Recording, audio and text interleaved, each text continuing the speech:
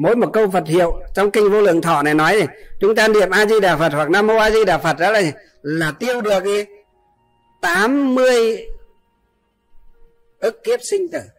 8 muôn chứ không phải là 80 8 muôn, tức là 8 vạn ức kiếp sinh tử. Chúng ta thấy một câu Phật hiệu A Di Đà Phật chúng ta nhất tâm mà chỉ niệm là tiêu diệt được 8 vạn ức kiếp sinh tử. Chứ không phải 8 vạn kiếp nhưng mà 8 vạn ức kiếp sinh tử. Mà chúng ta niệm gì mỗi một câu niệm Phật Nam Mô A Di Đà Phật chúng ta thì vê tròn cái hạt tràng đó lại là biểu pháp của gì là vê tròn quả phúc Đó, chúng ta niệm một câu á để hạt tràng trước ngực này chúng ta niệm Nam Mô A Di Đà Phật Nam Mô A Di Đà Phật Nam Mô A Di Đà Phật hoặc là A Di Đà Phật A Di Đà Phật A Di Đà Phật A Di Đà Phật A Di Đà Phật A Di Đà Phật như thế vậy mỗi một câu Phật hiệu ấy chúng ta gì vê tròn cái hạt tràng lại à là tượng trưng, là biểu pháp cho gì? Là vê tròn quả phúc. Tiêu đi tội nghiệp và vê tròn gì? Quả phúc. Tiêu đi kiết sử phiền não và vê tròn là quả phúc vậy. Đó. Cho nên trong phật giáo tất cả các pháp đều có ý nghĩa hết các quý vị. Tất cả các biểu pháp đều có ý nghĩa hết. Có cái chúng ta có biết hay không mà thôi có học và có hiểu, có thấu hay không mà thôi các quý vị. Đó. Cho nên thầy khuyên các phật tử chúng ta gì? Đừng có vội đòi hỏi tại sao con niệm phật không nhất tâm. Tại sao con niệm phật không đạt được niệm phật thành phiến? Tại sao con niệm phật không đạt được niệm phật tam muội? Vân vân và vân vân. Chúng ta cứ niệm phật cho thật nhiều đã. Trước mắt cứ niệm cho thật nhiều. À, niệm á mỗi một ngày ít nhất là phải một trăm tràng trở lên. Một cái trăm cái tràng dài đó cái tràng mà một trăm linh tám hạt đó một trăm tràng cho đến hai trăm tràng cho đến ba trăm tràng ngày xưa các tổ một ngày người ta niệm mười nghìn tràng hai mươi nghìn tràng niệm ba mươi nghìn tràng không chỉ niệm một trăm tràng hai trăm tràng đâu nhé một nghìn tràng đấy mà niệm mười nghìn tràng tất nhiên, niệm nhiều như thế người ta chỉ niệm bốn câu thôi. A di đà phật, a di đà phật, a di đà phật, a di đà phật, a di đà phật, a di đà phật, a di đà phật, a di đà phật, a di đà phật. Nhưng mà người người ta niệm gì niệm thầm ở trong tâm thôi. Thì nó không mất ra mất hơi, không mất khí. Nó không mất ra hơi không mất khí thì nó đỡ mệt. Nó không bị mệt cho nên niệm như vậy, ví dụ là thầy à, niệm như thế. Đó, chúng ta có nghe cái gì không? Không nghe gì. Vậy thầy có niệm thành tiếng đâu mà chúng ta nghe. Thầy niệm ở trong tâm. Trong tâm chúng ta ghi nhớ rõ ràng từng câu phật hiệu. A di đà phật hoặc là nam mô a di đà phật hoặc là a mi đà phật nam mô a mi đà phật vân vân. Tùy theo chúng ta thích niệm thế nào thì chúng ta niệm. Sáu câu cũng được bốn câu cũng được tùy theo. Nhưng mà nếu mà niệm nhiều niệm nhanh thì à, các tổ dạy nên niệm bốn câu. Thì à, chúng ta sẽ dễ nhiếp tâm hơn. Vì nó không kéo dài lê thê nó không làm à, mệt nhọc tâm can. À, nếu mà niệm thành tiếng thì nó không làm gì hao hơi tổn khí dễ được nhiếp tâm hơn. Đấy. Chúng ta muốn niệm phật thành phiến muốn niệm phật nhất tâm. Muốn niệm phật là tam muội được á. Thì à, đầu tiên chúng ta thì phải niệm cho nhiều đã. Cứ niệm nhiều để các quý vị. Bỏ hết cái thời gian đó buôn dưa lê, bán dưa chuột đi để niệm phật. Đặc biệt là với các cụ già, với những người nhiều tuổi, với những người bệnh tật và ốm đau, với những thời buổi á, covid như thế này, chúng ta không biết là chúng ta sống được đến là bao nhiêu tuổi? Không biết chúng ta có qua được cái mùa covid này hay không? Cho nên việc đầu tiên tốt nhất trong cái lúc giãn cách này chúng ta cứ niệm phật cho thật nhiều. Niệm phật thật nhiều vừa là tiêu trừ tội chướng, tăng trưởng công đức phúc báo. Chúng ta có tăng trưởng công đức phúc báo, chúng ta mới gì? Mới vượt qua đại nạn được một cách dễ dàng. Phật còn à, cho chúng ta sống. Bảo chúng ta thì ở lại thế giới này để tu tiếp, thì chúng ta ở, chúng ta tu, chúng ta làm biểu pháp cho người khác. Học theo. Chúng ta giáo hóa người khác gì tu cùng, thì à, chúng ta ở lại. Còn phật bảo là thôi, thế giới này à, nó như ngôi nhà lửa. Nó cháy à, cháy đến nơi rồi. Cho nên thôi, con xả bỏ báo thân thì con về tây phương với gì? Với ta để mà tu thế chúng ta nhẹ nhàng về với phật chúng ta tu xả bỏ cái báo thân à, sinh lão bệnh tử nhơ nhuốc à, hôi thối này để thọ nhận cái tấm thân à, kim cương na la diên bền chắc bất sinh bất diệt. Ở tây phương cực lạc thế giới thì tội gì mà chúng ta không đổi? Tội gì mà chúng ta không không bỏ cái cái xấu để để lấy cái tốt. Mà cái tốt xấu ở đây không phải là tốt xấu theo cái kiểu như là phân biệt nhân ngã bị thử. Mà cái tốt ở đây là cái tốt gì? Gọi là tịnh tướng. Đó. cái tốt ở đây là cái tốt đó, viên dung. Cái tốt ở đây là cái tốt gì? Cái tốt của bậc ờ, giác ngộ giải thoát ờ, hoàn toàn. Mọi sự khổ đau ràng buộc của tam giới. Cho nên chúng ta phân biệt phải phân biệt rõ. Cái tốt cái xấu đây khác với cái tốt xấu nhân ngã bị thử thắng thua của à, thế gian chúng ta khác nhau ấy. Đó. Cho nên à, thầy khuyên chúng ta là cứ phải niệm nhiều đã. Chứ đừng có như phật tử. Lúc nãy thầy nêu ra hỏi thầy bạch thầy tại sao con niệm phật mãi chả đừng nhất tâm? Hỏi niệm nhiều chưa? Niệm hai ba mươi năm nhưng mà ngày có bốn năm tràng ngày ba tràng có ngày một tràng có ngày trả được câu vật hiệu nào? Thế rồi ba mươi năm cũng là làm cái gì thầy bảo? Không chỉ ba mươi năm mà ba trăm năm thậm chí là ba triệu năm. Cũng chưa được à, niệm Phật à, à, nhất tâm đâu các quý vị. Đó. Đến nay đấy khuyên các Phật tử chúng ta chân thành cứ niệm Phật cho thật nhiều.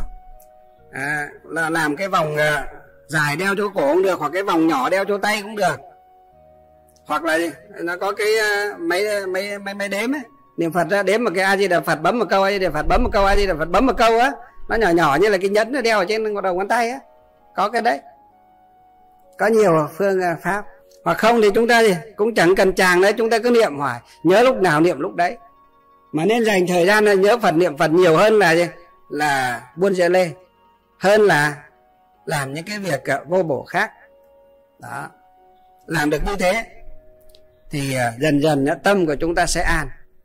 Đạo chúng ta gì? Sẽ long. Tâm an thì đạo gì? Đạo long. Long tức là chỉ cho sự hưng thịnh đó. Chỉ cho sự à, tốt đẹp đó. Thịnh vượng đó. Đó. Gọi là tâm an đó thì đạo long.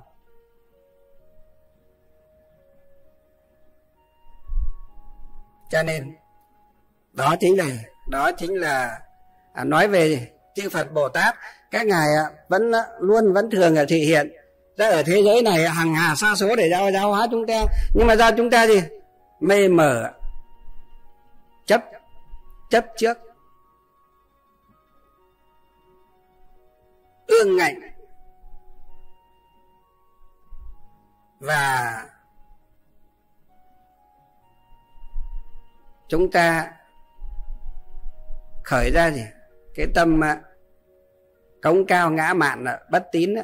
vì vậy mà chúng ta thì không tiếp nhận được năng lượng của chư Phật Bồ Tát. Không à, thấy không nghe được sắc tướng và âm thanh của chư Phật Bồ Tát thường à, trụ ở cõi sa bà này để giáo hóa chúng ta. Đó, đó cho nên đấy là câu mà thầy à, giải thích về à, có người người ta bảo là tại sao không thấy chư Phật Bồ Tát nào? À, đến thế giới xa bà chúng ta. Đấy, thì chúng ta thấy đấy, chư Phật Bồ Tát đầy dậy ra đấy. Không chỉ ở Trung Quốc, ở Đài Loan ở Hồng Kông mới có, Việt Nam chúng ta cũng đầy các quý vị. Những tấm gương sáng, những bậc chân tu ở xung quanh chúng ta. Những vị có đạo đức có giới phẩm có trí tuệ có tâm huyết để thường ờ, báo phật ân hạ tế tam độ khổ đó chính là là hiện thân của chư Phật Bồ Tát đấy. Chúng ta nên gì nên à, gần gũi để mà cung kính đỉnh lễ cúng dường mà học tập theo à, chư Phật Bồ Tát các ngài gì các ngài hóa thân các ngài thị hiện các ngài biểu diễn các ngài gì đang à, chủ lại chủ tại thế gian này để hoằng phát giáo hóa độ sinh đấy. Đó cho nên chúng ta phải nhìn rõ cái điều đó thì chúng ta sẽ thấy gì? Chung quanh ta có vô số gì? Hàng hà xa số các vị phật bồ tát đang gì? Đang à, làm việc thiện. Đang giáo hóa độ sinh. Ừ. Chứ không phải là phật pháp á, diệt tận à, như phàm phu á chúng ta thường nghĩ vậy. Đó. Đấy là cái nhìn cái nhìn à, gọi là cái nhìn à, gọi là tích cực của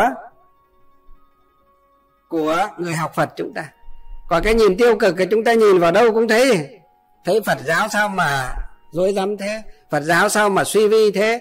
Phật giáo sao mà à, đau khổ thế? Phật giáo sao mà à, rồi vân vân và vân vân. Đó. Nhìn chỗ nào cũng thấy cái xấu.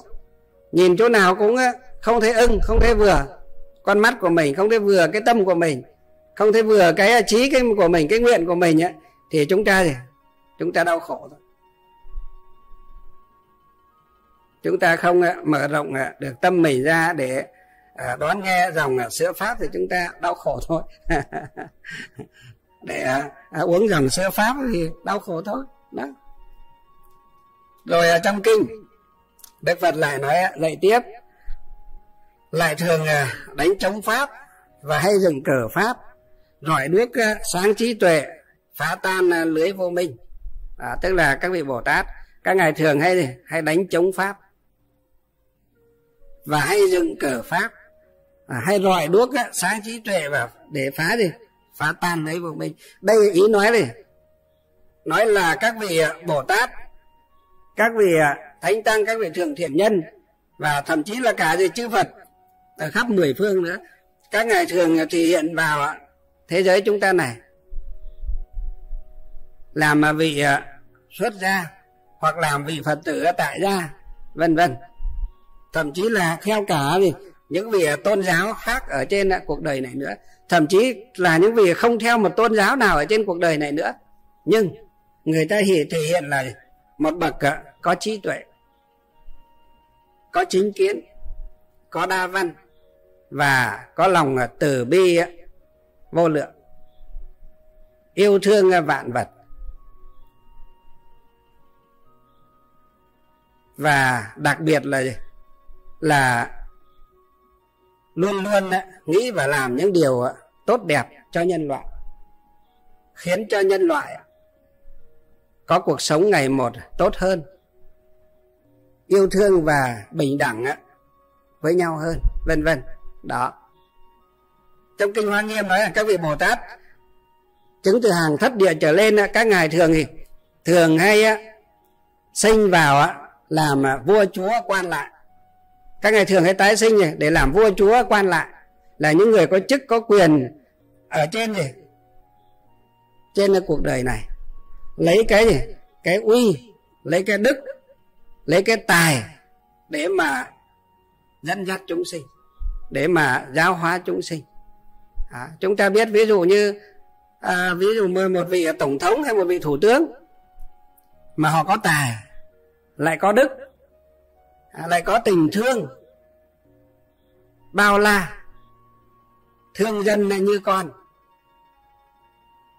thì à, chúng ta thấy người dân đấy trong à, đất nước đó thường được à, hưởng à, thái bình thịnh trị được hưởng cuộc sống ấm no hạnh phúc biết yêu yêu thương nhau. Và biết gì? Biết yêu thương mọi loài vân vân. Đó.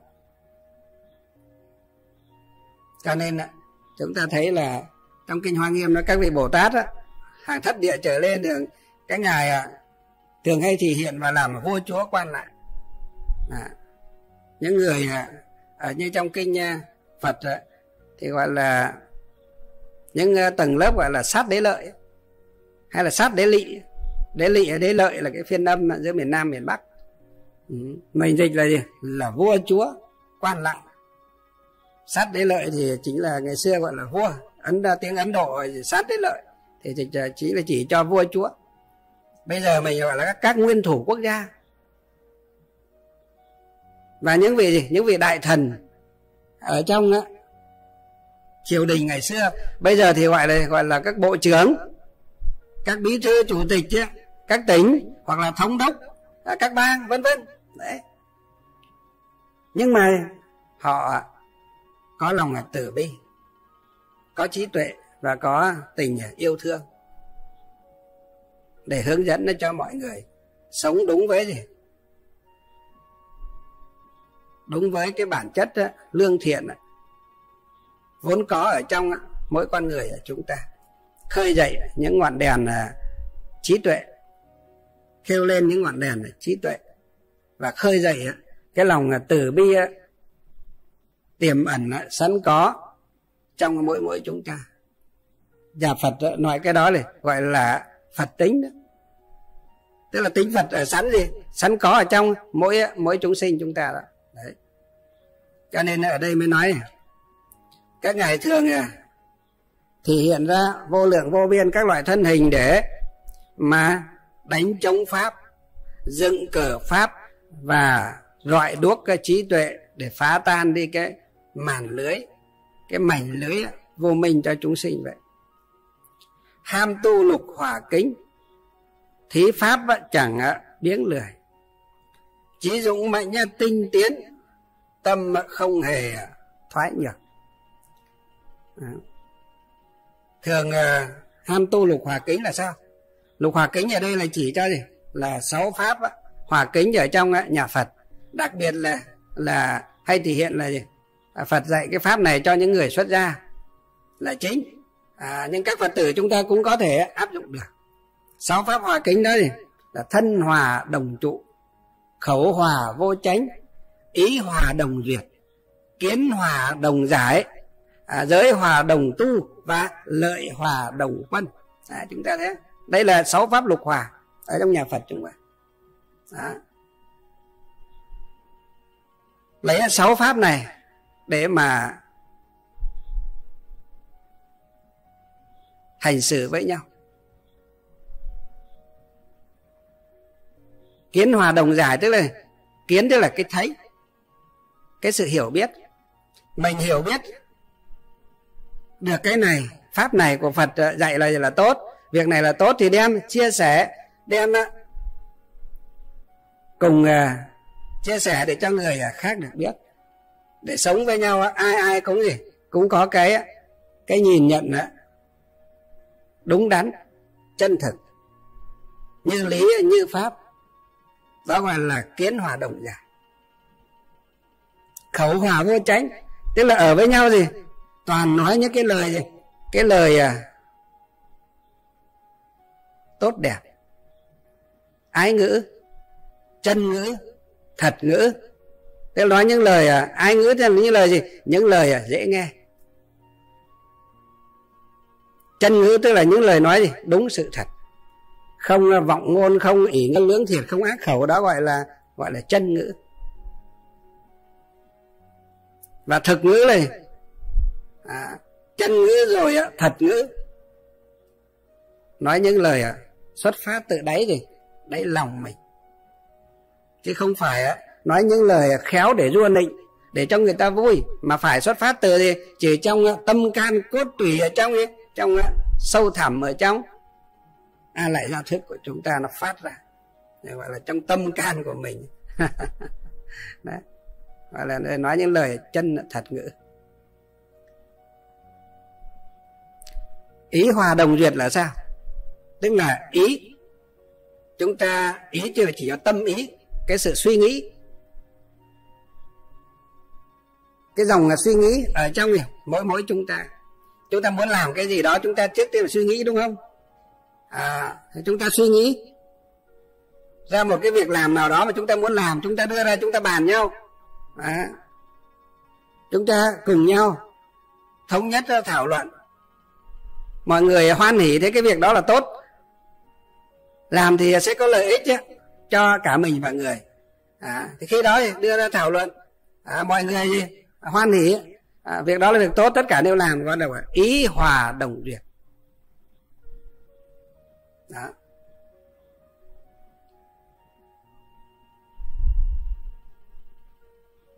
Thân hòa đồng trụ là sao? Tức là thân đó thì cùng nhau ở chung trong một mái chùa như người xuất gia các quý thầy. Còn phật tử chúng ta là vợ chồng, con cái, gia đình, ông bà, bố mẹ, vân vân. Ở trong một mái nhà đó, chúng ta phải yêu thương à, lẫn nhau. Tôn trọng à, lẫn nhau. Giống như trong kinh à, đức phật nói, bố mẹ đối với con cái phải có năm đức. Con cái đối với bố mẹ cũng phải có năm đức chồng đối với vợ cũng phải có năm đức. Mà vợ đối với chồng cũng phải có năm đức. Như vậy, đều lấy cái đức hiếu kính, tôn trọng, trách nhiệm để lo cho nhau. Thì gia đình sẽ gì? Sẽ được thái bình, hạnh phúc mà thôi. Gia đình lúc nào cũng đầy ắp tiếng cười mà thôi các quý vị đó các quý vị muốn biết cái những cái đức vợ đối với chồng như nào chồng đối với vợ như thế nào con đối với bố mẹ bố mẹ đối với con ra sao? À, nàng dâu đối với à, à, bố mẹ chồng ra sao bố mẹ chồng đối với nàng dâu ra sao? Con à, à, rể đối với bố mẹ à, vợ ra sao bố mẹ vợ đối với con rể ra sao vân vân đó. Các quý vị tìm học trong quyển gì? Có trong quyển Phật học phổ thông của cố trưởng lão hòa thượng à, thích thiện hoa. Ở trong cái bộ Phật học phổ thông có cái cách hành xử mà Phật đã dạy ấy. À, hòa thượng này đã rút lại trong kinh Phật để viết theo cái lối văn đó, của Việt à, ngữ chúng ta. Chúng ta đọc cho nó dễ hiểu. Ừ. Thế còn như trong theo cái lối văn của kinh nhà hàm hoặc là trong chữ hán chúng ta đọc khó hiểu mà thậm chí chữ hán chúng ta không đọc được đó, thì hòa thượng đã dịch ra trong đó rồi. Chúng ta đọc trong bộ Phật học phổ thông. Quyển 1 cô giác linh đại lão hòa thượng thích thiện hoa ngài đã viết lại ở trong đó hết chúng ta tìm đọc. Đấy thầy đang nói là thân hòa đồng trụ. Là mọi người chung sống với nhau ở một chỗ xứ như là người xuất gia. Mình gọi là một ngôi chùa đó một tinh xá một tỉnh thất một niệm phật đường đó phật tử tại gia chúng ta là một gia đình đó. Hay là như ở cơ quan thì là cùng một cơ quan đó, cùng một công ty như là doanh nghiệp đó, vân vân. Biết là tôn trọng. Ái kính hòa mục chung sống với nhau một cách là là vui vẻ. Hoan hỷ an lạc, tôn trọng. Nhau thì đó chính là thân hòa, đồng trụ. Và một cái điều nữa là lợi hòa đồng quân à, giới hòa đồng tu đấy chứ. Giới hòa đồng tu. Giới tức là là những lời ở đức phật à, chỉ dạy.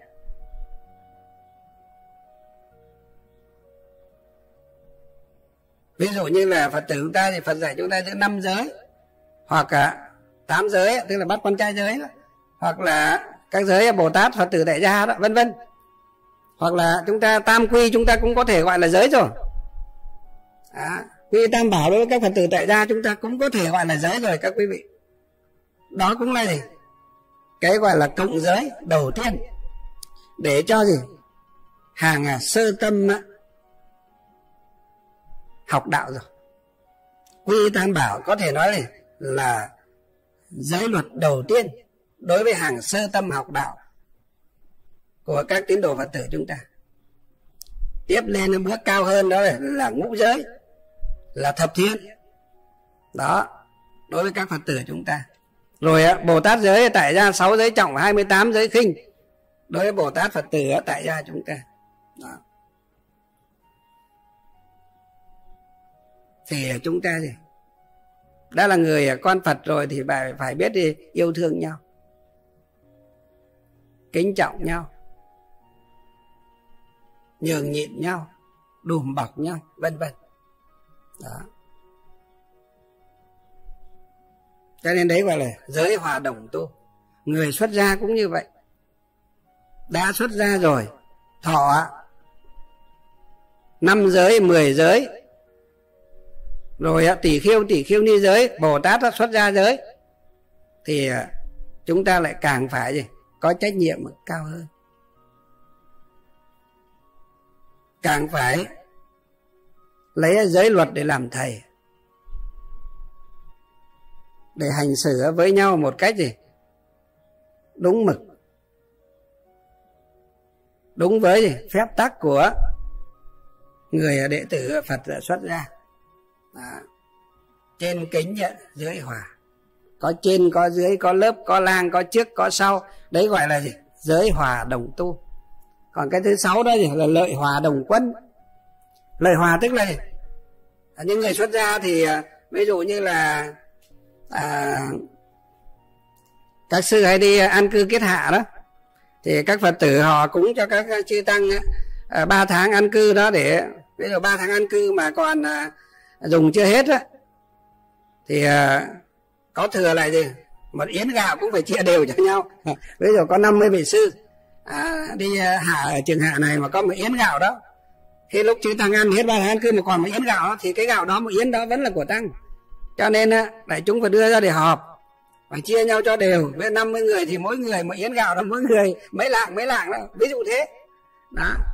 Hoặc có bao nhiêu gói mì chính bao nhiêu à, can dầu mà còn nó chưa ăn hết đó thì đem ra để quân tăng cho đều.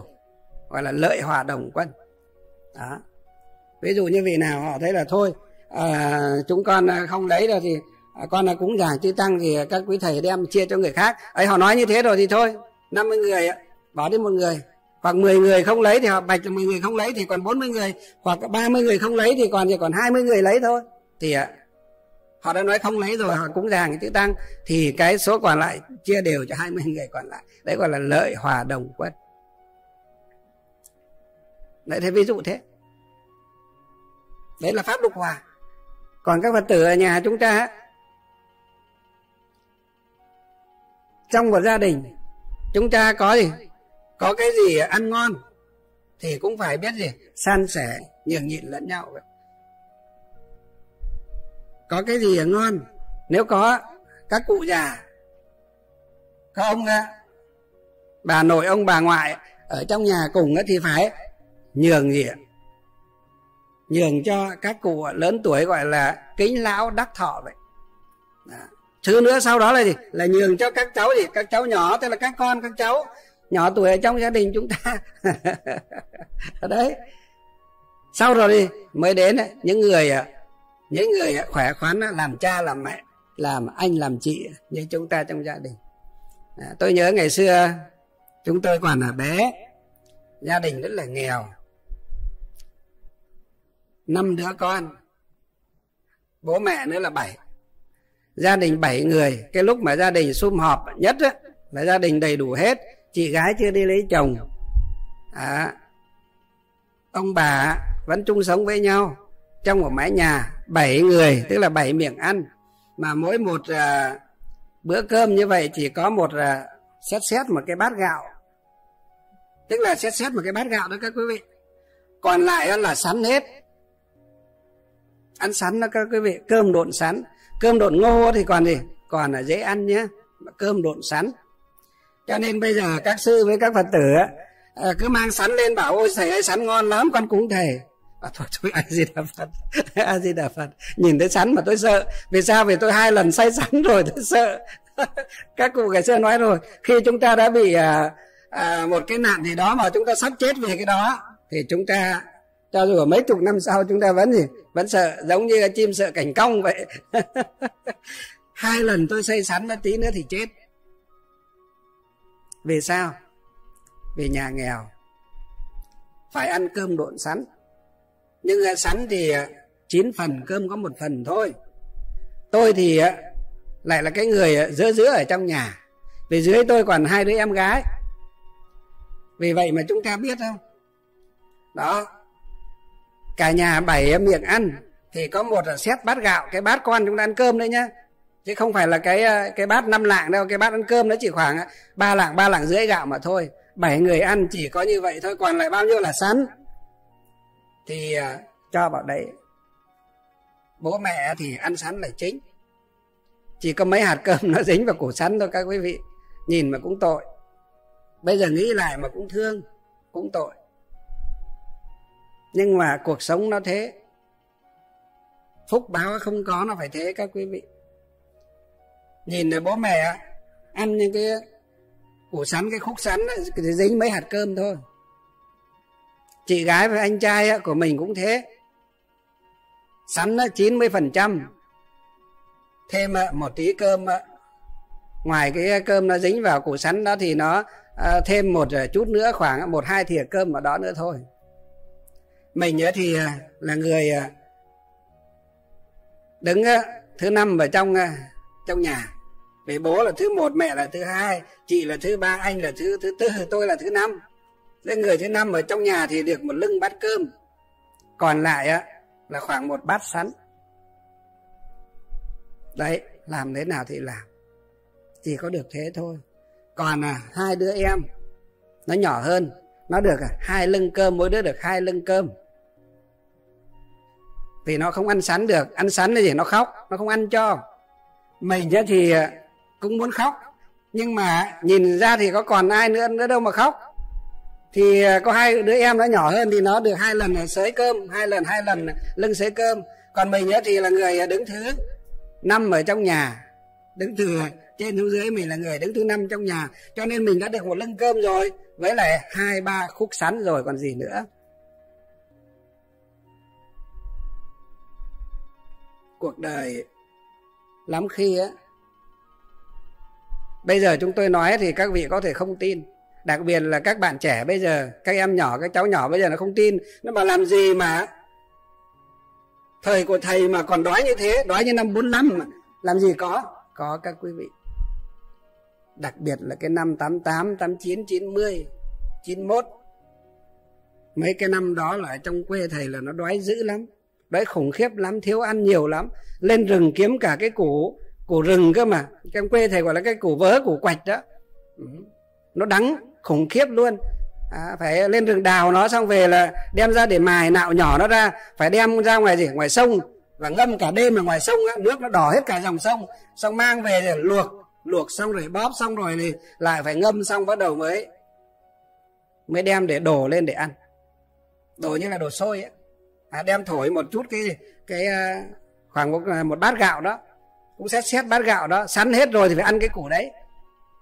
Xét xét bát gạo đó thì nó thổi thành cái cơm nó thì cơm chưa được chín nhé nó thổi nó hơi hơi à, à hơi hơi vừa chín tới. Ấy.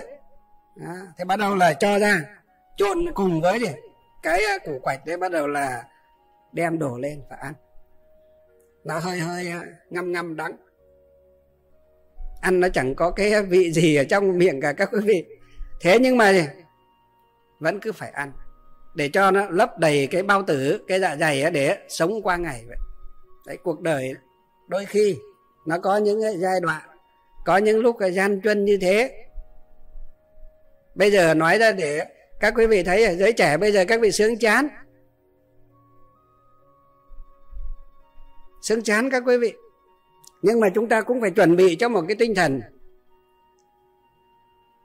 Ở thế giới này á, những cái tai nạn bất ngờ xảy ra. Nạn nước, nạn lửa, rồi chiến tranh, rồi ờ, giặc giá rồi ờ, gì?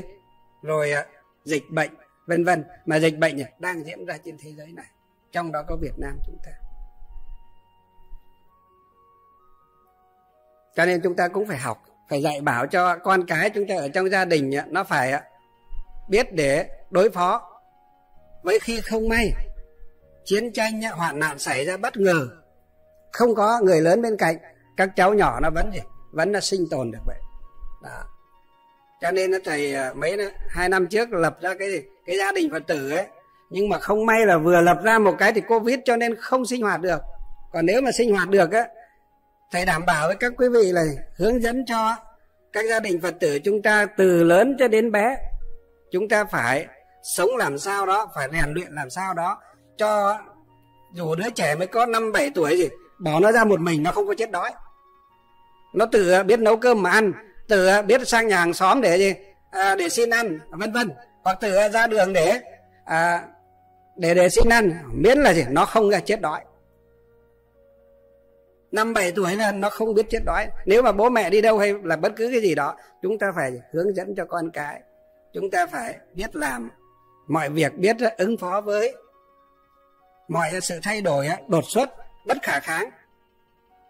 Mà nó vẫn là tồn tại được vẫn sinh tồn được. Đó, chúng ta thấy bây giờ thế giới là có cái chương trình là à, thử thách sinh tồn á một mình hai bàn tay không vào trong rừng ờ, sâu hoặc là ra hòn đảo để ờ, sinh sống mà vẫn sống được á. Đấy cũng là một cái hay. Nhưng mà chúng ta bây giờ chắc là người học Phật chẳng không đến nỗi phải học theo cách ấy, sống như thế. Chúng ta học theo cách gì nó cũng ờ, vừa vừa đủ vừa tới để cho gì? Không may có cái chuyện gì xảy ra. Bất chợt như là chiến tranh như là động đất như là sóng thần như là hỏa hoạn hay là như là đại dịch vân vân các con các cái các cháu nhỏ của chúng ta thì nó biết cách để nó sinh tồn hết. Nó có thể à, một mình tự biên trải để vượt qua những khó khăn đấy. À, chúng tôi được như bây giờ là phải nói với các quý vị này cũng nhờ một phần là ngày à, còn trẻ 12 tuổi đã phải đi làm để kiếm ăn rồi. 12 tuổi đã phải đi vào rừng để kiếm củi. 13 tuổi đã đi vào rừng để đi đào đáy vàng rồi các quý vị. 13, 14, 15 tuổi đã phải đi đào đáy vàng Đi làm thuê, đi làm đủ các thứ rồi các quý vị. Không có một cái việc gì Người ta làm được. Để kiếm ra bát cơm manh áo Mà chúng tôi chưa từng làm qua. Người ta làm được thì mình cũng làm được. Cho nên là bây giờ nói đến cái gì là mình cũng biết là như thế. Mặc dù mình có thể là chưa biết nhiều, nhưng mà cái đại cương cái cần thiết thì mình cũng đều nắm được vậy. Đó. cho nên nhiều phật tử bảo cái ông sư này á ông cứ bảo ông dân tộc mà cái gì ông cũng biết. Dân tộc làm gì mà cái gì cũng biết như thế? Vì sao? Vì à, chính vì gì được cọ sát. Trải qua những lúc ấy, gian truân vất vả khổ cực như thế cho nên này chúng tôi biết vậy nhờ những khó khăn, những khổ cực mà mình được à, rèn luyện, được cọ sát một cách thực tế. Đó. Cho nên trong à, đời sống chúng ta thấy đôi khi những cái giai đoạn khó khăn thì lại làm cho chúng ta cứng cáp lên. Những cái lúc tưởng chừng như là chúng ta vấp ngã, chúng ta không thể đứng dậy được. Nhưng nếu chúng ta đứng dậy được á, đấy là một kinh nghiệm sống rất quý giá, rất quý báu đối với chúng ta, các quý vị. Đó. vượt qua những lúc khó khăn đấy, thì ờ, các cụ ngày xưa nói, qua cơn mưa trời lại sáng. Kiểu nó như thế. Cho nên ờ, chúng ta cũng phải rèn luyện cái ý chí sắt đá, cái lòng ờ, tin kiên cố và cái sự dũng mãnh và tinh tiến đã hướng về phía trước, hướng tới cái nơi ánh sáng để mà mà đi đến vậy. Đó cho nên lợi hòa đồng quân là ở trong một gia đình. Chúng ta thì trước hết là phải kính già. Sau nữa là phải gì? Thứ nữa là thế thương trẻ. Kính già, thương trẻ. Sau mới đến thì, đến phần là bố mẹ đến phần là anh chị em còn lớn. Ừ. Đấy, sống được như thế. Thì à, gia đình à, sẽ đầy ắp tiếng cười. Sẽ thực sự là an vui, sẽ thực sự là hạnh phúc thôi đấy, gọi là ham tu lục hòa kính. Thì lục hòa ở đây thì người phật tử tại gia chúng ta cũng đem áp dụng để tu được. Đặc biệt là những người xuất gia chúng tôi thì lại càng phải gì? Phải làm theo lời phật nữa. Nhưng mà cũng buồn là vì bây giờ thì thực sự là trong pháp lục hòa này bây giờ nói thì dễ đấy, nhưng mà làm á, có mấy ai làm được à? rốt ráo đâu. Thôi thì làm được bao nhiêu, quý bấy nhiêu. Nói thật với các quý vị như thế kể cả chúng tôi bây giờ ở đây cũng thế. Cũng chưa phải là làm được một cách là viên mãn rốt ráo đâu các quý vị. Cũng chỉ được ở phần nào mà thôi. Còn phải học, còn phải tu và còn phải thực hành nhiều nữa. Mới mong có ngày đạt tới cái chỗ lục hòa kính viên mãn như lời Phật dạy ở trong trong à, kinh luật luận vậy. Các vị Bồ Tát ở Tây Phương Cực Lạc ở trong kinh này nói thì Đức Phật dạy là giới thiệu là các ngài không chỉ tu pháp lục hòa kính mà thường gì? Thường uh, thí pháp đó, chẳng biếng lười. Tức là các ngài thường thì à, thuyết pháp giáo hóa độ sinh. Một người cũng là đăng đản thuyết pháp vậy. À, chẳng chút biếng lười. Có người đến nghe cũng thuyết mà không có người đến nghe cũng thuyết vậy. À, giống như ngày xưa à, ấn tổ có một lần ngày à, đi trải qua gì? Đi à, bốn năm ngày ngày xưa là đi tàu hỏa với là đi ờ, đi bộ đó. Mà đất nước Trung Quốc thì chúng ta biết là địa giới hành chính họ rất là rộng. Từ tỉnh này sang tỉnh kia nó phải bằng ờ, từ à, Hà Nội chúng ta vào thành phố Hồ Chí Minh nhé các quý vị. Nó như thế. Từ tỉnh này sang tỉnh kia nó đã như thế rồi. Hoặc là từ đây vào tới ít ít mèng mèng cũng phải vào tới à, Đà Nẵng và tới miền Trung đó các quý vị mà chúng ta từ đây vào tới miền Trung chúng ta biết bao nhiêu tỉnh không? Nhưng họ đi từ đầu tỉnh này sang tỉnh kia có khi mèng nó cũng phải, ít nó cũng phải. Nửa quốc gia, nửa cái đất nước chúng ta theo chiều dài rồi. Mà đi, họ thường vừa đi, cụ tổ cụ vừa đi tàu hỏa, vừa đi bộ. Xuống tàu hỏa mà hết à, cái chỗ đi thì phải phải đi bộ. Cho nên mấy ngày mới tới. Cái nơi mà họ, trước đây thì họ đến họ thì mời hòa thượng đến nơi đó để làm lễ để quy y cho các phật tử. Nhưng đến hòa thượng à thuyết pháp ba ngày. Mỗi một ngày duy nhất chỉ có một gì? Một người đến để nghe pháp thôi. Các vị à, nếu mà đọc ấn quang đại sư văn sao hay ấn quang đại sư ra ngôn lục, các vị thấy cái cảnh đó. Nếu mà phải tôi thì thôi, chắc là thôi thôi thì a di đà phật, lạy thánh lạy phật lạy thánh là thôi chúng con là hoan hỉ chúng con là xin phép chúng con đi về. Đúng không? Vì sao? Vì à, thí pháp á, chưa được bình đẳng chưa được cả tinh tiến chưa được chân tinh tiến mà vẫn gì vẫn còn gì có đối tượng vẫn còn có gì biếng lười vậy. Nhưng mà tổ á đã nhận lời đến đó thuyết pháp mặc dù đi bốn năm ngày mới đến nơi mệt nhoài ra cứ tưởng là đến đó thì à, họ có vài chục, thậm chí vài trăm người đến nghe pháp. Vì tổ rất nổi tiếng, lúc đó rất nổi tiếng rồi. Nhưng chúng ta biết không? Chính quyền à, địa phương à, của Trung Quốc lúc bây giờ, cái địa phương đó này, nó ngăn sông cách chợ. Nó cho người đi từng gõ từng nhà, bảo từng người, không ai được đến để nghe tổ thuyết pháp. Chúng ta thấy nó khủng khiếp chứ ngăn sông cách chợ như thế. Và ba ngày liền, ngày nào, cứ đến giờ, họ mở cửa ra, mời hòa thượng gì mời tổ đến gì đến à, cái cái cái à, hội trường ấy, để à, thuyết pháp. Ngày xưa vốn nó cũng là cái chùa. Nhưng xong rồi cái thời cải, cách mạng văn hóa trung quốc cái chùa họ là biến thành gì? Biến thành cái hội trường của thôn. À, nói đúng là nó là như thế. Việt nam chúng ta cũng có một thời học theo mấy năm như thế đấy. Phải nói thật với nhau là như thế. Nhưng việt nam chúng ta may là chúng ta làm cũng chưa chưa tới cái mức như thế. Mà may là gì? Bác hồ, bác ờ, sớm nhận ra và bác phải gì bác phải khóc và bác xin lỗi trước các toàn thể đồng bào nhân dân cả nước bác nhận lỗi vì cái đợt đó là bác đi, bác đang đi chữa bệnh ở quảng châu, trung quốc thì phải. Đó. và ở nhà là người khác làm. Chứ không phải là bác hồ bác chỉ đạo và làm cái đó. Bác đang đi chữa bệnh. Đó. người ở nhà thay nắm quyền ờ, điều hành ở đất nước để làm cái việc đó. Nhưng mà bác là với cương vị là chủ tịch nước, là người đứng đầu, cho nên bác đứng ra bác xin lỗi toàn dân. Bác vừa khóc vừa xin lỗi các quý vị. Đấy bên trung quốc chúng ta thấy cái giai đoạn nó như thế. Tổ đến thuyết pháp mỗi một ngày duy nhất có một người à, ngồi nghe pháp từ đầu đến cuối. Đến ngày à, thứ ba khi mà thuyết pháp sắp xong thì hòa thượng à, tổ mới à, cảm ơn cái cái vị đấy. Bảo này đã cảm ơn gì phật tử? Mà ngày nào cũng một mình chăm chú đến để nghe pháp. Thế kia chúng ta biết cái cái vị kia nói với tổ thế nào?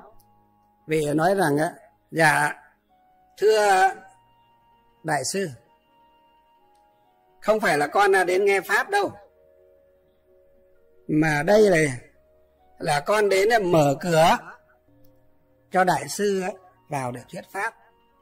Con nhận lệnh đến để mở cửa, để đón hòa thượng, đón đại sư vào thuyết pháp bao giờ hòa đại sư để thuyết pháp xong con người chờ ở đây ngồi ở đây để để đóng cửa. Chúng ta thấy đau không? Đó đau chứ. Nếu mà bảo tôi xin thưa các vị a di đà phật thôi lại phật lại tổ. Thế thôi không có cho không cho thuyết thì thôi. À, không cho giảng thì thôi. Không ai đến nghe thì thôi. À, chúng ta đi về. Tôi đi về vân vân. Đúng không? Để chúng ta chưa đạt được cái cái sự chân tinh tiến, cái sự dũng mãnh và cái sự gì? Cái sự à, bình đẳng à, thuyết pháp như là các tổ vậy.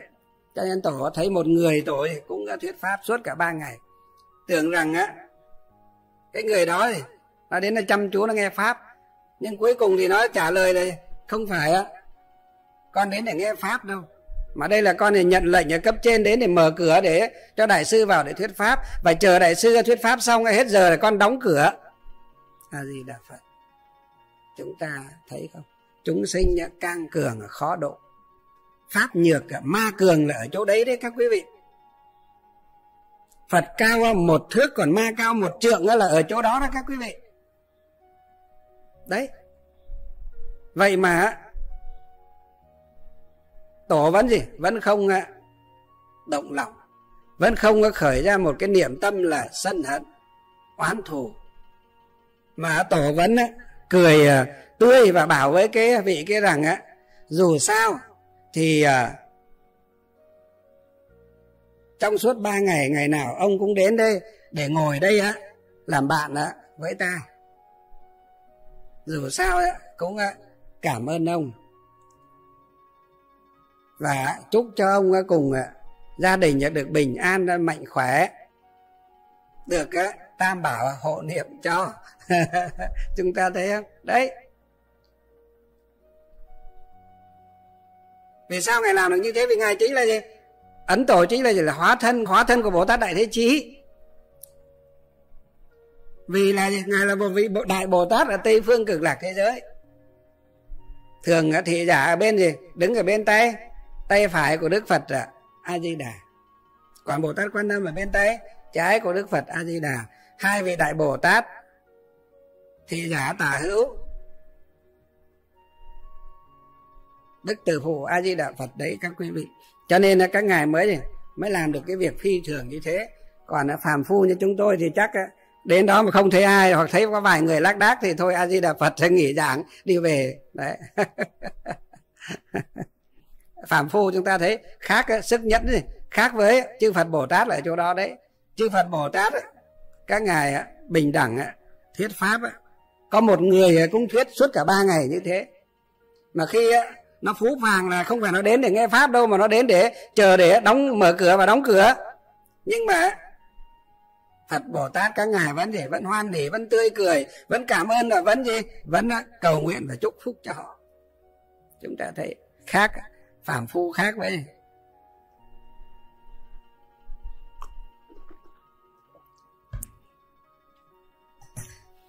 phàm phu là khác với thánh nhân là ở chỗ đó đấy. Khác ở chỗ đó.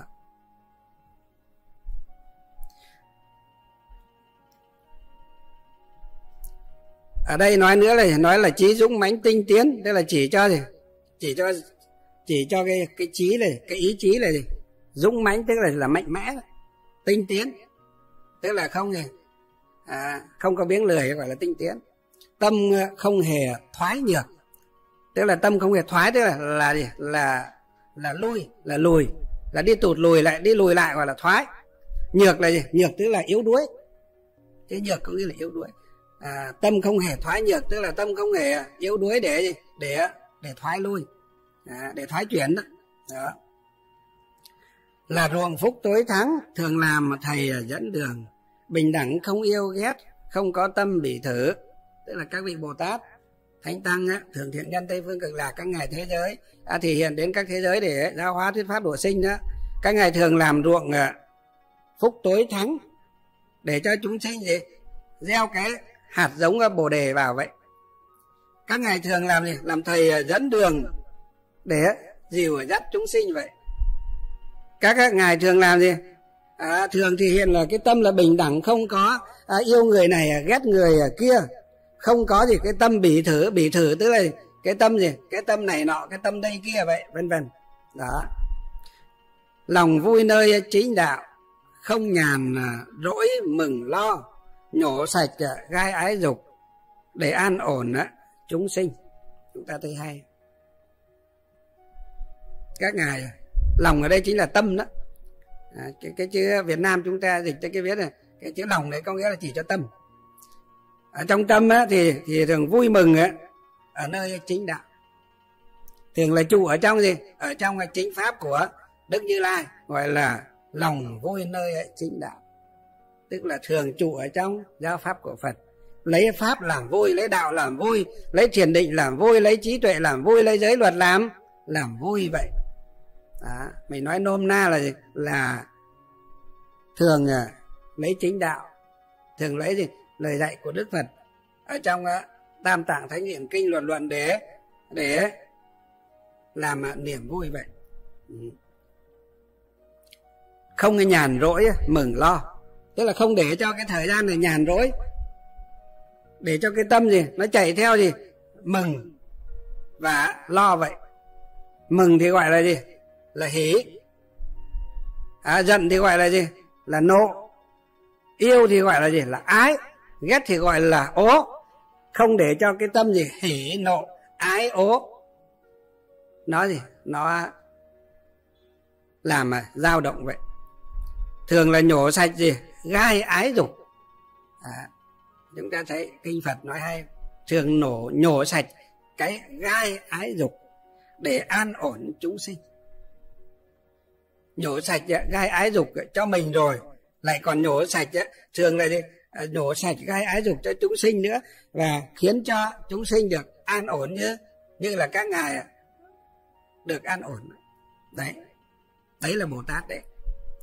Công đức rất thù thắng, tất cả đều à, tôn vinh. Tức là đem tất cả gì? Những à, công đức thù thắng để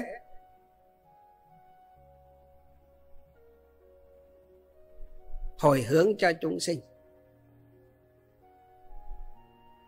À, và là tất cả đều tôn vinh đây tức là để, để hồi hướng cho chúng sinh.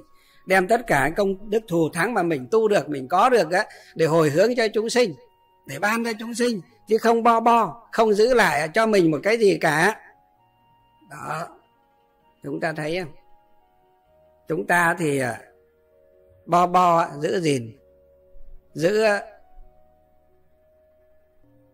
tiền tài của cải có một chút giữ thì cứ khư giữ cho bản thân á. Thấy chúng sinh nghèo đói khổ, sở cùng cực chúng ta cũng chẳng phát tâm được.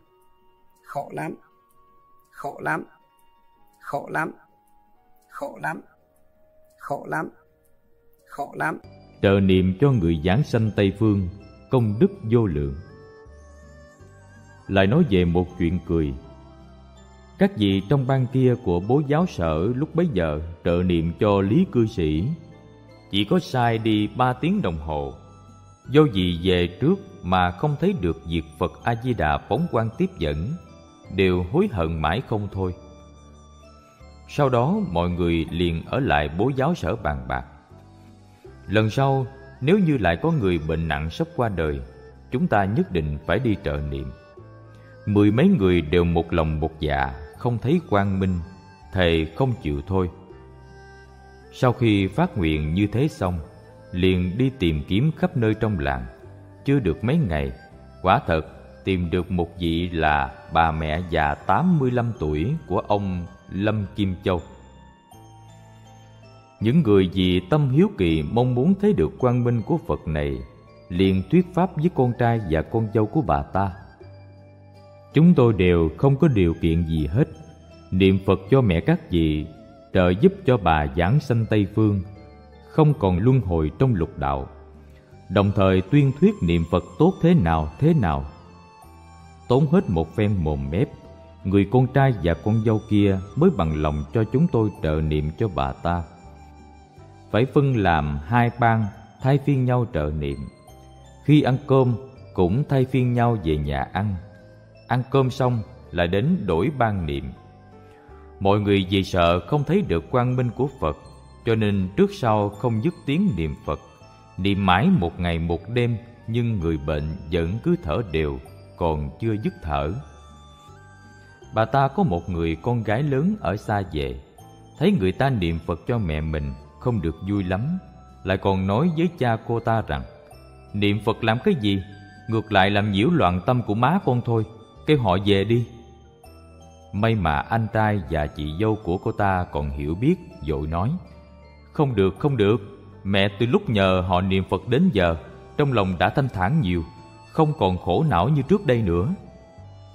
Người con gái kia sau đó cũng không còn nói bậy nữa, biết được thành ý của mọi người, trái lại trong lòng bắt đầu biết mang ơn.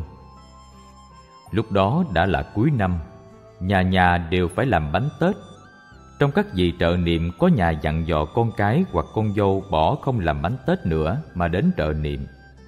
Liên tục niệm bảy ngày bảy đêm, người sắp mạng chung kia mới giảng sanh. Lúc đó, mọi người trong miệng thì niệm phật, còn mắt thì lại đều chú ý xem quang minh của phật đến. Nhưng kết quả không thấy được gì hết, mọi người lại vô cùng thất vọng. Mặc dù như thế nhưng cái tâm trợ niệm của mọi người là chân thật ngay thẳng. Giúp người thì phải giúp cho đến nơi đến chốn. Liền lại niệm thêm 8 tiếng đồng hồ nữa, đúng nghi thức trợ niệm. Thăm dò trên đỉnh đầu vẫn còn một chút hơi ấm, sắc diện như sóng, thân thể vẫn mềm như bông. Đây cũng chính là tướng lành được giáng sanh tây phương. Điều không thể nghĩ bàn nhất là niệm xong 8 tiếng đồng hồ rồi con cháu của bà ta mở những chăn mềm đắp cho bà ta ra thì thấy hai tay của bà đang chấp ngay ngắn. Sư tỷ thẩm, gọi là trương thẩm ở bài trước, nói với tôi. Con dâu của bà ta thấy chúng tôi niệm phật cho mẹ chồng của cô ta được thành khẩn như thế. Mỗi đêm đều ba lần nấu món điểm tâm mời chúng tôi ăn. Mới đầu, mọi người không dám ăn do vị thầy lý dạy chúng tôi lúc trợ niệm cho người, không được ăn đồ ăn của người ta. Ba bữa phải về nhà ăn, cũng không được ăn đồ điểm tâm. Do vì người ta đang gặp lúc không may, không nên làm phiền người ta thêm. Nhưng con dâu bà ta có ý tốt nói, thời tiết mùa đông lạnh như thế này, các vị có lòng tốt như thế đến cứu cho mẹ chồng tôi. Cả nhà chúng tôi rất là đội ơn đội đức, có chút xíu để bày tỏ tấm lòng các vị đừng nên khách sáo. Cho nên, mỗi đêm đều tiếp nhận ba lần điểm tâm của họ. Tôi liền cười nói với họ rằng, tâm của các vị bất tịnh, chứa đầy những tham muốn. Muốn thấy quang minh của phật, lại nào có thấy được đâu. Sư tỷ tú cùng với anh thanh niên kia, lúc đó niệm phật là một lòng một dạ. Trong tâm thanh tịnh, niệm đến cùng, phật cảm ứng đạo giao cho nên mới thấy được phật a di đà phóng đại quang minh đến tiếp dẫn. Hôm nay các vị vì tham muốn xem quang minh mà vì người niệm phật, nhưng cũng giúp được một chúng sanh ở ta bà giảng sanh về quốc độ an lạc ở tây phương tu hành. Ngày kia thường nguyện tái lai, có thể độ được vô lượng vô biên chúng sanh khổ não.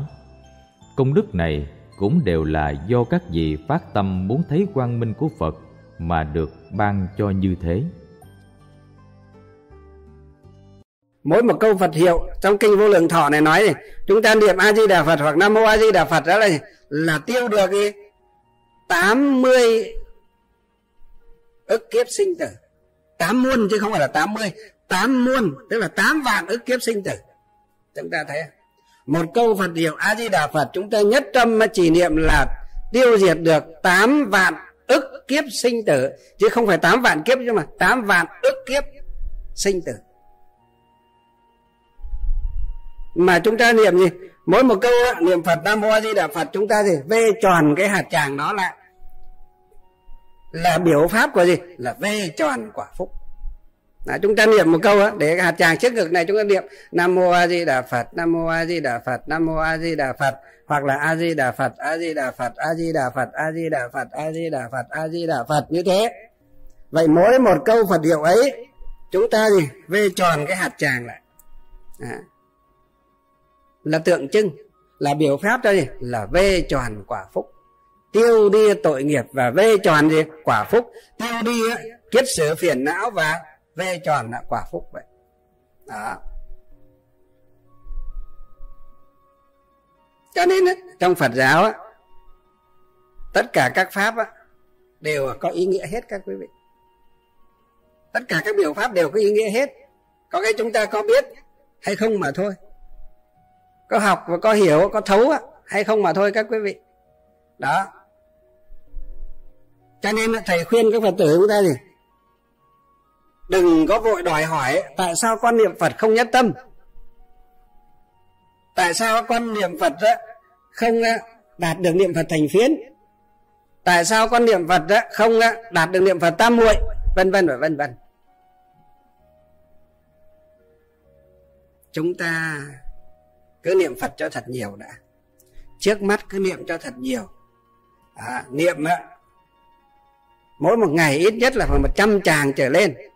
Một cái trăm cái tràng dài đó cái tràng mà một trăm linh tám hạt đó 100 chàng cho đến 200 chàng cho đến 300 chàng. Ngày xưa các tổ một ngày người ta niệm 10.000 chàng 20.000 chàng, niệm 30.000 chàng. Không chỉ niệm 100 chàng, 200 chàng đâu nhé 1.000 chàng đấy mà niệm 10.000 chàng Tất nhiên niệm nhiều như thế người ta chỉ niệm 4 câu thôi a di đà phật a di đà phật a di đà phật a di đà phật a di đà phật a di đà phật a di đà phật a di đà phật a di đà phật. Nhưng mà người người ta niệm gì niệm thầm ở trong tâm thôi. Thì nó không mất ra, mất hơi không mất khí. Nó không mất ra hơi không mất khí thì à, nó đỡ mệt nó không bị mệt. Cho nên niệm như vậy ví dụ là thầy à, niệm như thế. Đó chúng ta có nghe cái gì không? Không nghe gì. Vậy thầy có niệm thành tiếng đâu mà chúng ta nghe thầy niệm ở trong tâm. Trong tâm chúng ta ghi nhớ rõ ràng từng câu phật hiệu. A di đà phật hoặc là nam mô a di đà phật hoặc là a mi đà phật nam mô a mi đà phật vân vân. Tùy theo chúng ta thích niệm thế nào thì chúng ta niệm. Sáu câu cũng được. Bốn câu cũng được. Tùy theo. Nhưng mà nếu mà niệm nhiều, niệm nhanh thì à, các tổ dạy nên niệm bốn câu thì à, chúng ta sẽ dễ nhiếp tâm hơn. Vì nó không kéo dài lê thê nó không làm à, mệt nhọc cả tâm can. À, nếu mà niệm thành tiếng á, thì nó không làm gì hao hơi tổn khí dễ được nhiếp tâm hơn. Đấy. Chúng ta muốn niệm phật thành phiến muốn niệm phật nhất tâm muốn niệm phật tam muội được á thì đầu tiên chúng ta thì phải niệm cho nhiều đã. Cứ niệm nhiều đi các quý vị bỏ hết cái thời gian á, buôn dưa lê bán dưa chuột đi để niệm phật. Đặc biệt là với các cụ già, với những người nhiều tuổi, với những người bệnh tật và ốm đau, với những thời buổi á, covid như thế này, chúng ta không biết là chúng ta sống được đến là bao nhiêu tuổi. Không biết chúng ta có qua được cái mùa covid này hay không. Cho nên việc đầu tiên tốt nhất trong cái lúc giãn cách này chúng ta cứ niệm phật cho thật nhiều niệm phật thật nhiều vừa là tiêu trừ tội chướng, tăng trưởng công đức phúc báo. Chúng ta có tăng trưởng công đức phúc báo, chúng ta mới gì? Mới vượt qua đại nạn được một cách dễ dàng. Phật còn à, cho chúng ta sống, bảo chúng ta thì ở lại thế giới này để tu tiếp thì chúng ta ở, chúng ta tu, chúng ta làm biểu pháp cho người khác. Học theo. Chúng ta giáo hóa người khác gì tu cùng thì à, chúng ta ở lại còn phật bảo là thôi thế giới này nó như ngôi nhà lửa. Nó cháy cháy đến ờ, nơi rồi. Cho nên ờ, thôi con xả bỏ báo thân thì con về tây phương với gì? Với ta để mà tu. Thế chúng ta nhẹ nhàng về với phật chúng ta tu xả bỏ cái báo thân à, sinh lão bệnh tử nhơ nuốt hôi thối này để thọ nhận cái tấm thân kim cương na la diên bền chắc bất sinh bất diệt ở tây phương cực lạc thế giới thì tội gì mà chúng ta không đổi? Tội gì mà chúng ta không gì? Không bỏ cái gì? Cái xấu để để lấy cái tốt. Mà cái tốt xấu ở đây không phải là tốt xấu theo cái kiểu như là phân biệt nhân ngã bị thử. Mà cái tốt ở đây là cái tốt gì? Gọi là tịnh tướng. À, cái tốt ở đây là cái tốt đó, viên dung. Cái tốt ở đây là cái tốt gì? Cái tốt của bậc giác ngộ, giải thoát hoàn toàn. Mọi sự khổ đau ràng buộc của tam giới. Cho nên chúng ta phân biệt phải phân biệt rõ cái tốt, cái xấu. Đây khác với cái tốt xấu nhân ngã bị thử thắng thua của à, thế gian chúng ta khác nhau vậy. Đó. Cho nên thầy khuyên chúng ta là cứ phải niệm nhiều đã. Chứ đừng có như phật tử. Lúc nãy thầy nêu ra hỏi thầy, bạch thầy, tại sao con niệm phật mãi chả đừng nhất tâm? Hỏi niệm nhiều chưa? Niệm hai, ba mươi năm, nhưng mà ngày có bốn, năm tràng, ngày ba tràng có ngày một tràng, có ngày trả được câu vật hiệu nào. Thế rồi ba mươi năm cũng là làm cái gì thầy bảo? Không chỉ ba mươi năm mà ba trăm năm thậm chí là ba triệu năm. Cũng chưa được à, niệm phật nhất tâm đâu các quý vị. Đó. Đến nay à, đấy khuyên các phật tử chúng ta chân thành cứ niệm phật cho thật nhiều. À, là làm cái vòng à, dài đeo chỗ cổ cũng được hoặc cái vòng nhỏ đeo chỗ tay cũng được. Hoặc là nó có cái à, mấy mấy mấy mấy đếm ấy. Niệm phật ra đếm một cái a di đà phật bấm một câu a di đà phật bấm một câu a di đà phật bấm một câu á. Nó nhỏ nhỏ như là cái nhẫn nó đeo ở trên đầu ngón tay á. Có cái đấy. Có nhiều phương à, pháp.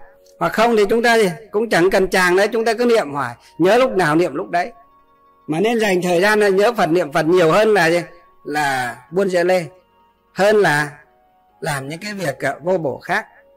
Đó. Làm được như thế thì ờ, dần dần tâm của chúng ta sẽ an. Đạo chúng ta gì? Sẽ long. Tâm an thì đạo gì? Đạo long. Long tức là chỉ cho sự hưng thịnh đó. Chỉ cho sự ờ, tốt đẹp đó. Thịnh vượng đó. Đó. Gọi là tâm an thì đạo long.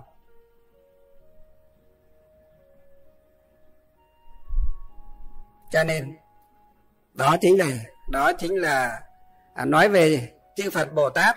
Các ngài à, vẫn à, luôn vẫn thường là thị hiện. Ra ở thế giới này à, hàng hà xa số để giáo giáo hóa chúng ta. Nhưng mà do chúng ta gì mê mờ chấp chấp trước. Ương ngạnh. Và chúng ta khởi ra gì? Cái tâm à, cống cao ngã mạn à, bất tín vì vậy mà chúng ta thì không tiếp nhận được năng lượng của chư Phật Bồ Tát. Không à, thấy không nghe được sắc tướng và âm thanh của chư Phật Bồ Tát. Thường trụ ở cõi sa bà này để giáo hóa chúng ta. Đó đó, cho nên à, đấy là gì? câu mà thầy à, giải thích về à, có người người ta bảo là tại sao không thấy chư Phật Bồ Tát nào? Đến thế giới xa bà chúng ta. Đấy, thì chúng ta thấy, đấy, chư Phật Bồ Tát đầy dậy ra đấy. Không chỉ ở Trung Quốc, ở Đài Loan ở Hồng Kông mới có, Việt Nam chúng ta cũng đầy các quý vị.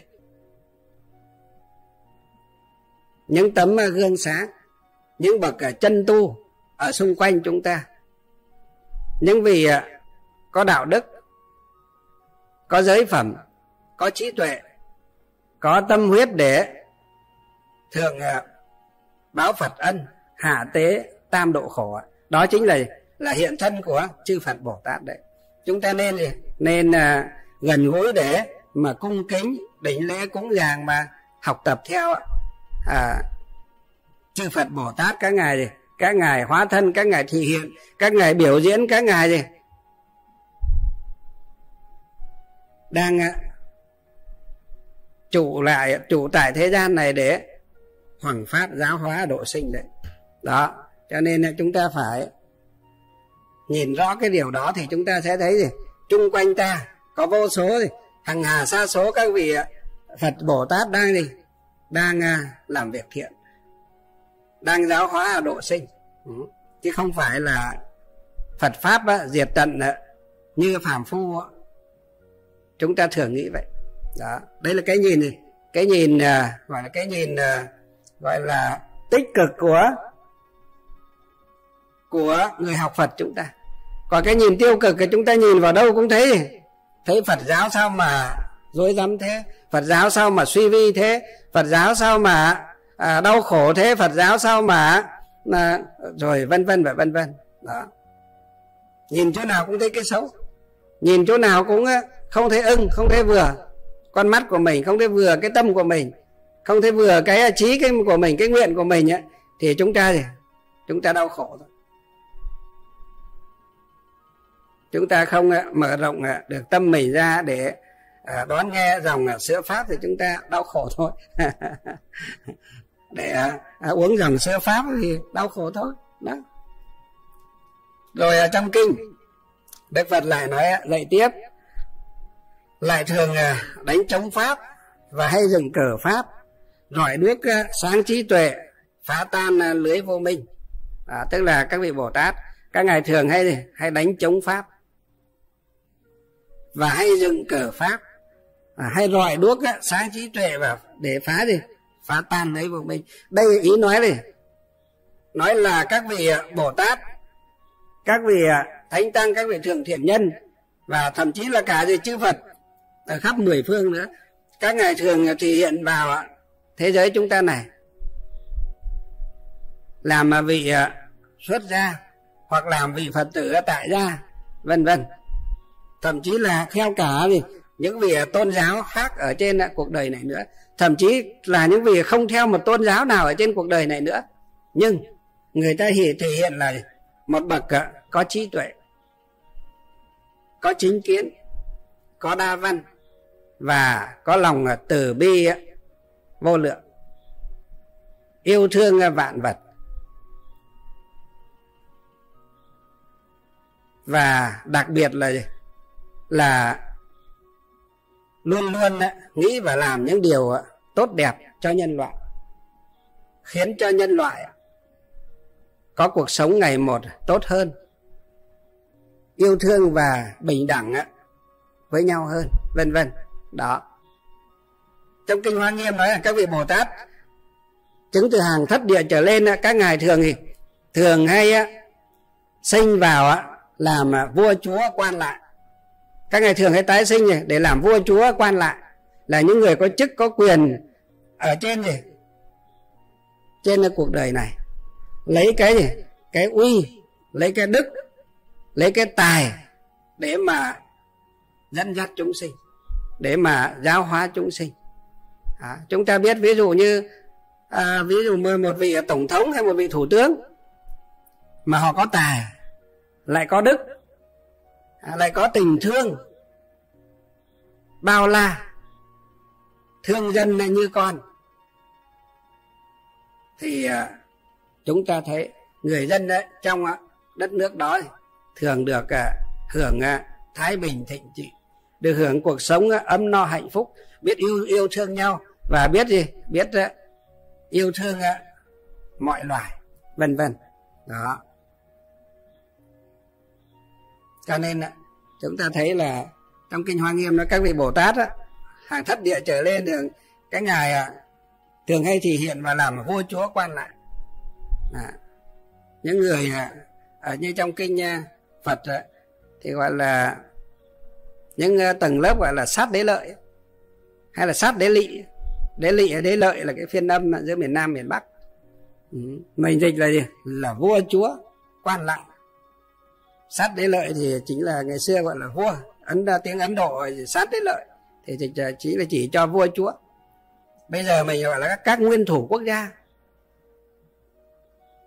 Và những vị gì những vị đại thần ở trong á, triều đình ngày xưa bây giờ thì gọi là gọi là các bộ trưởng các bí thư chủ tịch các tỉnh hoặc là thống đốc các bang vân vân. Đấy. Nhưng mà họ có lòng là từ bi có trí tuệ và có tình yêu thương. Để hướng dẫn nó cho mọi người sống đúng với gì? Đúng với cái bản chất đó, lương thiện đó, vốn có ở trong mỗi con người của chúng ta. Khơi dậy những ngọn đèn là trí tuệ. Kêu lên những ngọn đèn là trí tuệ.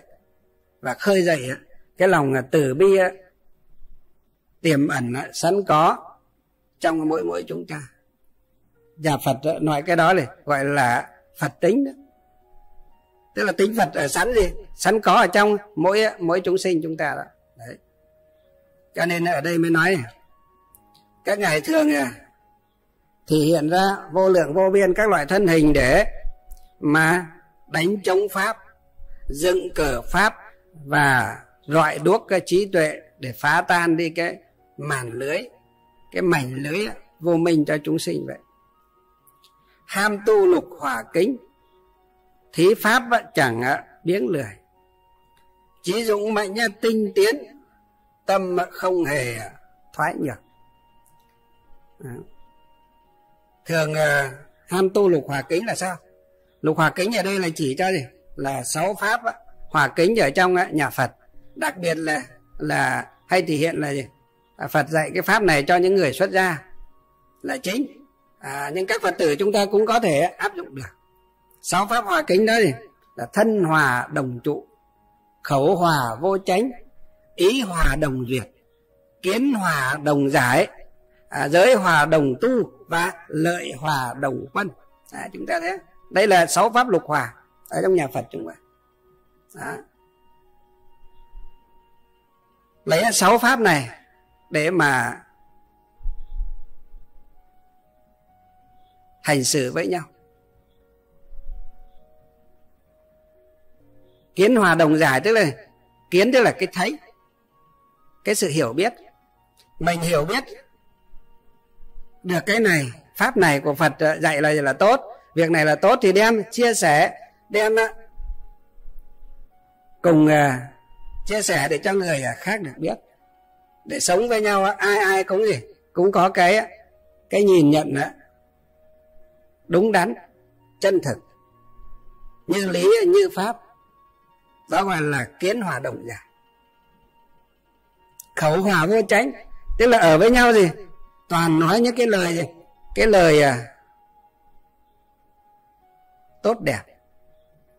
Ái ngữ chân ngữ thật ngữ thế nói những lời à, ai ngữ thì những lời gì? Những lời à, dễ nghe. Chân ngữ tức là những lời nói gì? Đúng sự thật. Không à, vọng ngôn không ỷ ngân lưỡng thiệt không ác khẩu đó gọi là gọi là chân ngữ.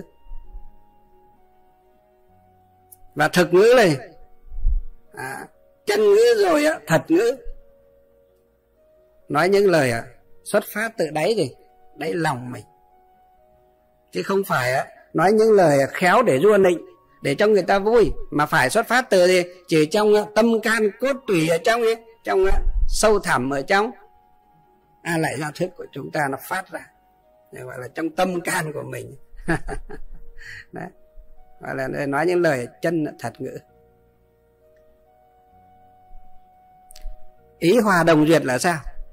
Tức là ý chúng ta ý chưa chỉ có tâm ý cái sự suy nghĩ. Cái dòng là suy nghĩ ở trong mỗi mỗi chúng ta. Chúng ta muốn làm cái gì đó chúng ta trước tiên là suy nghĩ đúng không? À chúng ta suy nghĩ. Ra một cái việc làm nào đó mà chúng ta muốn làm chúng ta đưa ra chúng ta bàn nhau. À, chúng ta cùng nhau thống nhất thảo luận. Mọi người hoan hỉ thấy cái việc đó là tốt. Làm thì sẽ có lợi ích chứ, cho cả mình và người. À, thì khi đó thì đưa ra thảo luận. À, mọi người gì hoan hỉ à, việc đó là việc tốt tất cả đều làm gọi là ý hòa đồng duyệt đó.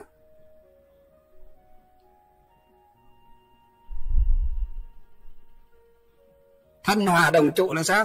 Tức là thân đó thì cùng nhau ở chung trong một mái chùa như người xuất gia các quý thầy. Còn phật tử chúng ta là vợ chồng con cái gia đình ông bà bố mẹ vân vân ở trong một mái nhà đó chúng ta phải yêu thương lẫn nhau. Tôn trọng lẫn nhau. Giống như trong kinh đức phật nói, bố mẹ đối với con cái phải có năm đức. Con cái đối với bố mẹ cũng phải có năm đức. Chồng đối với vợ cũng phải có năm đức. Mà vợ đối với chồng cũng phải có năm đức. Như vậy, đều lấy cái đức hiếu kính tôn trọng trách nhiệm để lo cho nhau. Thì gia đình sẽ gì? Sẽ được thái bình hạnh phúc mà thôi. Gia đình lúc nào cũng đầy ắp tiếng cười mà thôi các quý vị. Đó các quý vị muốn biết cái những cái đức vợ đối với chồng thế nào chồng đối với vợ như thế nào con đối với bố mẹ bố mẹ đối với con ra sao? À, nàng dâu đối với à, à, bố mẹ chồng ra sao? Bố mẹ chồng đối với nàng dâu ra sao? Con à, à, rể đối với bố mẹ à, vợ ra sao? Bố mẹ vợ đối với con rể ra sao? Vân vân đó. Các quý vị tìm học trong quyển gì? Có trong quyển Phật học phổ thông của cố trưởng lão hòa thượng à, thích thiện hoa. Ở trong cái bộ Phật học phổ thông có cái cách hành xử mà Phật đã dạy ấy. À, hòa thượng à, đã rút lại trong kinh Phật để viết theo cái lối văn đó, của Việt ờ, ngữ chúng ta chúng ta đọc cho nó dễ hiểu. Thế còn như trong theo cái lối văn của kinh nhà hàm hoặc là trong chữ hán đó chúng ta đọc khó hiểu mà thậm chí chữ hán chúng ta không đọc được. Đó, thì hòa thượng đã dịch ra trong đó rồi. Chúng ta đọc trong bộ Phật học phổ thông quyển 1 cố giác linh đại lão hòa thượng ờ, thích thiện hoa ngài đã viết lại ở trong đó hết. Chúng ta tìm đọc đấy, thầy đang nói là thân hòa đồng trụ. Là mọi người chung sống với nhau ở một chỗ xứ như là người xuất gia. Mình gọi là một ngôi chùa đó, một tinh xá, một tỉnh thất, một niệm phật đường đó. Phật tử tại gia chúng ta là một gia đình đó. Hay là như ở cơ quan thì là cùng một cơ quan đó, cùng một công ty như là doanh nghiệp đó, vân vân. Biết là tôn trọng. Ái kính hòa mục, chung sống với nhau một cách là là vui vẻ, hoan hỷ, an lạc tôn trọng. Nhau thì đó chính là thân hòa đồng trụ. Và một cái điều nữa là lợi hòa đồng quân. À, giới hòa đồng tu đấy chứ giới hòa đồng tu. Giới tức là là những lời ở đức phật à, chỉ dạy.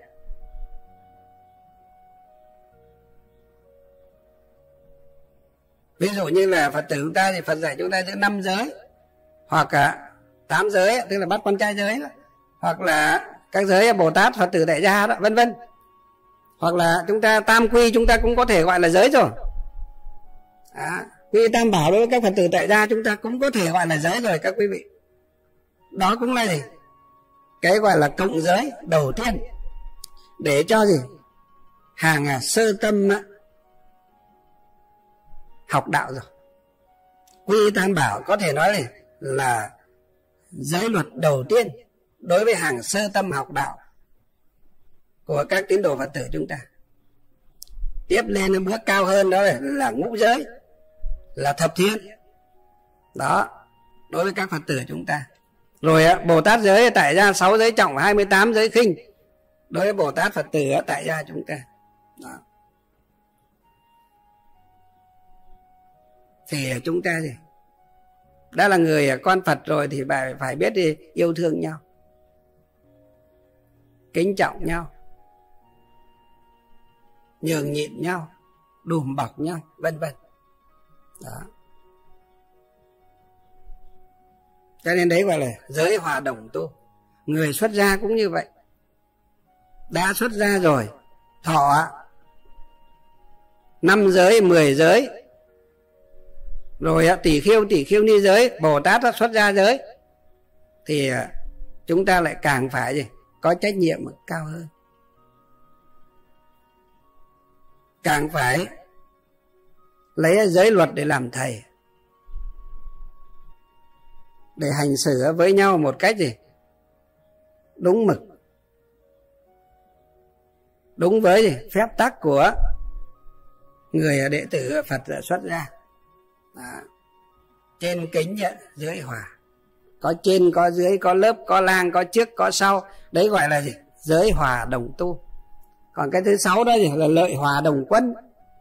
Lợi hòa tức là à, những người xuất gia thì à, ví dụ như là à, các sư hay đi an cư kết hạ đó thì các phật tử họ cũng cho các chư tăng à, ba tháng an cư đó để ví dụ ba tháng an cư mà còn à, dùng chưa hết á thì à, có thừa lại gì? Một yến gạo cũng phải chia đều cho nhau. Bây giờ có 50 vị sư. À, đi à, hạ ở trường hạ này mà có một yến gạo đó. Khi lúc chư tăng ăn hết ba tháng cư mà còn một yến gạo đó, thì cái gạo đó một yến đó vẫn là của tăng. Cho nên à, đại chúng phải đưa ra để họp phải chia nhau cho đều. Với 50 người thì mỗi người một yến gạo đó mỗi người mấy lạng mấy lạng đó. Ví dụ thế. Đó. Hoặc có bao nhiêu gói mì chính bao nhiêu à, can dầu mà còn nó chưa ăn hết đó thì đem ra để quân tăng cho đều gọi là lợi hòa đồng quân. Đó. Ví dụ như vị nào họ thấy là thôi à, chúng con à, không lấy được thì à, con là cúng giảng chư tăng thì các quý thầy đem chia cho người khác. Ấy họ nói như thế rồi thì thôi 50 người bỏ đi một người. Hoặc 10 người không lấy thì họ bạch là 10 người không lấy thì còn 40 người. Hoặc 30 người không lấy thì còn chỉ còn 20 người lấy thôi. Thì à, họ đã nói không lấy rồi họ cũng giảng chữ tăng thì cái số còn lại chia đều cho 20 người còn lại. Đấy gọi là lợi hòa đồng quân đấy, thế ví dụ thế. Đấy là pháp đục hòa. Còn các phật tử ở nhà chúng ta, trong một gia đình, chúng ta có gì? Có cái gì ăn ngon thì cũng phải biết gì? San sẻ, nhường nhịn lẫn nhau. Có cái gì ngon? Nếu có, các cụ già có ông à, bà nội ông, bà ngoại ở trong nhà cùng thì phải nhường gì nhường cho các cụ lớn tuổi gọi là kính lão đắc thọ vậy. Đó. thứ nữa sau đó là gì? Là nhường cho các cháu gì? Các cháu nhỏ, tức là các con, các cháu nhỏ tuổi ở trong gia đình chúng ta. Đấy. Sau rồi đi, mới đến những người những người khỏe khoắn làm cha, làm mẹ, làm anh, làm chị như chúng ta trong gia đình. Tôi nhớ ngày xưa chúng tôi còn là bé, gia đình rất là nghèo năm đứa con. Bố mẹ nữa là bảy. Gia đình bảy người. Cái lúc mà gia đình sum họp nhất á, là gia đình đầy đủ hết. Chị gái chưa đi lấy chồng. À, ông bà vẫn chung sống với nhau. Trong một mái nhà bảy người tức là bảy miệng ăn. Mà mỗi một à, bữa cơm như vậy chỉ có một à, xét xét một cái bát gạo. Tức là xét xét một cái bát gạo đó các quý vị. Còn lại là sắn hết ăn sắn đó các quý vị cơm độn sắn. Cơm độn ngô thì còn gì? Còn là dễ ăn nhé cơm độn sắn. Cho nên bây giờ các sư với các phật tử à, cứ mang sắn lên bảo ôi thầy ơi sắn ngon lắm con cúng thầy. À, thôi thôi a di đà phật? A di đà phật? Nhìn thấy sắn mà tôi sợ. Vì sao? Vì tôi hai lần say sắn rồi tôi sợ. Các cụ ngày xưa nói rồi khi chúng ta đã bị à, à, một cái nạn gì đó mà chúng ta sắp chết về cái đó thì chúng ta cho dù mấy chục năm sau chúng ta vẫn gì, vẫn sợ, giống như chim sợ cảnh cong vậy. Hai lần tôi xây sắn nó tí nữa thì chết. Vì sao? Vì nhà nghèo. Phải ăn cơm độn sắn nhưng sắn thì à, chín phần cơm có một phần thôi. Tôi thì à, lại là cái người à, giữa giữa ở trong nhà. Vì dưới tôi còn hai đứa em gái. Vì vậy mà chúng ta biết không? Đó cả nhà bảy miệng ăn, thì có một là xét bát gạo, cái bát con chúng ta ăn cơm đấy nhá. Chứ không phải là cái ờ, cái bát năm lạng đâu, cái bát ăn cơm nó chỉ khoảng ờ, ba lạng ba lạng rưỡi gạo mà thôi. Bảy người ăn chỉ có như vậy thôi, còn lại bao nhiêu là sắn thì ờ, cho vào đấy bố mẹ thì ăn sắn là chính. Chỉ có mấy hạt cơm nó dính vào củ sắn thôi các quý vị. Nhìn mà cũng tội. Bây giờ nghĩ lại mà cũng thương, cũng tội nhưng mà cuộc sống nó thế. Phúc báo không có, nó phải thế các quý vị. Nhìn rồi bố mẹ ăn những cái củ sắn, cái khúc sắn thì dính mấy hạt cơm thôi. Chị gái và anh trai của mình cũng thế. Sắn nó chín mươi phần trăm. Thêm một tí cơm ngoài cái cơm nó dính vào củ sắn đó thì nó à, thêm một chút nữa, khoảng một hai thìa cơm vào đó nữa thôi mình thì à, là người à,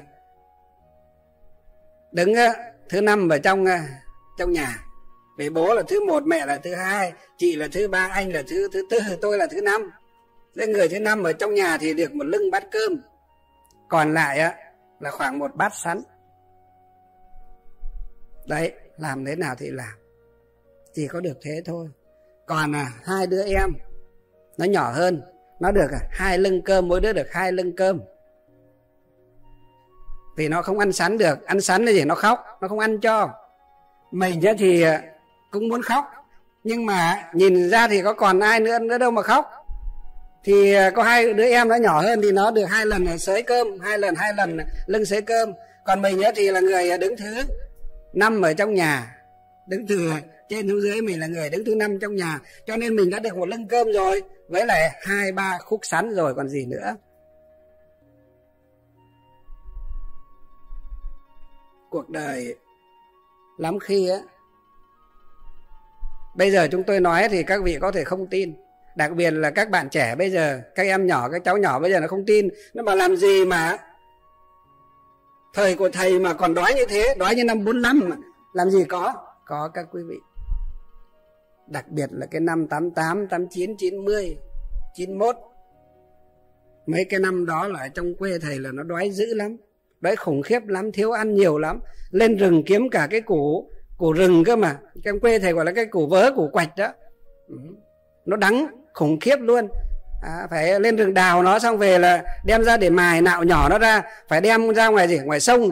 Và ngâm cả đêm ở ngoài sông á. Nước nó đỏ hết cả dòng sông. Xong mang về để luộc.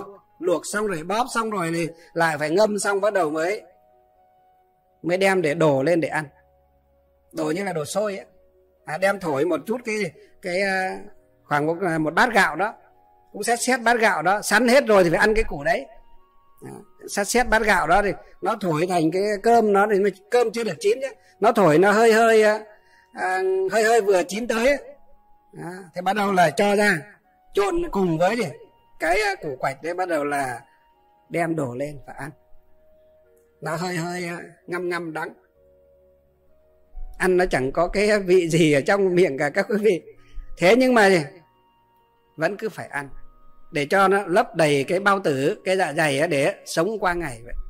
Đấy, cuộc đời đôi khi nó có những cái giai đoạn, có những lúc cái gian truân như thế. Bây giờ nói ra để các quý vị thấy ở giới trẻ bây giờ các vị sướng chán. Sướng chán các quý vị nhưng mà chúng ta cũng phải chuẩn bị cho một cái tinh thần. Ở thế giới này á, những cái tai nạn bất ngờ xảy ra. Nạn nước, nạn lửa, rồi chiến tranh, rồi ờ, giặc giá rồi ờ, gì? Rồi ờ, dịch bệnh, vân vân. Mà dịch bệnh đang diễn ra trên thế giới này. Trong đó có Việt Nam chúng ta. Cho nên chúng ta cũng phải học, phải dạy bảo cho con cái chúng ta ở trong gia đình nó phải biết để đối phó. Với khi không may, chiến tranh hoạn nạn xảy ra bất ngờ, không có người lớn bên cạnh, các cháu nhỏ nó vẫn gì vẫn là sinh tồn được vậy. Đó. cho nên nó thầy à, mấy hai năm trước lập ra cái gì, cái gia đình phật tử ấy, nhưng mà không may là vừa lập ra một cái thì covid cho nên không sinh hoạt được. Còn nếu mà sinh hoạt được á thầy đảm bảo với các quý vị là hướng dẫn cho các gia đình phật tử chúng ta từ lớn cho đến bé. Chúng ta phải sống làm sao đó phải rèn luyện làm sao đó cho dù đứa trẻ mới có năm bảy tuổi gì bỏ nó ra một mình nó không có chết đói. Nó tự biết nấu cơm mà ăn tự biết sang nhà hàng xóm để gì à, để xin ăn vân vân. Hoặc tự ra đường để à, để để xin ăn miễn là gì nó không chết đói năm bảy tuổi là nó không biết chết đói. Nếu mà bố mẹ đi đâu hay là bất cứ cái gì đó chúng ta phải hướng dẫn cho con cái. Chúng ta phải biết làm mọi việc biết ứng phó với mọi sự thay đổi đột xuất bất khả kháng. Mà nó vẫn là tồn tại được vẫn sinh tồn được. Đó, chúng ta thấy bây giờ thế giới là có cái chương trình là à, thử thách sinh tồn á. Một mình hai bàn tay không vào trong rừng à, sâu hoặc là ra hòn đảo để à, sinh sống mà họ vẫn sống được ấy. đấy cũng là một cái hay. Nhưng mà chúng ta bây giờ chắc là người học phật chẳng không đến nỗi phải học theo cách ấy, sống như thế. Chúng ta học theo cách gì nó cũng à, vừa vừa đủ vừa tới để cho gì không may có cái chuyện gì xảy ra. Bất chợt như là chiến tranh như là động đất như là sóng thần như là hỏa hoạn hay là như là đại dịch vân vân. Các con các cái các cháu nhỏ của chúng ta thì nó biết cách để nó sinh tồn hết. Nó có thể à, một mình tự biên trải để vượt qua những khó khăn đấy. À, chúng tôi được như bây giờ là phải nói với các quý vị này cũng nhờ một phần là ngày à, còn trẻ 12 tuổi đã phải đi làm để kiếm ăn rồi. 12 tuổi đã phải đi vào rừng để kiếm củi. 13 tuổi đã đi vào rừng để đi đào đáy vàng rồi các quý vị. 13, 14, 15 tuổi đã phải đi đào đáy vàng đi làm thuê đi làm đủ các thứ rồi các quý vị. Không có một cái việc gì người ta làm được. Để kiếm ra bát cơm manh áo mà chúng tôi chưa từng làm qua. Người ta làm được thì mình cũng làm được. Đó. cho nên là bây giờ nói đến cái gì là mình cũng biết là như thế. Mặc dù mình có thể là chưa biết nhiều, nhưng mà cái đại cương, cái cần thiết thì mình cũng đều nắm được vậy cho nên nhiều phật tử bảo cái ông sư này á ông cứ bảo ông dân tộc mà cái gì ông cũng biết. Dân tộc làm gì mà cái gì cũng biết như thế? Vì sao? Vì à, chính vì gì? Được cọ sát. Trải qua những lúc á, gian truân vất vả khổ cực như thế cho nên này chúng tôi biết vậy. Nhờ những khó khăn những khổ cực mà mình được à, rèn luyện, được cọ sát một cách thực tế. Đó. Cho nên trong đời sống chúng ta thấy, đôi khi những cái giai đoạn khó khăn thì lại làm cho chúng ta cứng cáp lên. Những cái lúc tưởng chừng như là chúng ta vấp ngã, chúng ta không thể đứng dậy được. Nhưng nếu chúng ta đứng dậy được á, đấy là một kinh nghiệm sống rất quý giá, rất quý báu đối với chúng ta, các quý vị. Đó. vượt qua những lúc khó khăn đấy thì à, các cụ ngày xưa nói, qua cơn mưa trời lại sáng. Kiểu nói như thế. Cho nên à, chúng ta cũng phải rèn luyện cái ý chí sắt đá, cái lòng à, tin kiên cố và cái sự dũng mãnh và tinh tiến đã hướng về phía trước, hướng tới cái nơi ánh sáng để mà mà đi đến vậy. Đó. Cho nên lợi hòa đồng quân là ở trong một gia đình. Chúng ta thế trước hết là phải à, kính già. Sau nữa là phải gì? Thứ nữa là thế thương trẻ. Kính già thương trẻ. Sau mới đến thì đến phần là bố mẹ đến phần là anh chị em còn lớn. Ừ. Đấy sống được như thế. Thì uh, gia đình à, sẽ đầy ắp tiếng cười. Sẽ thực sự là an vui sẽ thực sự là hạnh phúc thôi. Đấy gọi là ham tu lục hòa kính. Thì lục hòa ở đây thì người phật tử tại gia chúng ta cũng đem áp dụng để tu được. Đặc biệt là những người xuất gia chúng tôi thì lại càng phải gì phải làm theo lời phật nữa. Nhưng mà cũng buồn là vì bây giờ thì thực sự là trong pháp lục hòa này bây giờ nói thì dễ đấy nhưng mà làm á, có mấy ai làm được, rốt ráo đâu. Thôi thì làm được bao nhiêu, quý bấy nhiêu. Nói thật với các quý vị như thế. Kể cả chúng tôi bây giờ ở đây cũng thế cũng chưa phải là làm được một cách là viên mãn, rốt ráo đâu các quý vị. Cũng chỉ được phần nào mà thôi. Còn phải học, còn phải tu và còn phải thực hành nhiều nữa mới mong có ngày đạt tới cái chỗ lục hòa kính viên mãn như lời Phật dạy ở trong trong à, kinh luật luận vậy. Các vị Bồ Tát ở Tây Phương Cực Lạc ở trong kinh à, này nói thì Đức Phật dạy là giới thiệu là các ngài không chỉ tu pháp lục hòa kính mà thường gì? Thường uh, thí pháp á, chẳng biếng lười. Tức là các ngài thường thì à, thuyết pháp giáo hóa độ sinh. Một người cũng đăng đàn thuyết pháp vậy. À, chẳng chút biếng lười. Có người đến nghe cũng thuyết mà không có người đến nghe cũng thuyết vậy. À, giống như ngày xưa à, ấn tổ. Có một lần ngày à, đi trải qua gì? Đi à, bốn năm ngày ngày xưa là đi tàu hỏa với là đi ờ, đi bộ đó. Mà đất nước trung quốc thì chúng ta biết là địa giới hành chính họ rất là rộng. Từ tỉnh này sang tỉnh kia nó phải bằng ờ, từ à, Hà Nội chúng ta vào thành phố Hồ Chí Minh nhé các quý vị. Nó như thế. Từ tỉnh này sang tỉnh kia nó đã như thế rồi. Hoặc là từ đây vào tới ít ít mèng mèng cũng phải vào tới à, Đà Nẵng vào tới miền Trung đó các quý vị mà chúng ta từ đây vào tới miền Trung chúng ta biết bao nhiêu tỉnh, không?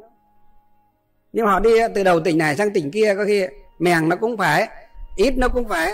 Nửa quốc gia, nửa cái đất nước chúng ta theo chiều dài rồi. Mà đi, họ thường vừa đi, cụ tổ, cụ vừa đi tàu hỏa, vừa đi bộ. Xuống tàu hỏa mà hết à, cái chỗ đi thì phải phải đi bộ. Cho nên mấy ngày mới tới, cái nơi mà họ, trước đây thì họ đến họ thì mời hòa thượng đến nơi đó để làm lễ để quy y cho các phật tử. Nhưng đến hòa thượng à thuyết pháp ba ngày. Mỗi một ngày duy nhất chỉ có một gì? Một người đến để nghe pháp thôi. Các vị à, nếu mà đọc ấn quang đại sư văn sao hay ấn quang đại sư ra ngôn lục, các vị thấy cái cảnh đó. Nếu mà phải tôi thì thôi, chắc là thôi thôi thì a di đà phật, lạy thánh lạy phật lạy thánh là thôi chúng con là hoan hỉ chúng con là xin phép chúng con đi về. Đúng không? Vì sao? Vì à, thí pháp á, chưa được bình đẳng chưa được à, tinh tiến chưa được chân tinh tiến mà vẫn gì vẫn còn gì có đối tượng vẫn còn có gì biếng lười vậy. Nhưng mà tổ á đã nhận lời đến đó thuyết pháp mặc dù đi bốn năm ngày mới đến nơi mệt nhoài ra cứ tưởng là đến đó thì ờ, họ có vài chục, thậm chí vài trăm ờ, người đến nghe pháp. Vì tổ rất nổi tiếng, lúc đó rất nổi tiếng rồi. Nhưng chúng ta biết không? Chính quyền ờ, địa phương của Trung Quốc lúc bây giờ, cái địa phương đó này, nó ngăn sông cách chợ. Nó cho người đi từng gõ từng nhà, bảo từng người, không ai được đến để nghe tổ thuyết pháp.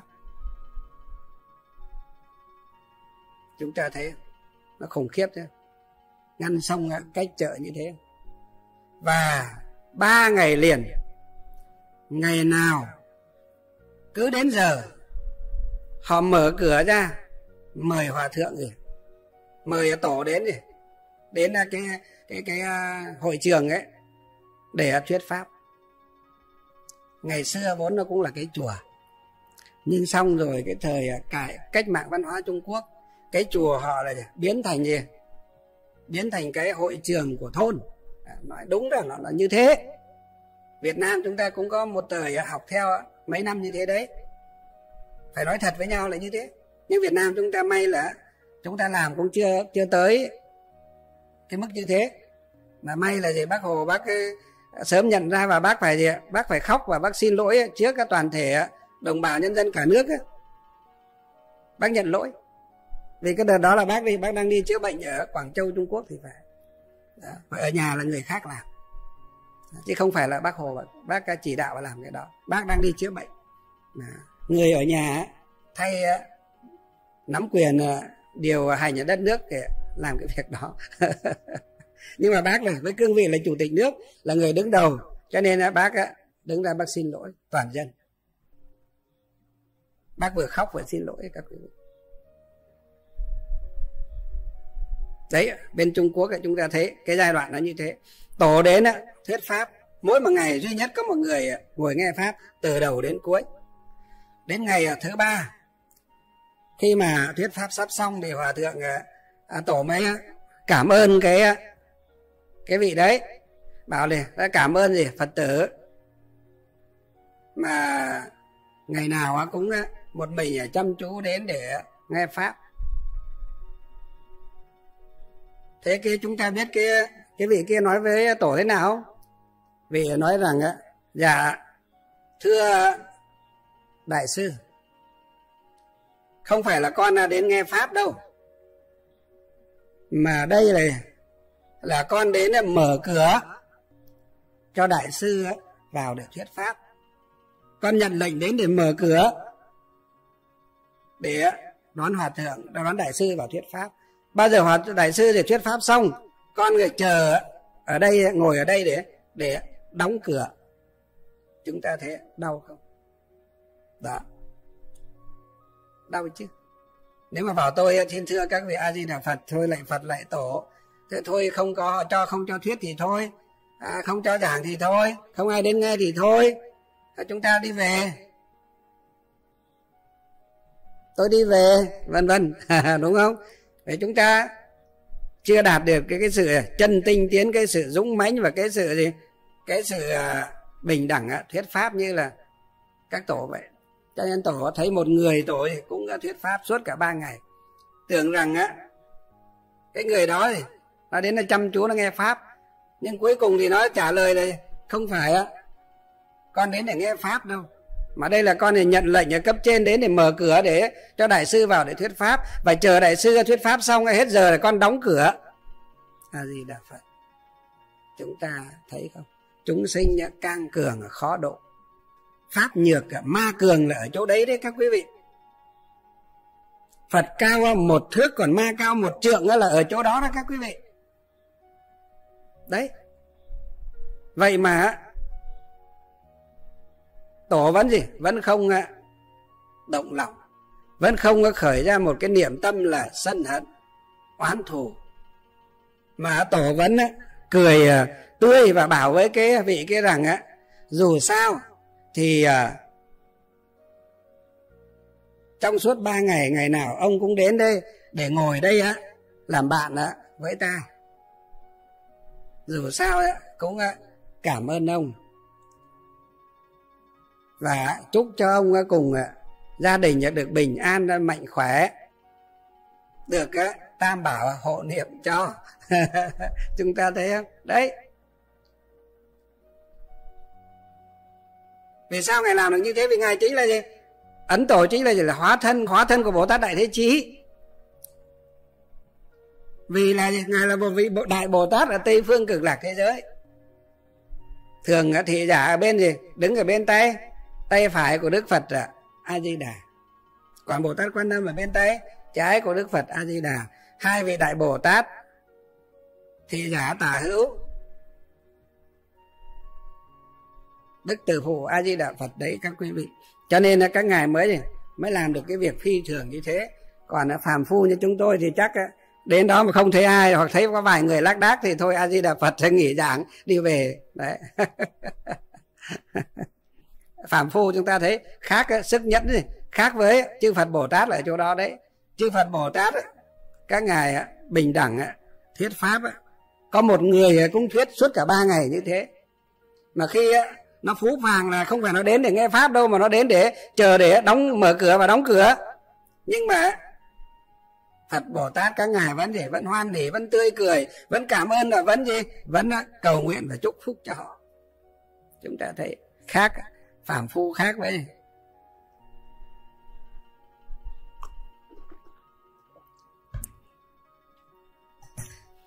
phàm phu là khác với thánh nhân là ở chỗ đó đấy. Khác ở chỗ đó.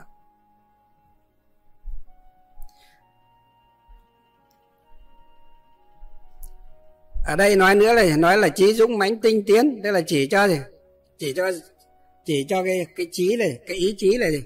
Dũng mãnh tức là là mạnh mẽ tinh tiến. Tức là không gì à, không có biến lười gọi là tinh tiến. Tâm ờ, không hề thoái nhược. Tức là tâm không hề thoái tức là là gì? Là là lui là lùi. Là đi tụt lùi lại đi lùi lại gọi là thoái. Nhược là gì? Nhược tức là yếu đuối. Cái nhược cũng như là yếu đuối. À, tâm không hề thoái nhược tức là tâm không hề yếu đuối để gì? Để để thoái lui.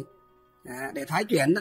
đó là ruộng phúc tối thắng thường làm mà thầy dẫn đường.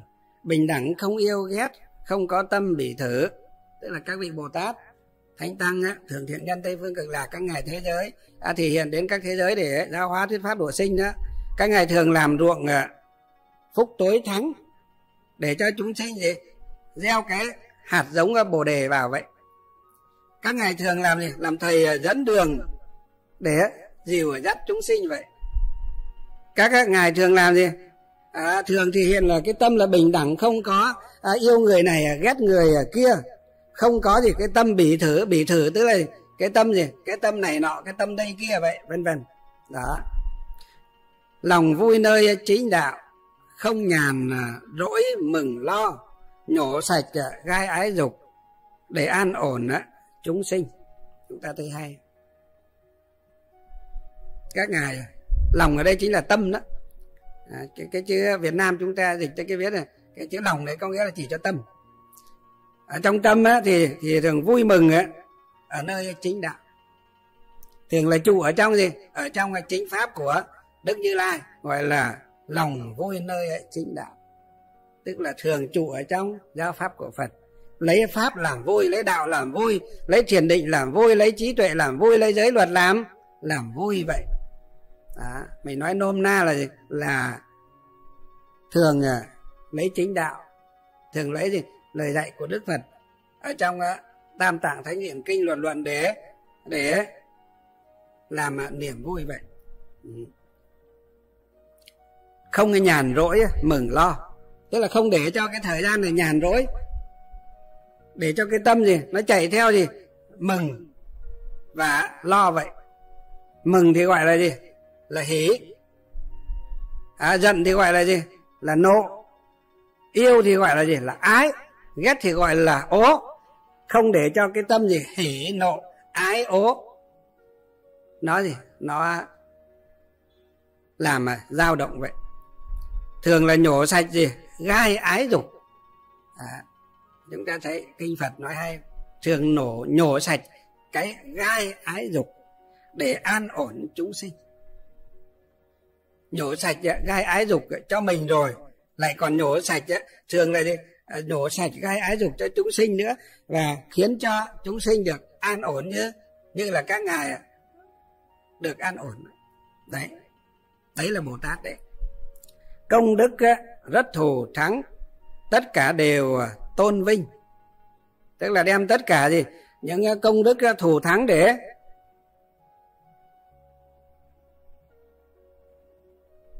hồi hướng cho chúng sinh. À, và là tất cả đều tôn vinh đây tức là để, để hồi hướng cho chúng sinh.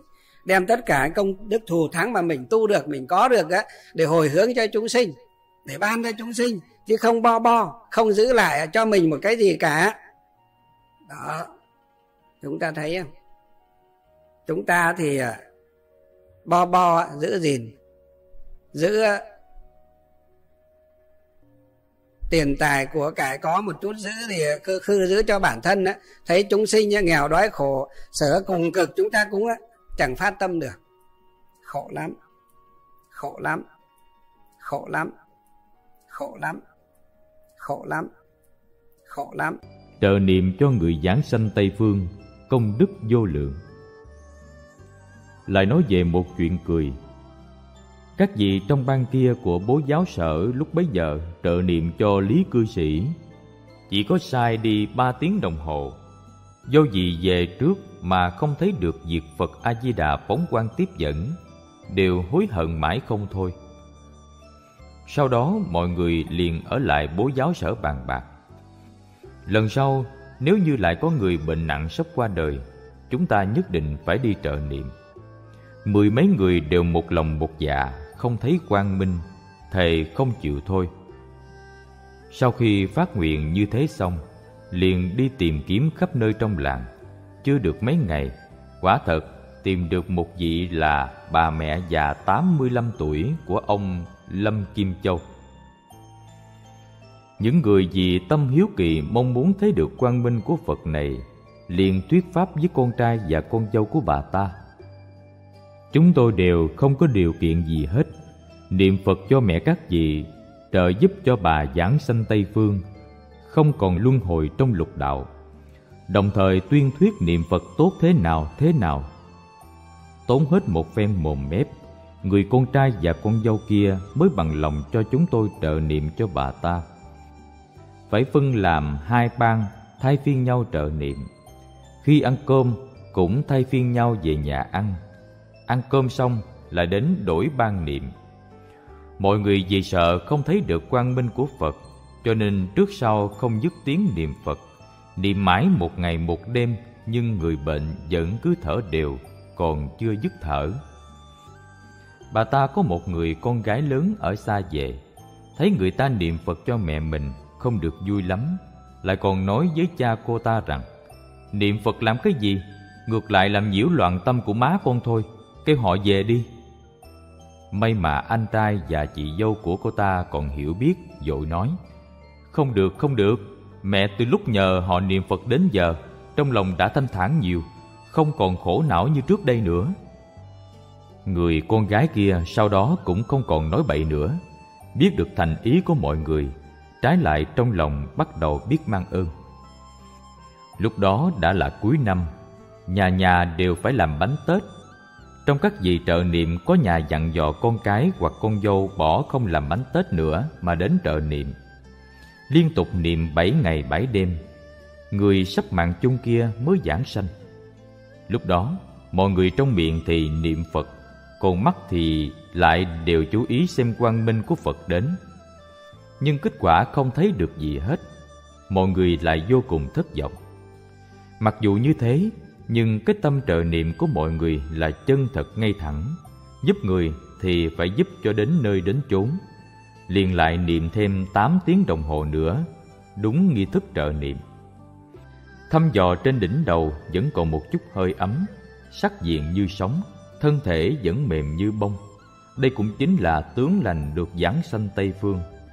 Điều không thể nghĩ bàn nhất là, niệm xong 8 tiếng đồng hồ rồi con cháu của bà ta mở những chăn mềm đắp cho bà ta ra, thì thấy hai tay của bà đang chấp ngay ngắn. Sư tỷ thẩm, gọi là trương thẩm ở bài trước, nói với tôi.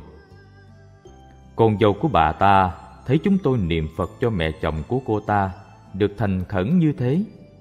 Mỗi đêm đều ba lần nấu món điểm tâm mời chúng tôi ăn. Mới đầu, mọi người không dám ăn do vị thầy lý dạy chúng tôi lúc trợ niệm cho người, không được ăn đồ ăn của người ta, ba bữa phải về nhà ăn, cũng không được ăn đồ điểm tâm. Do vì người ta đang gặp lúc không may, không nên làm phiền người ta thêm. Nhưng con dâu bà ta có ý tốt nói, thời tiết mùa đông lạnh như thế này, các vị có lòng tốt như thế đến cứu cho mẹ chồng tôi. Cả nhà chúng tôi rất là đội ơn đội đức, có chút xíu để bày tỏ tấm lòng các vị đừng nên khách sáo. Cho nên, mỗi đêm đều tiếp nhận ba lần điểm tâm của họ. Tôi liền cười nói với họ rằng, tâm của các vị bất tịnh, chứa đầy những tham muốn. Muốn thấy quang minh của phật, lại nào có thấy được đâu. Sư tỷ tú cùng với anh thanh niên kia, lúc đó niệm phật là một lòng một dạ. Trong tâm thanh tịnh, niệm đến cùng, phật cảm ứng đạo giao cho nên mới thấy được phật a di đà phóng đại quang minh đến tiếp dẫn.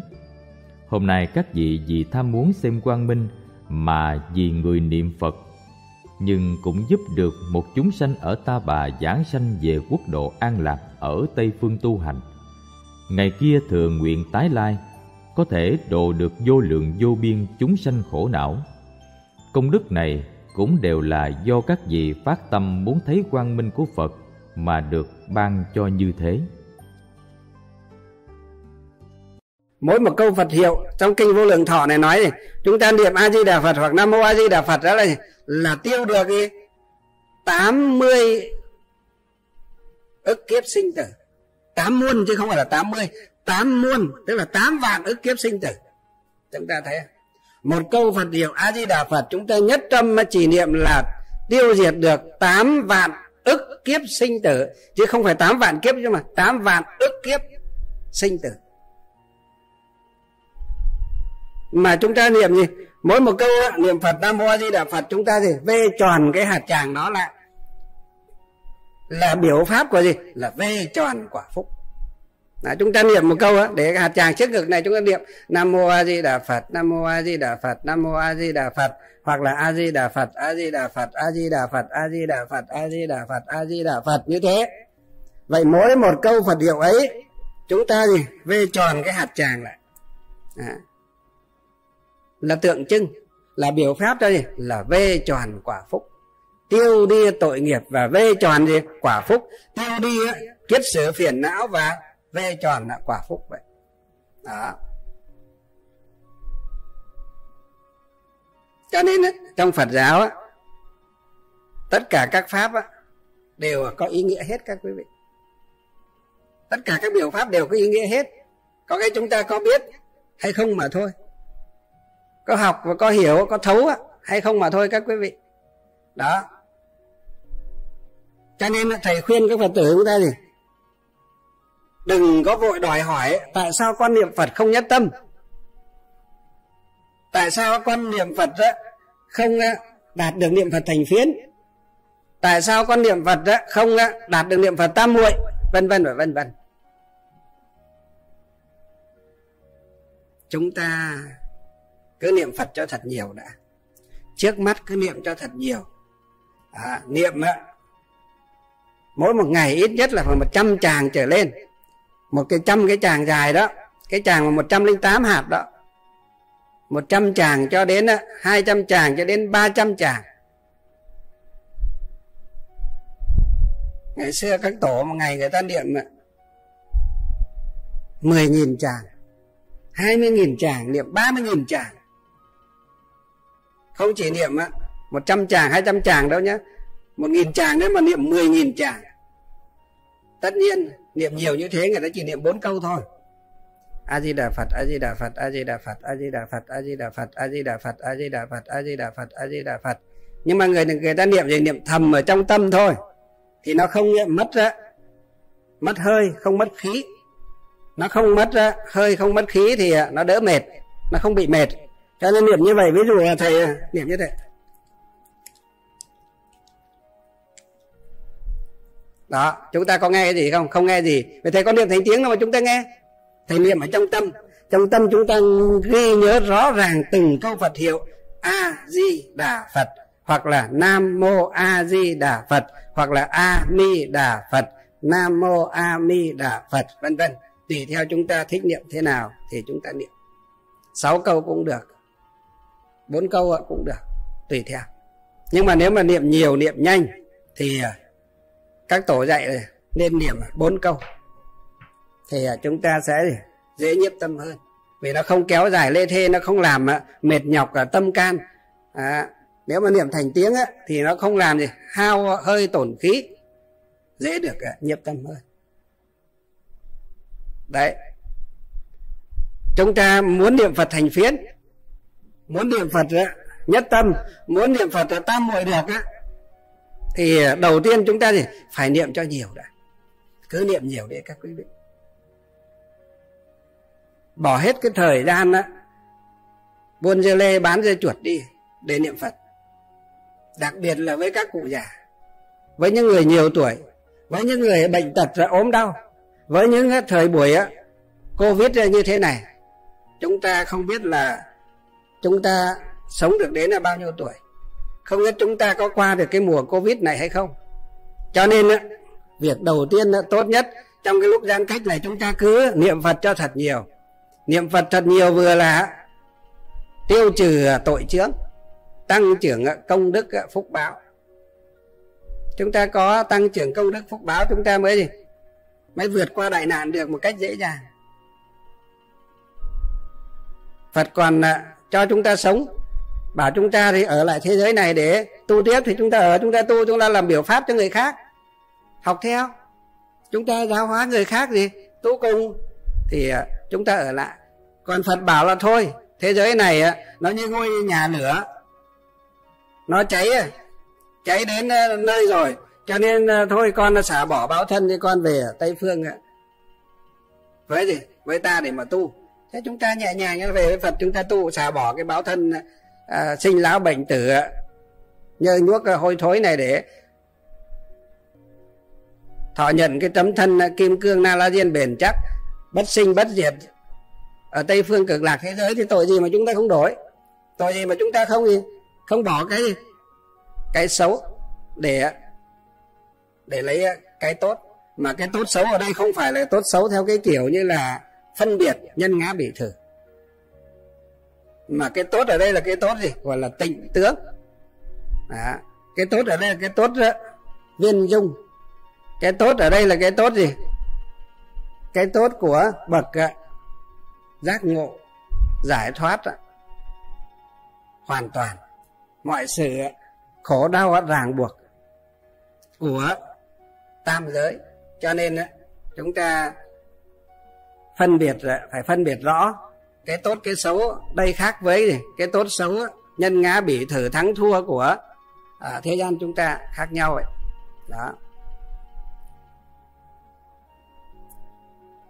Cho nên à, thầy khuyên chúng ta là cứ phải niệm nhiều đã.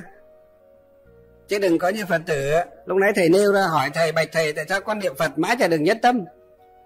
Hỏi niệm nhiều chưa? Niệm hai ba mươi năm nhưng mà ngày có bốn năm tràng ngày ba tràng có ngày một tràng có ngày trả được câu vật hiệu nào thế rồi 30 năm cũng là làm cái gì thầy bảo? Không chỉ 30 năm mà 300 năm thậm chí là 3 triệu năm. Cũng chưa được à, niệm phật à, à, nhất tâm đâu các quý vị. Đó. Đến nay đấy khuyên các phật tử chúng ta chân thành cứ niệm phật cho thật nhiều. À, là làm cái vòng dài đeo chỗ cổ cũng được hoặc cái vòng nhỏ đeo chỗ tay cũng được. Hoặc là nó có cái mấy mấy mấy mấy đếm ấy niệm phật ra đếm một cái a di đà phật, bấm một câu a di đà phật, bấm một câu a di đà phật, bấm một câu á, nó nhỏ nhỏ như là cái nhẫn nó đeo ở trên đầu ngón tay á. Có cái đấy. Có nhiều phương à, pháp. Hoặc không thì chúng ta thì cũng chẳng cần chàng đấy, chúng ta cứ niệm hoài. Nhớ lúc nào niệm lúc đấy. Mà nên dành thời gian là nhớ phật, niệm phật nhiều hơn là gì? Là buôn dễ lê. Hơn là làm những cái việc à, vô bổ khác. Đó. Làm được như thế, thì à, dần dần tâm của chúng ta sẽ an đạo chúng ta gì? Sẽ lòng. tâm an thì đạo gì? Đạo long. Long tức là chỉ cho sự hưng thịnh đó. Chỉ cho sự à, tốt đẹp đó. Thịnh vượng đó. Đó. Gọi là tâm an đó thì đạo long.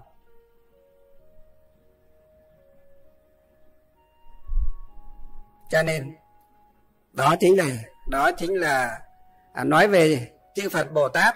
Các ngài à, vẫn à, luôn vẫn thường là thể hiện ra ở thế giới này, hàng hà xa số để giáo giáo hóa chúng ta. Nhưng mà do chúng ta gì mê mờ, chấp chấp trước. Ương ngạnh và chúng ta khởi ra gì? Cái tâm à, cống cao, ngã mạn à, bất tín đó vì vậy mà chúng ta thì không tiếp nhận được năng lượng của chư Phật Bồ Tát. Không ờ, thấy không nghe được sắc tướng và âm thanh của chư Phật Bồ Tát thường ờ, trụ ở cõi sa bà này ờ, để giáo hóa chúng ta. Đó, đó cho nên đấy là gì? Câu mà thầy giải thích về có người người ta bảo là tại sao không thấy chư Phật Bồ Tát nào? À, đến thế giới sa bà chúng ta. Đấy, thì chúng ta thấy đấy, chư Phật Bồ Tát đầy dậy ra đấy. Không chỉ ở Trung Quốc, ở Đài Loan, ở Hồng Kông mới có, Việt Nam chúng ta cũng đầy các quý vị. Những tấm à, gương sáng, những bậc à, chân tu ở xung quanh chúng ta. Những vị có đạo đức, có giới phẩm, có trí tuệ có tâm huyết để thường ờ, báo Phật ân hạ tế tam độ khổ đó chính là là hiện thân của chư Phật Bồ Tát đấy. Chúng ta nên gì nên à, gần gũi để mà cung kính đỉnh lễ cúng dường mà học tập theo à, chư Phật Bồ Tát các ngài gì các ngài hóa thân các ngài thị hiện các ngài biểu diễn các ngài gì đang chủ lại chủ tại thế gian này để hoằng phát giáo hóa độ sinh đấy. Đó cho nên chúng ta phải nhìn rõ cái điều đó thì chúng ta sẽ thấy gì? Chung quanh ta có vô số gì? Hàng hà xa số các vị phật bồ tát đang gì? Đang à, làm việc thiện. Đang giáo hóa độ sinh. Ừ. Chứ không phải là phật pháp á, diệt tận như phàm phu á. chúng ta thường nghĩ vậy đó. Đây là cái nhìn này cái nhìn à, gọi là cái nhìn à, gọi là tích cực của của người học Phật chúng ta. Còn cái nhìn tiêu cực thì chúng ta nhìn vào đâu cũng thấy. Thấy Phật giáo sao mà dối rắm thế? Phật giáo sao mà suy vi thế? Phật giáo sao mà à, đau khổ thế? Phật giáo sao mà à, rồi vân vân và vân vân. Đó. Nhìn chỗ nào cũng thấy cái xấu. Nhìn chỗ nào cũng à, không thấy ưng không thấy vừa con mắt của mình không thấy vừa cái tâm của mình không thấy vừa cái à, trí cái của mình cái nguyện của mình ấy, thì chúng ta gì? Chúng ta đau khổ thôi. Chúng ta không à, mở rộng à, được tâm mình ra để đón nghe dòng sữa pháp thì chúng ta đau khổ thôi. Để uống dòng sữa pháp thì đau khổ thôi. Đó. Rồi trong kinh đức phật lại nói dạy tiếp lại thường à, đánh chống pháp và hay dùng cờ pháp rọi nước à, sáng trí tuệ phá tan à, lưới vô minh. À, tức là các vị bồ tát các ngài thường hay hay đánh chống pháp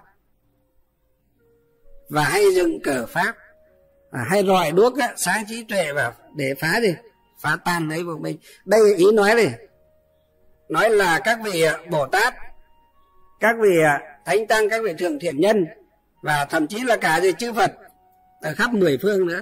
Các ngài thường thể hiện vào thế giới chúng ta này. Làm mà vị à, xuất gia hoặc làm vị phật tử tại gia, vân vân. Thậm chí là theo cả những vị à, tôn giáo khác ở trên à, cuộc đời này nữa. Thậm chí là những vị không theo một tôn giáo nào ở trên cuộc đời này nữa. Nhưng người ta thể hiện là một bậc có trí tuệ, có chính kiến, có đa văn và có lòng từ bi vô lượng. Yêu thương vạn vật.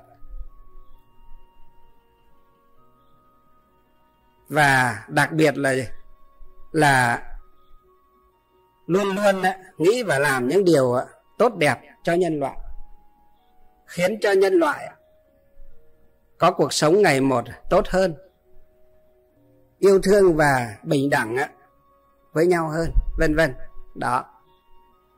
Trong kinh hoa nghiêm nói là các vị bồ tát chứng từ hàng thất địa trở lên các ngài thường thì thường hay sinh vào làm vua chúa quan lại.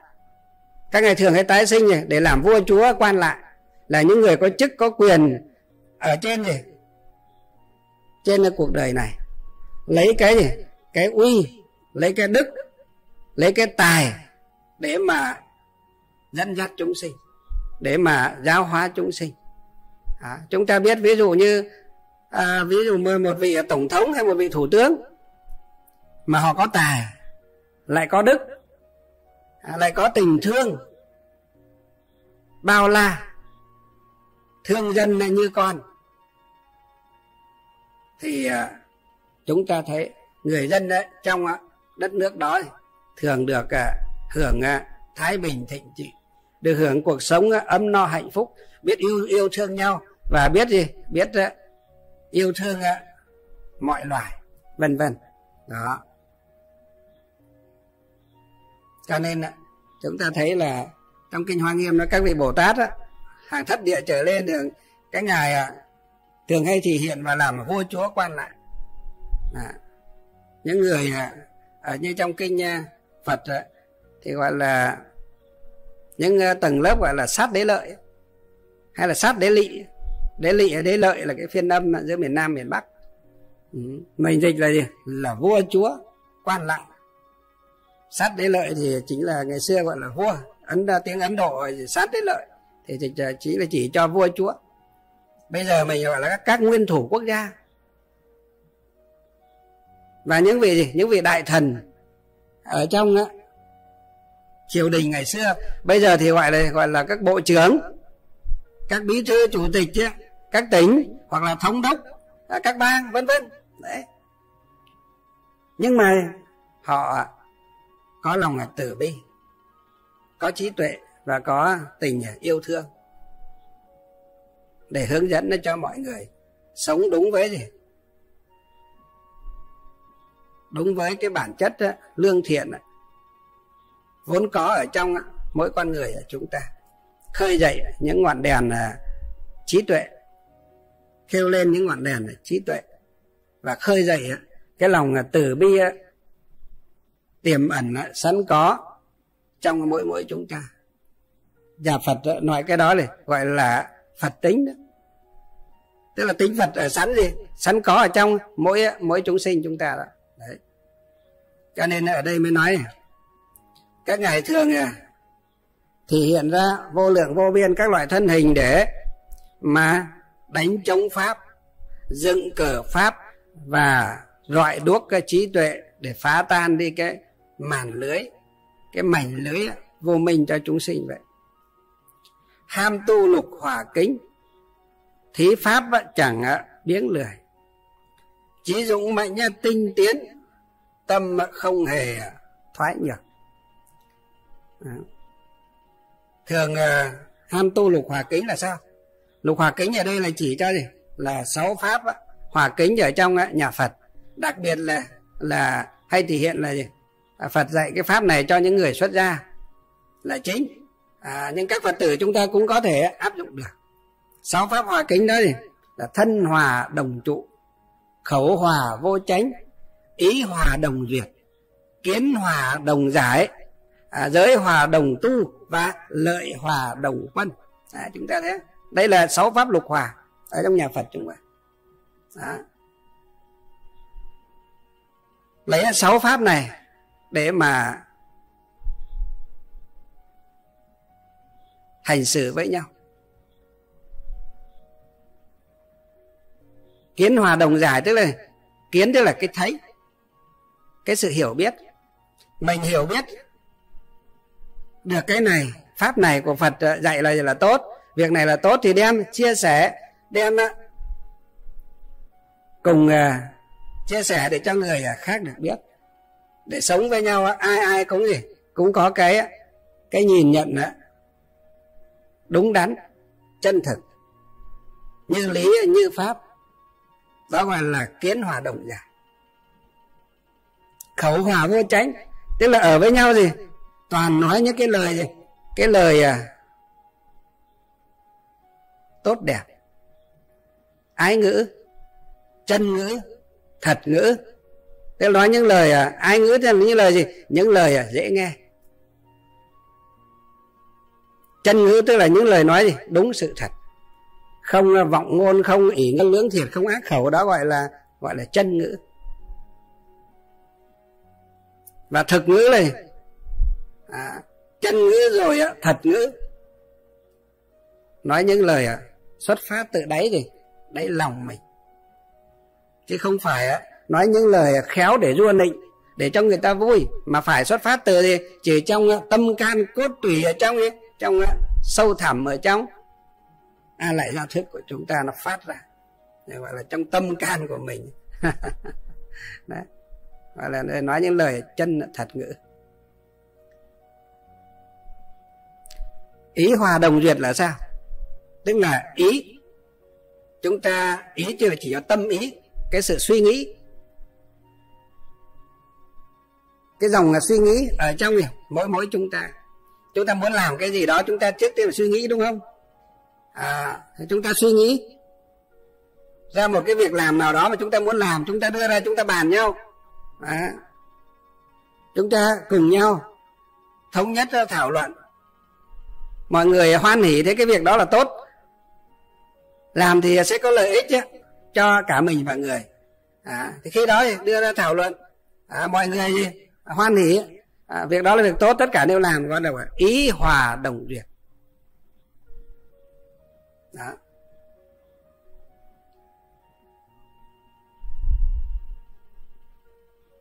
Thân hòa đồng trụ là sao? Tức là thân đó thì cùng nhau ở chung trong một mái chùa những người xuất gia, các quý thầy. Còn phật tử chúng ta là vợ chồng, con cái, gia đình, ông bà, bố mẹ, vân vân. Ở trong một mái nhà đó, chúng ta phải yêu thương à, lẫn nhau. Tôn trọng à, lẫn nhau. Giống như trong kinh à, đức phật nói, bố mẹ đối với con cái phải có năm đức. Con cái đối với bố mẹ cũng phải có năm đức chồng đối với vợ cũng phải có năm đức. Mà vợ đối với chồng cũng phải có năm đức. Như vậy, đều lấy cái đức hiếu kính, tôn trọng, trách nhiệm để lo cho nhau. Thì gia đình sẽ gì? Sẽ được thái bình, hạnh phúc mà thôi. Gia đình lúc nào cũng đầy ắp tiếng cười mà thôi các quý vị đó các quý vị muốn biết cái những cái đức vợ đối với chồng như nào chồng đối với vợ như thế nào con đối với bố mẹ bố mẹ đối với con ra sao? À, nàng dâu đối với à, à, bố mẹ chồng ra sao bố mẹ chồng đối với nàng dâu ra sao? Con à, à, rể đối với bố mẹ à, vợ ra sao bố mẹ vợ đối với con rể ra sao vân vân đó. Các quý vị tìm học trong quyển gì? Có trong quyển Phật học phổ thông của cố trưởng lão hòa thượng à, thích thiện hoa. Ở trong cái bộ Phật học phổ thông có cái cách hành xử mà Phật đã dạy ấy. À, hòa thượng này đã rút lại trong kinh Phật để viết theo cái lối văn của Việt ờ, ngữ chúng ta. Chúng ta đọc cho nó dễ hiểu. Ừ. Thế còn như trong theo cái lối văn của kinh nhà hàm hoặc là trong chữ hán chúng ta đọc khó hiểu mà thậm chí chữ hán chúng ta không đọc được đó, thì hòa thượng đã dịch ra trong đó rồi. Chúng ta đọc trong bộ Phật học phổ thông. Quyển 1 cô giác linh đại lão hòa thượng thích thiện hoa ngài đã viết lại ở trong đó hết chúng ta tìm đọc. Đấy thầy đang nói là thân hòa đồng trụ. Là mọi người chung sống với nhau ở một chỗ xứ như là người xuất gia. Mình gọi là một ngôi chùa đó một tinh xá một tỉnh thất một niệm phật đường đó phật tử tại gia chúng ta là một gia đình đó. Hay là như ở cơ quan thì là cùng một cơ quan đó, cùng một công ty như là doanh nghiệp đó, vân vân. Biết là tôn trọng. Ái kính hòa mục chung sống với nhau một cách là là vui vẻ. Hoan hỷ an lạc, tôn trọng. Nhau thì đó chính là thân hòa đồng trụ. Và một cái điều nữa là lợi hòa đồng quân à, giới hòa đồng tu đấy chứ. Giới hòa đồng tu. Giới tức là là những lời ở đức phật à, chỉ dạy.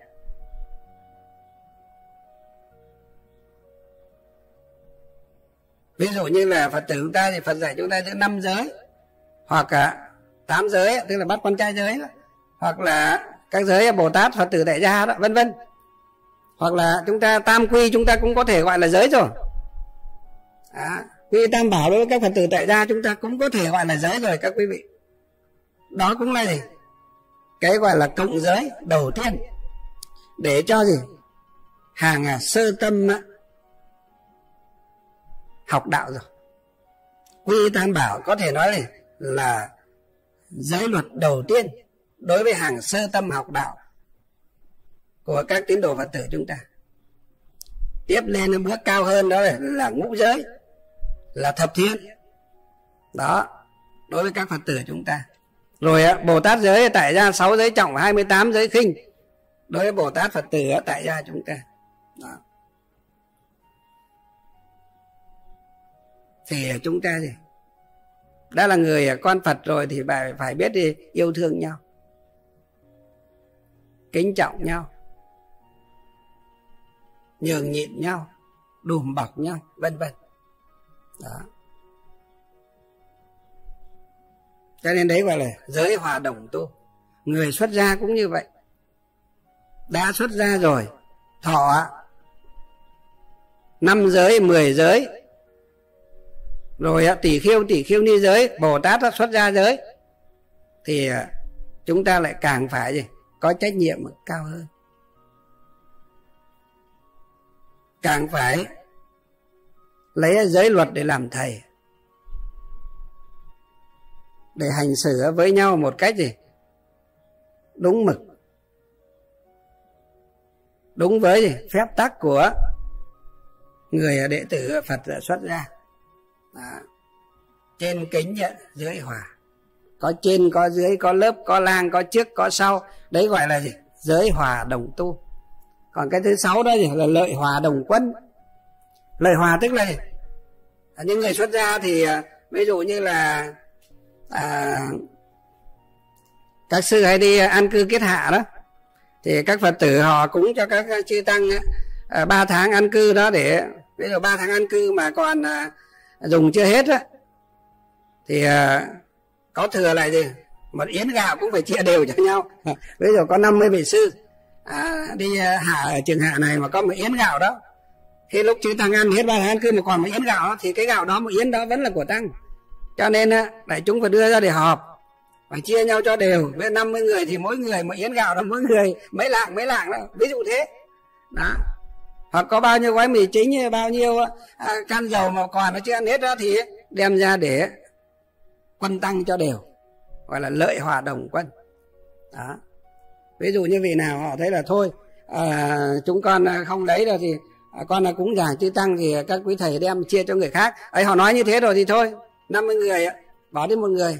Hoặc 10 người không lấy thì họ bạch là 10 người không lấy thì còn 40 người. Hoặc 30 người không lấy thì còn thì còn 20 người lấy thôi. Thì họ đã nói không lấy rồi họ cũng giảng chữ tăng. Thì cái số còn lại chia đều cho 20 người còn lại. Đấy gọi là lợi hòa đồng quân. Đấy thế ví dụ thế. Đấy là pháp lục hòa. Còn các phật tử ở nhà chúng ta trong một gia đình, chúng ta có gì? Có cái gì ăn ngon thì cũng phải biết gì? San sẻ, nhường nhịn lẫn nhau. Có cái gì ngon? Nếu có, các cụ già. Có ông, bà nội ông, bà ngoại ở trong nhà cùng thì phải nhường gì nhường cho các cụ lớn tuổi gọi là kính lão đắc thọ vậy. Đó thứ nữa sau đó là gì? Là nhường cho các cháu gì? Các cháu nhỏ tức là các con các cháu nhỏ tuổi ở trong gia đình chúng ta.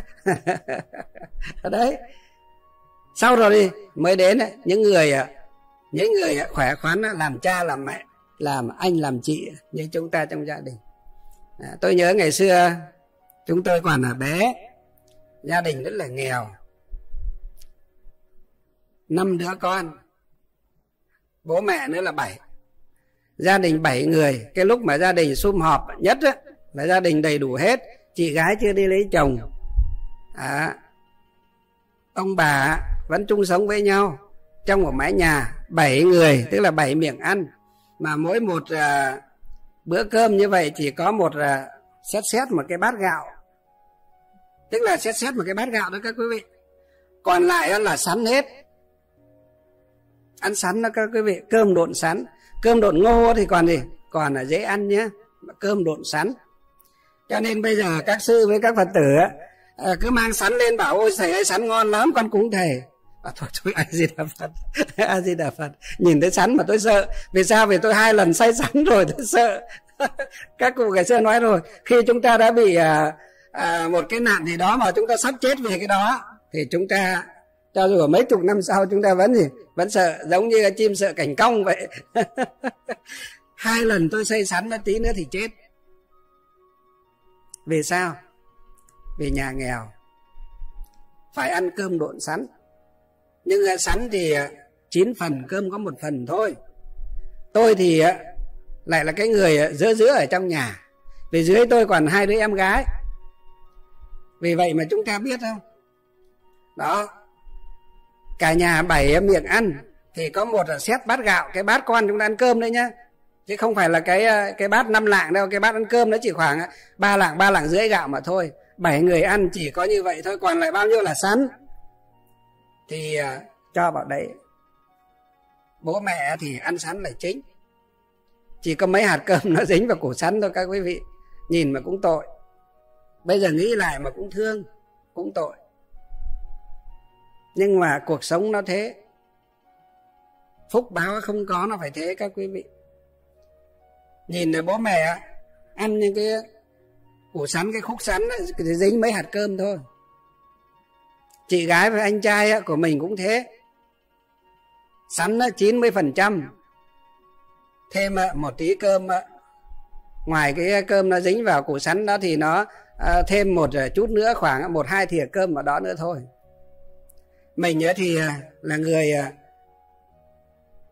đứng thứ năm ở trong à, trong nhà. Vì bố là thứ một mẹ là thứ hai chị là thứ ba anh là thứ thứ tư tôi là thứ năm. Thế người thứ năm ở trong nhà thì được một lưng bát cơm.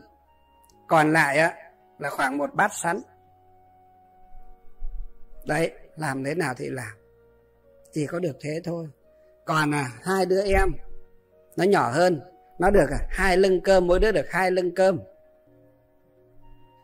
thì nó không ăn sắn được. Ăn sắn là gì nó khóc, nó không ăn cho. Mình thì ờ, cũng muốn khóc. Nhưng mà nhìn ra thì có còn ai nữa nữa đâu mà khóc. Thì ờ, có hai đứa em nó nhỏ hơn thì nó được hai lần sới cơm, hai lần hai lần lưng sới cơm. Còn mình thì là người ờ, đứng thứ năm ở trong nhà. Đứng từ trên xuống dưới mình là người đứng thứ năm trong nhà. Cho nên mình đã được một lưng cơm rồi, với lại hai, ba khúc sắn rồi còn gì nữa. Cuộc đời lắm khi á. Bây giờ chúng tôi nói thì các vị có thể không tin. Đặc biệt là các bạn trẻ bây giờ, các em nhỏ, các cháu nhỏ bây giờ nó không tin. Nó bảo làm gì mà? Thời của thầy mà còn đói như thế, đói như năm 45 mà. Làm gì có? Có các quý vị. Đặc biệt là cái năm 88 89 90 91 mấy cái năm đó là trong quê thầy là nó đói dữ lắm đấy khủng khiếp lắm thiếu ăn nhiều lắm. Lên rừng kiếm cả cái củ củ rừng cơ mà. Em quê thầy gọi là cái củ vớ củ quạch đó. Ừ. Nó đắng khủng khiếp luôn. À, phải lên rừng đào nó xong về là đem ra để mài nạo nhỏ nó ra. Phải đem ra ngoài gì? Ngoài sông. Và ngâm cả đêm ở ngoài sông á, nước nó đỏ hết cả dòng sông. Xong mang về để luộc. Luộc xong rồi bóp xong rồi thì lại phải ngâm xong bắt đầu mới mới đem để đổ lên để ăn. Đổ như là đổ sôi ấy à, đem thổi một chút cái cái à, khoảng một, à, một bát gạo đó. Cũng xét xét bát gạo đó. Sắn hết rồi thì phải ăn cái củ đấy. À, xét xét bát gạo đó thì nó thổi thành cái cơm nó thì cơm chưa được chín nhé nó thổi nó hơi hơi à, hơi hơi vừa chín tới ấy. À, thế bắt đầu là cho ra trộn cùng với thì cái củ quạch đấy bắt đầu là đem đổ lên và ăn. Nó hơi hơi ngâm ngâm đắng ăn nó chẳng có cái vị gì ở trong miệng cả các quý vị. Thế nhưng mà vẫn cứ phải ăn, để cho nó lấp đầy cái bao tử, cái dạ dày để sống qua ngày vậy. Đấy, cuộc đời đôi khi nó có những giai đoạn, có những lúc gian truân như thế. Bây giờ nói ra để các quý vị thấy ở giới trẻ bây giờ các vị sướng chán. Sướng chán các quý vị nhưng mà chúng ta cũng phải chuẩn bị cho một cái tinh thần. Ở thế giới này á những cái tai nạn á, bất ngờ xảy ra. Nạn nước nạn lửa rồi chiến tranh rồi ờ, giặc giá rồi ờ, gì? Rồi ờ, dịch bệnh vân vân. Mà dịch bệnh đang diễn ra trên thế giới này. Trong đó có Việt Nam chúng ta. Cho nên chúng ta cũng phải học, phải dạy bảo cho con cái chúng ta ở trong gia đình nó phải biết để đối phó. Với khi không may, chiến tranh hoạn nạn xảy ra bất ngờ, không có người lớn bên cạnh, các cháu nhỏ nó vẫn gì vẫn là sinh tồn được vậy. Đó. cho nên thầy à, mấy hai năm trước lập ra cái cái gia đình phật tử ấy. Nhưng mà không may là vừa lập ra một cái thì covid cho nên không sinh hoạt được. Còn nếu mà sinh hoạt được á thầy đảm bảo với các quý vị là hướng dẫn cho các gia đình phật tử chúng ta từ lớn cho đến bé. Chúng ta phải sống làm sao đó phải rèn luyện làm sao đó cho dù đứa trẻ mới có năm bảy tuổi gì bỏ nó ra một mình nó không có chết đói. Nó tự biết nấu cơm mà ăn tự biết sang nhà hàng xóm để gì à, để xin ăn vân vân. Hoặc tự ra đường để à, để để xin ăn miễn là gì nó không ra chết đói năm bảy tuổi là nó không biết chết đói. Nếu mà bố mẹ đi đâu hay là bất cứ cái gì đó chúng ta phải hướng dẫn cho con cái. Chúng ta phải biết làm. Mọi việc biết ứng phó với mọi sự thay đổi đột xuất bất khả kháng. Mà nó vẫn là tồn tại được vẫn sinh tồn được. Đó, chúng ta thấy bây giờ thế giới là có cái chương trình là à, thử thách sinh tồn á một mình hai bàn tay không vào trong rừng ờ, sâu hoặc là ra hòn đảo để ờ, sinh sống mà vẫn sống được á. Đấy cũng là một cái hay. Nhưng mà chúng ta bây giờ chắc người học Phật chẳng không đến nỗi phải học theo cách ấy, sống như thế. Chúng ta học theo cách gì nó cũng ờ, vừa vừa đủ vừa tới để cho gì? Không may có cái chuyện gì xảy ra. Bất chợt như là chiến tranh như là động đất như là sóng thần như là hỏa hoạn hay là như là đại dịch vân vân các con các cái các cháu nhỏ của chúng ta thì nó biết cách để nó sinh tồn hết. Nó có thể à, một mình tự biên trải để vượt qua những khó khăn đấy. À, chúng tôi được như bây giờ là phải nói với các quý vị này cũng nhờ một phần là ngày à, còn trẻ 12 tuổi đã phải đi làm để kiếm ăn rồi. 12 tuổi đã phải đi vào rừng để kiếm củi. 13 tuổi đã đi vào rừng để đi đào đáy vàng rồi các quý vị. 13, 14, 15 tuổi đã phải đi đào đáy vàng đi làm thuê đi làm đủ các thứ rồi các quý vị. Không có một cái việc gì người ta làm được. Để kiếm ra bát cơm manh áo mà chúng tôi chưa từng làm qua. Người ta làm được thì mình cũng làm được. Đó. cho nên là bây giờ nói đến cái gì là mình cũng biết là như thế. Mặc dù mình có thể là chưa biết nhiều, nhưng mà cái đại cương cái cần thiết thì mình cũng đều nắm được vậy. Đó. cho nên nhiều phật tử bảo cái ông sư này á ông cứ bảo ông dân tộc mà cái gì ông cũng biết. Dân tộc làm gì mà cái gì cũng biết như thế? Vì sao? Vì à, chính vì gì được cọ sát. Trải qua những lúc ấy, gian truân vất vả khổ cực như thế cho nên này chúng tôi biết vậy nhờ những khó khăn, những khổ cực mà mình được à, rèn luyện, được cọ sát một cách thực tế. Đó. Cho nên trong à, đời sống chúng ta thấy đôi khi những cái giai đoạn khó khăn thì lại làm cho chúng ta cứng cáp lên. Những cái lúc tưởng chừng như là chúng ta vấp ngã, chúng ta không thể đứng dậy được. Nhưng nếu chúng ta đứng dậy được á, đấy là một kinh nghiệm sống rất quý giá, rất quý báu đối với chúng ta, các quý vị vượt qua những lúc khó khăn đấy, thì ờ, các cụ ngày xưa nói, qua cơn mưa trời lại sáng. Kiểu nó như thế. Cho nên ờ, chúng ta cũng phải rèn luyện cái ý chí sắt đá, cái lòng ờ, tin kiên cố và cái sự dũng mãnh và tinh tiến đã hướng về phía trước, hướng tới cái nơi ánh sáng để mà mà đi đến vậy. Đó cho nên lợi hòa đồng quân là ở trong một gia đình. Chúng ta thì trước hết là phải kính già. Sau nữa là phải gì? Thứ nữa là thế thương trẻ. Kính già, thương trẻ. Sau mới đến thì, đến phần là bố mẹ, đến phần là anh chị em còn lớn. Ừ. Đấy, sống được như thế.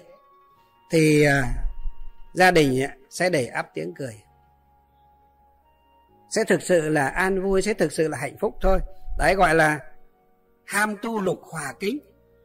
Thì lục hòa ở đây thì người phật tử tại gia chúng ta cũng đem áp dụng để tu được. Đặc biệt là những người xuất gia chúng tôi thì lại càng phải gì? Phải làm theo lời phật nữa. Nhưng mà cũng buồn là vì bây giờ thì thực sự là trong pháp lục hòa này bây giờ nói thì dễ đấy, nhưng mà làm á, có mấy ai làm được à? rốt ráo đâu. Thôi thì làm được bao nhiêu, quý bấy nhiêu. Nói thật với các quý vị như thế kể cả chúng tôi bây giờ ở đây cũng thế. Cũng chưa phải là làm được một cách là viên mãn rốt ráo đâu các quý vị. Cũng chỉ được phần nào mà thôi. Còn phải học, còn phải tu và còn phải thực hành nhiều nữa.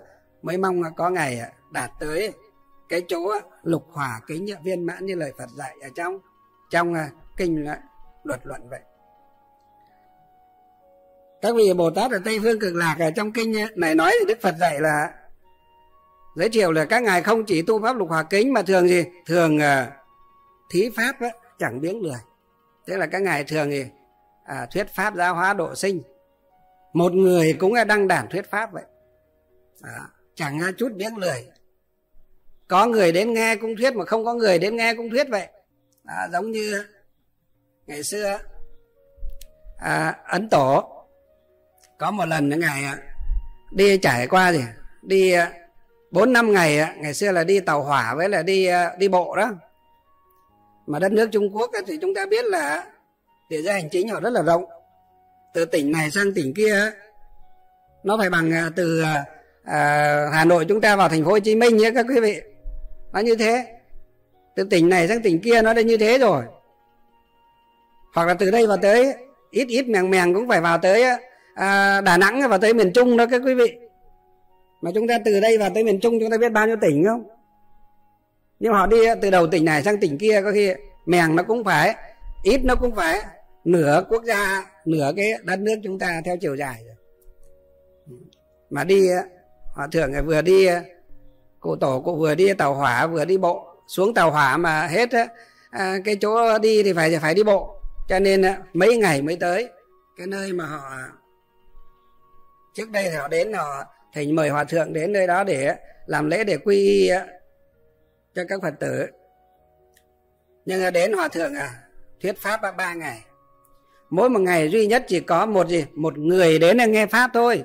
Các vị à, nếu mà đọc ấn quang đại sư văn sao hay ấn quang đại sư ra ngôn lục, các vị thấy cái cảnh đó.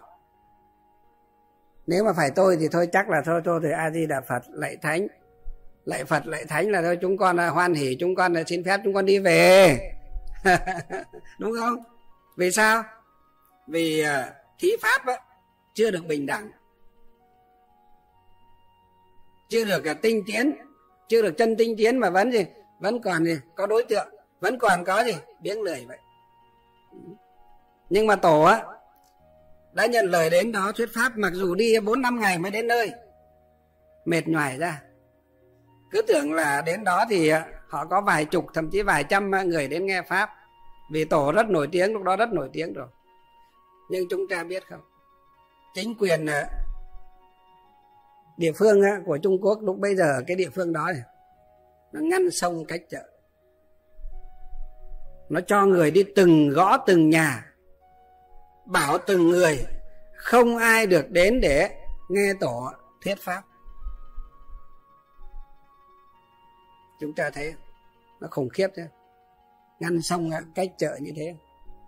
Và ba ngày liền, ngày nào, cứ đến giờ, họ mở cửa ra, mời hòa thượng gì mời tổ đến gì đến à, cái cái cái à, hội trường ấy, để à, thuyết pháp. Ngày xưa vốn nó cũng là cái chùa. Nhưng xong rồi cái thời cải, cách mạng văn hóa trung quốc cái chùa họ là biến thành gì? Biến thành cái hội trường của thôn. À, nói đúng là nó là như thế. Việt nam chúng ta cũng có một thời học theo mấy năm như thế đấy. Phải nói thật với nhau là như thế.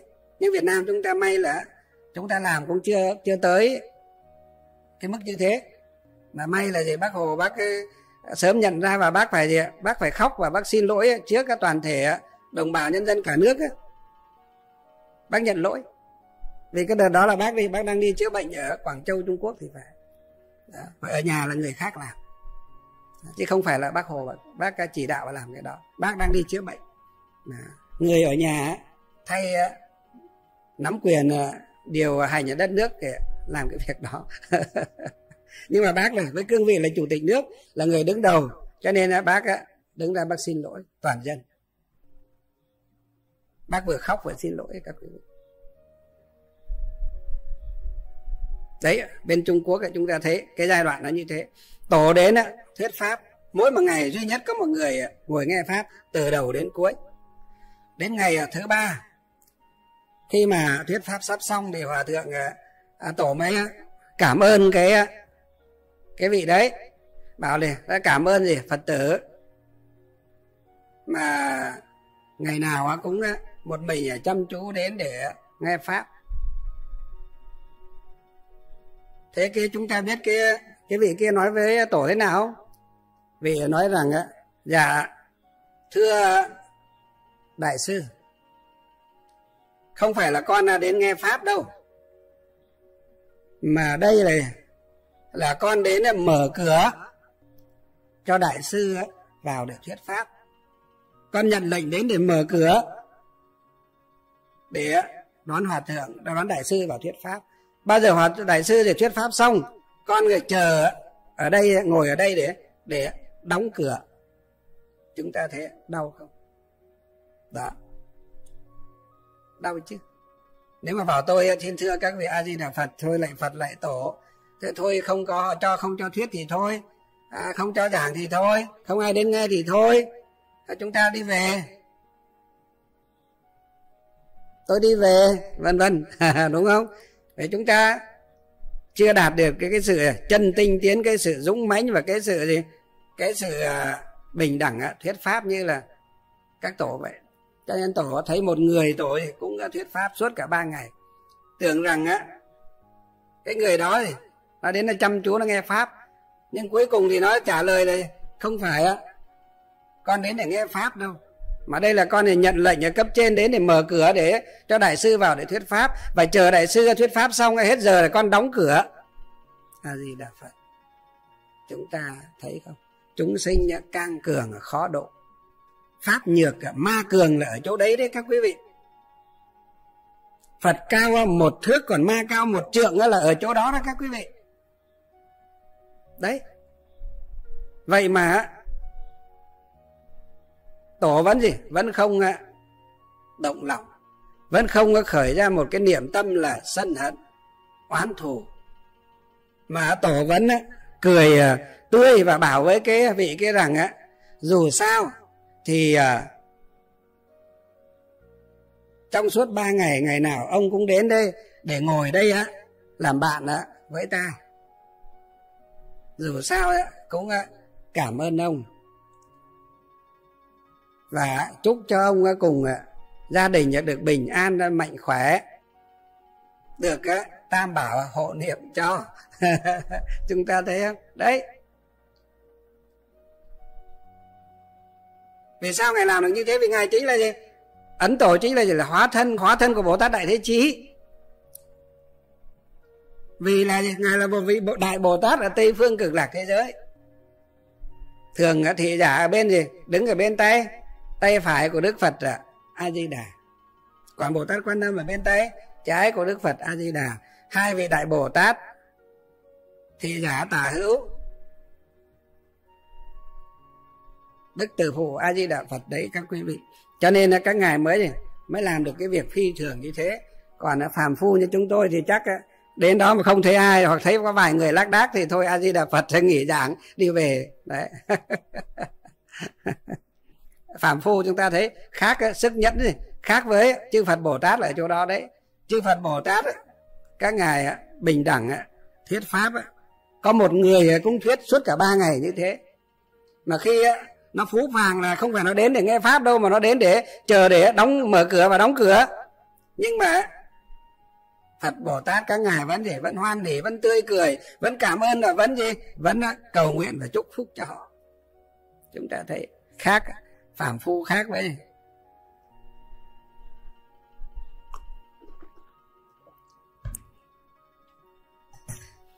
phàm phu là khác với thánh nhân là ở chỗ đó đấy. Khác ở chỗ đó.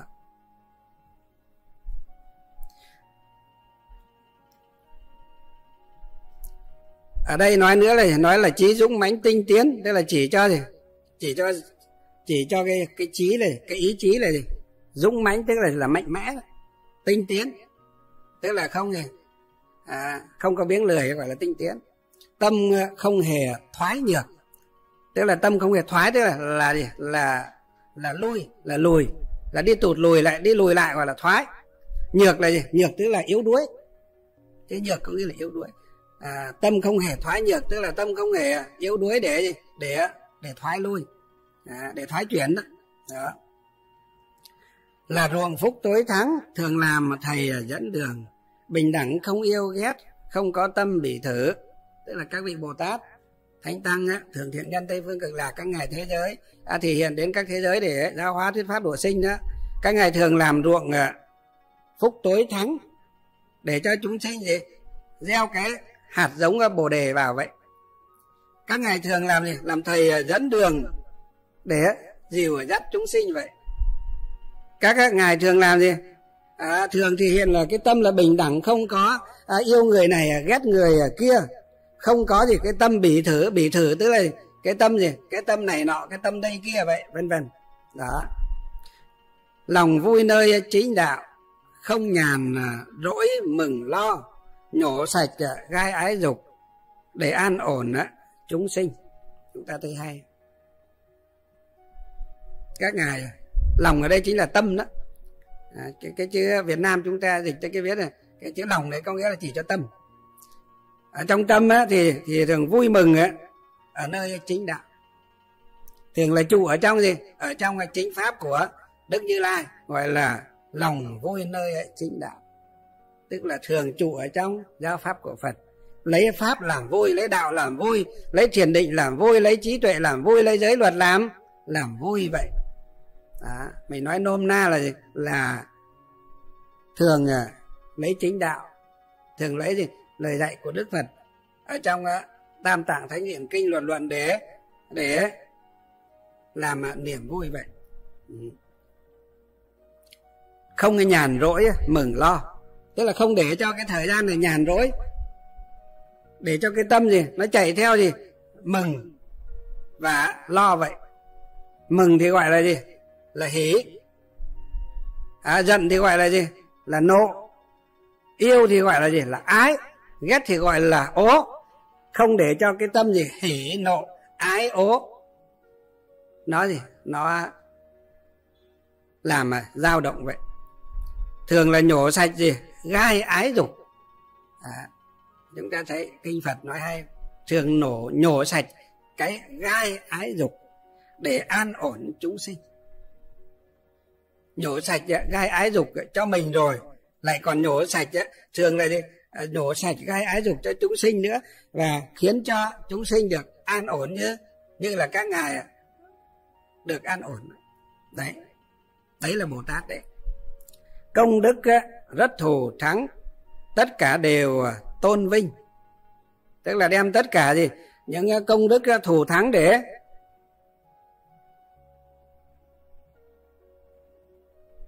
hồi hướng cho chúng sinh. À, và là tất cả đều tôn vinh đây tức là để, để hồi hướng cho chúng sinh. Đem tất cả công đức thù thắng mà mình tu được mình có được á để hồi hướng cho chúng sinh để ban cho chúng sinh chứ không bo bo không giữ lại cho mình một cái gì cả. Đó. Chúng ta thấy không? Chúng ta thì à, bo bo giữ gìn giữ tiền tài của cải có một chút giữ thì cứ khư giữ cho bản thân á. Thấy chúng sinh nghèo đói khổ, sở cùng cực chúng ta cũng chẳng phát tâm được. Khổ lắm khổ lắm khổ lắm khổ lắm khổ lắm khổ lắm. Trợ niệm cho người giảng sanh tây phương, công đức vô lượng. Lại nói về một chuyện cười các vị trong ban kia của bố giáo sở lúc bấy giờ trợ niệm cho lý cư sĩ. Chỉ có sai đi ba tiếng đồng hồ. Do vì về trước mà không thấy được việc phật a di đà phóng quang tiếp dẫn, đều hối hận mãi không thôi. Sau đó mọi người liền ở lại bố giáo sở bàn bạc. Lần sau, nếu như lại có người bệnh nặng sắp qua đời, chúng ta nhất định phải đi trợ niệm.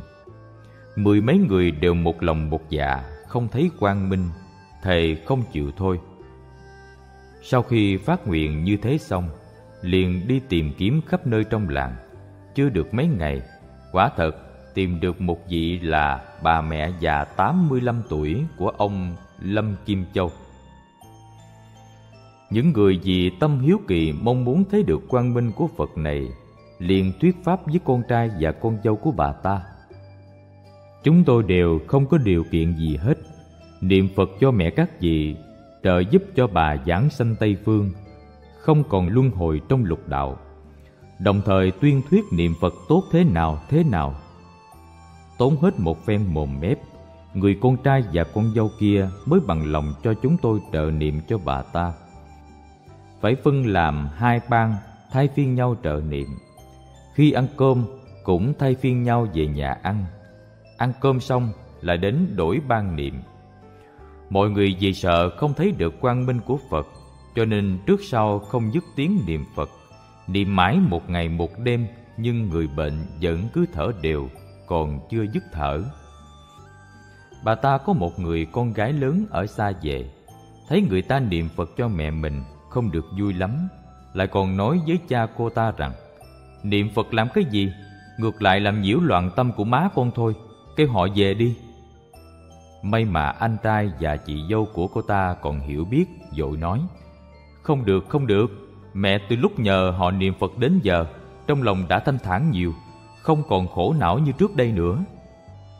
Người con gái kia sau đó cũng không còn nói bậy nữa, Biết được thành ý của mọi người, Trái lại trong lòng bắt đầu biết mang ơn. Lúc đó đã là cuối năm, Nhà nhà đều phải làm bánh Tết trong các vị trợ niệm có nhà dặn dò con cái hoặc con dâu bỏ không làm bánh Tết nữa mà đến trợ niệm Liên tục niệm bảy ngày bảy đêm Người sắp mạng chung kia mới giảng sanh Lúc đó mọi người trong miệng thì niệm Phật còn mắt thì lại đều chú ý xem quang minh của Phật đến. Nhưng kết quả không thấy được gì hết, mọi người lại vô cùng thất vọng. Mặc dù như thế, nhưng cái tâm trợ niệm của mọi người là chân thật ngay thẳng, giúp người thì phải giúp cho đến nơi đến chốn. Liền lại niệm thêm 8 tiếng đồng hồ nữa, đúng nghi thức trợ niệm. Thăm dò trên đỉnh đầu vẫn còn một chút hơi ấm, sắc diện như sóng, thân thể vẫn mềm như bông. Đây cũng chính là tướng lành được giảng sanh Tây Phương. Điều không thể nghĩ bàn nhất là niệm xong 8 tiếng đồng hồ rồi, con cháu của bà ta mở những chăn mềm đắp cho bà ta ra, thì thấy hai tay của bà đang chấp ngay ngắn. Sư tỷ thẩm, gọi là trương thẩm ở bài trước, nói với tôi. Con dâu của bà ta thấy chúng tôi niệm phật cho mẹ chồng của cô ta, được thành khẩn như thế. Mỗi đêm đều ba lần nấu món điểm tâm mời chúng tôi ăn. Mới đầu, mọi người không dám ăn do vì thầy lý dạy chúng tôi lúc trợ niệm cho người, không được ăn đồ ăn của người ta. Ba bữa phải về nhà ăn, cũng không được ăn đồ điểm tâm. Do vì người ta đang gặp lúc không may, không nên làm phiền người ta thêm. Nhưng con dâu bà ta có ý tốt nói, thời tiết mùa đông lạnh như thế này, các vị có lòng tốt như thế đến cứu cho mẹ chồng tôi. Cả nhà chúng tôi rất là đội ơn đội đức, có chút xíu để bày tỏ tấm lòng các vị đừng nên khách sáo. Cho nên, mỗi đêm đều tiếp nhận ba lần điểm tâm của họ. Tôi liền cười nói với họ rằng, tâm của các vị bất tịnh, chứa đầy những tham muốn. Muốn thấy quang minh của phật, lại nào có thấy được đâu. Sư tỷ tú cùng với anh thanh niên kia, lúc đó niệm phật là một lòng một dạ. Trong tâm thanh tịnh, niệm đến cùng, phật cảm ứng đạo giao cho nên mới thấy được phật a di đà phóng đại quang minh đến tiếp dẫn. Hôm nay các vị vì tham muốn xem quang minh mà vì người niệm phật, nhưng cũng giúp được một chúng sanh ở ta bà giảng sanh về quốc độ an lạc ở tây phương tu hành. Ngày kia thường nguyện tái lai, có thể độ được vô lượng vô biên chúng sanh khổ não. Công đức này cũng đều là do các vị phát tâm muốn thấy quang minh của phật mà được ban cho như thế. Mỗi một câu Phật hiệu trong kinh vô lượng thọ này nói này, chúng ta niệm A Di Đà Phật hoặc Nam Mô A Di Đà Phật đó là là tiêu được 80 ức kiếp sinh tử. Tám muôn chứ không phải là 80 tám muôn tức là tám vạn ức kiếp sinh tử. Chúng ta thấy một câu Phật hiệu A Di Đà Phật chúng ta nhất tâm mà chỉ niệm là tiêu diệt được 8 vạn ức kiếp sinh tử. Chứ không phải 8 vạn kiếp nhưng mà 8 vạn ức kiếp sinh tử. Mà chúng ta niệm gì? Mỗi một câu niệm phật nam mô a di đà phật, chúng ta thì vê tròn cái hạt tràng đó lại là biểu pháp của gì? Là vê tròn quả phúc. Đó, chúng ta niệm một câu đó, để hạt tràng trước ngực này chúng ta niệm nam mô a di đà phật nam mô a di đà phật nam mô a di đà phật hoặc là a di đà phật a di đà phật a di đà phật a di đà phật a di đà phật a di đà phật như thế. Vậy mỗi một câu phật hiệu ấy chúng ta gì? Vê tròn cái hạt tràng lại. À là tượng trưng là biểu pháp cho gì? Là vê tròn quả phúc. Tiêu đi tội nghiệp và vê tròn gì? Quả phúc. Tiêu đi kiết sử phiền não và ve tròn là quả phúc vậy. Đó.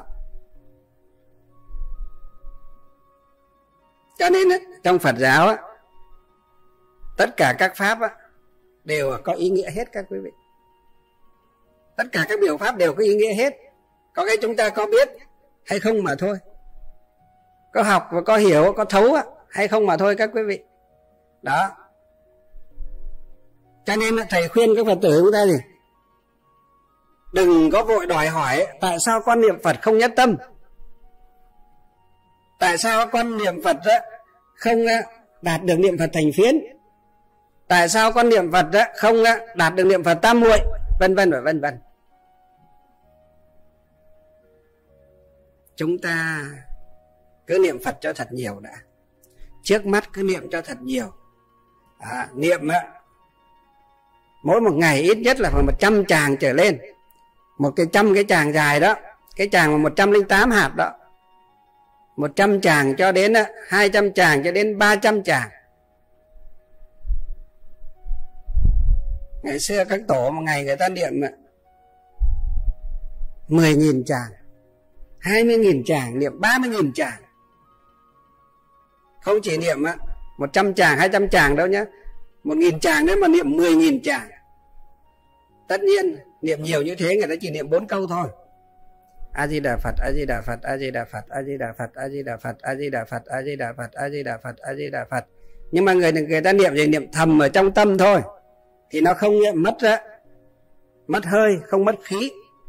Nó không mất hơi, không mất khí thì nó đỡ mệt, nó không bị mệt. Cho nên niệm như vậy, ví dụ là thầy niệm như thế.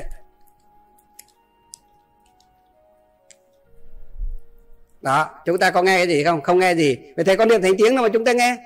Thầy niệm ở trong tâm. Trong tâm chúng ta ghi nhớ rõ ràng từng câu phật hiệu.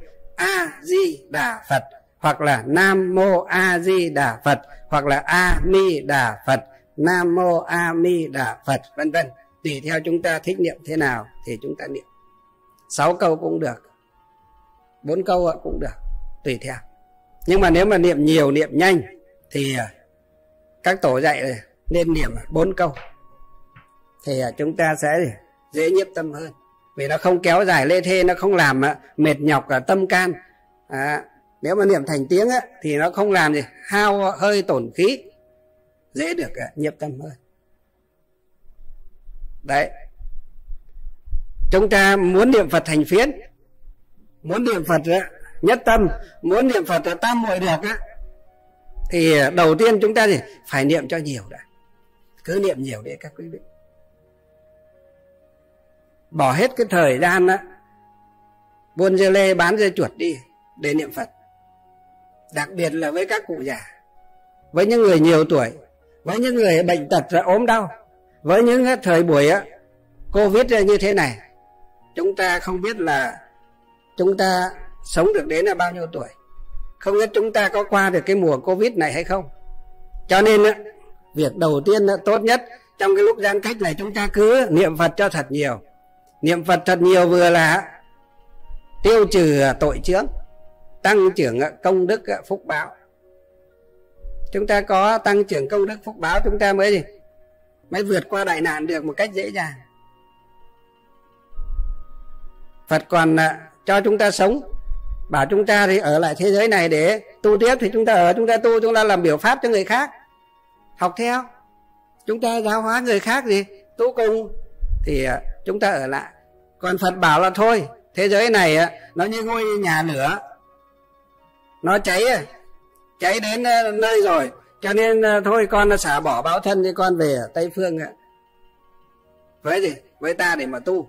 Thế chúng ta nhẹ nhàng về với phật, chúng ta tu, xả bỏ cái báo thân à, sinh lão bệnh tử nhờ nuốt hôi thối này để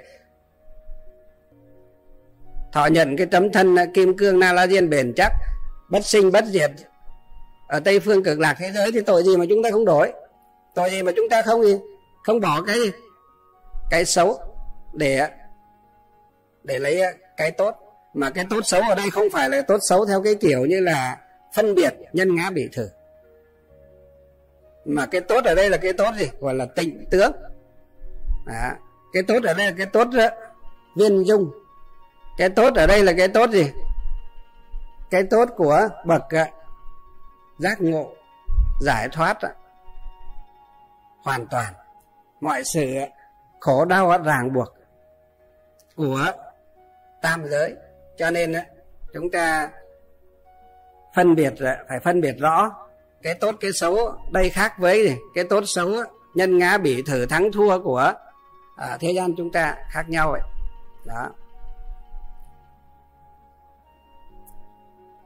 Cho nên thầy khuyên chúng ta là cứ phải niệm nhiều đã. Chứ đừng có như phật tử.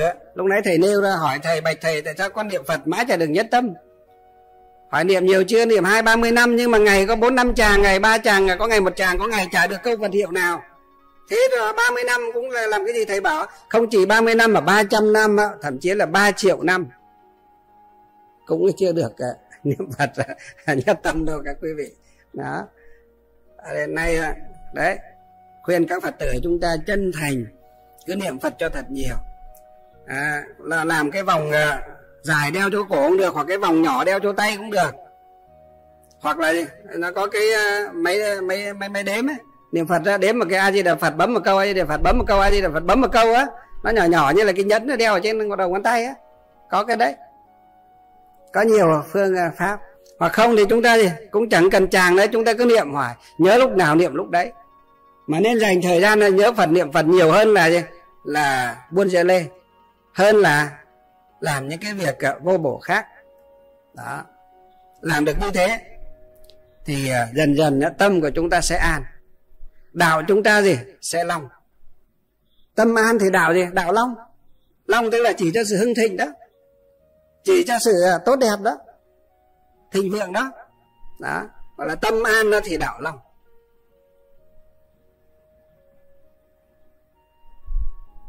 Cho nên đó chính là đó chính là à, nói về chư Phật Bồ Tát.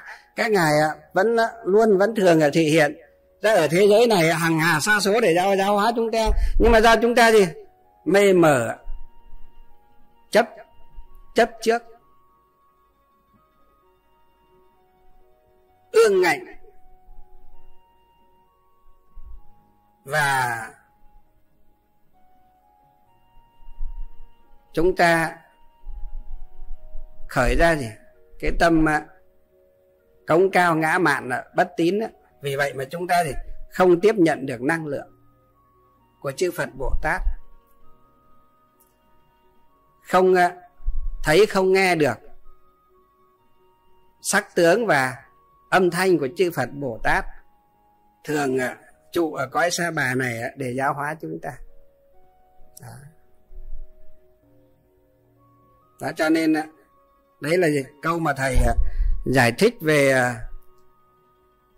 có người người ta bảo là tại sao không thấy chư Phật Bồ Tát nào? À, đến thế giới xa bà chúng ta đấy, thì chúng ta thấy đấy, chư Phật Bồ Tát đầy dậy ra đấy. Không chỉ ở Trung Quốc, ở Đài Loan ở Hồng Kông mới có, Việt Nam chúng ta cũng đầy các quý vị. Những tấm à, gương sáng, những bậc à, chân tu ở xung quanh chúng ta. Những vị có đạo đức, có giới phẩm, có trí tuệ có tâm huyết để thường à, báo Phật ân hạ tế tam độ khổ đó chính là là hiện thân của chư Phật Bồ Tát đấy. Chúng ta nên gì nên à, gần gũi để mà cung kính đỉnh lễ cúng dường mà học tập theo à, chư Phật Bồ Tát các ngài gì các ngài hóa thân các ngài thị hiện các ngài biểu diễn các ngài gì đang à, chủ lại chủ tại thế gian này để hoằng phát giáo hóa độ sinh đấy. Đó cho nên là chúng ta phải nhìn rõ cái điều đó thì chúng ta sẽ thấy gì? Chung quanh ta có vô số gì? Hằng hà xa số các vị phật bồ tát đang gì đang à, làm việc thiện đang giáo hóa độ sinh. Ừ, chứ không phải là phật pháp á, diệt tận à, như phàm phu á. chúng ta thường nghĩ vậy đó. Đây là cái nhìn này. Cái nhìn à, gọi là cái nhìn à, gọi là tích cực của của người học Phật chúng ta. Còn cái nhìn tiêu cực thì chúng ta nhìn vào đâu cũng thấy thấy Phật giáo sao mà dối rắm thế? Phật giáo sao mà suy vi thế? Phật giáo sao mà à, đau khổ thế? Phật giáo sao mà à, rồi vân vân và vân vân. Đó. Nhìn chỗ nào cũng thấy cái xấu. Nhìn chỗ nào cũng à, không thấy ưng không thấy vừa con mắt của mình không thấy vừa cái tâm của mình không thấy vừa cái à, trí cái của mình cái nguyện của mình ấy, thì chúng ta thì chúng ta đau khổ thôi.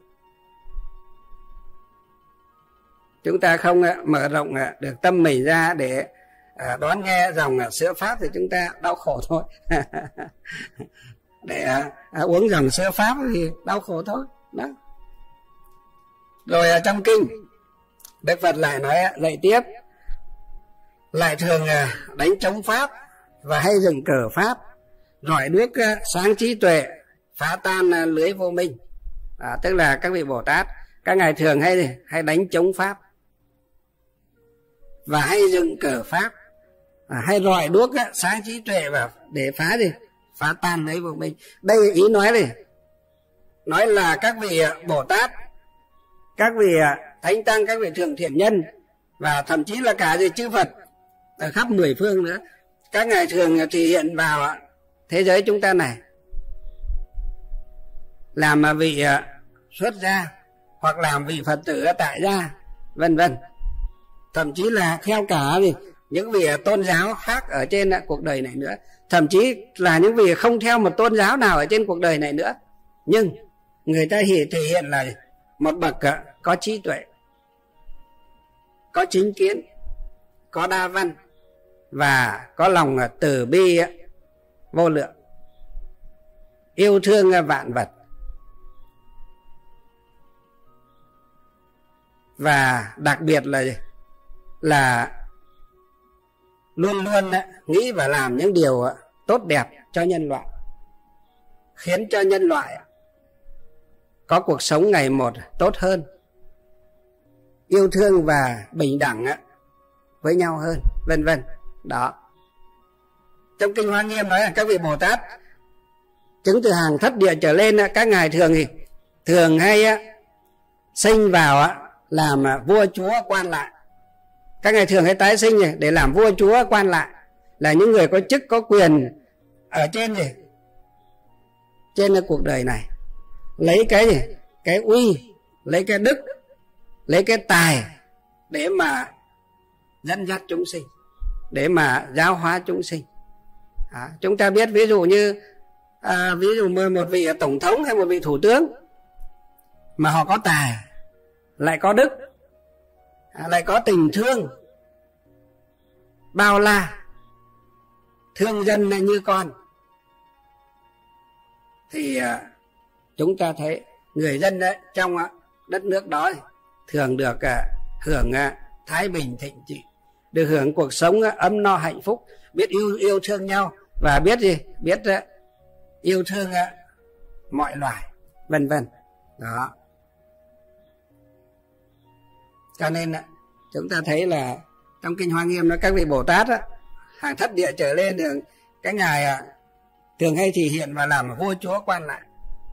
À, những người à, ở như trong kinh à, phật thì gọi là những ờ, tầng lớp gọi là sát đế lợi hay là sát đế lị đế lị đế lợi là cái phiên âm giữa miền nam miền bắc. Mình dịch là gì? Là vua chúa quan lặng. Sát đế lợi thì chính là ngày xưa gọi là vua. Ấn ờ, tiếng ấn độ sát đế lợi. Thì ờ, chỉ là chỉ cho vua chúa. Bây giờ mình gọi là các, các nguyên thủ quốc gia. Và những vị gì? Những vị đại thần ở trong á, triều đình ngày xưa.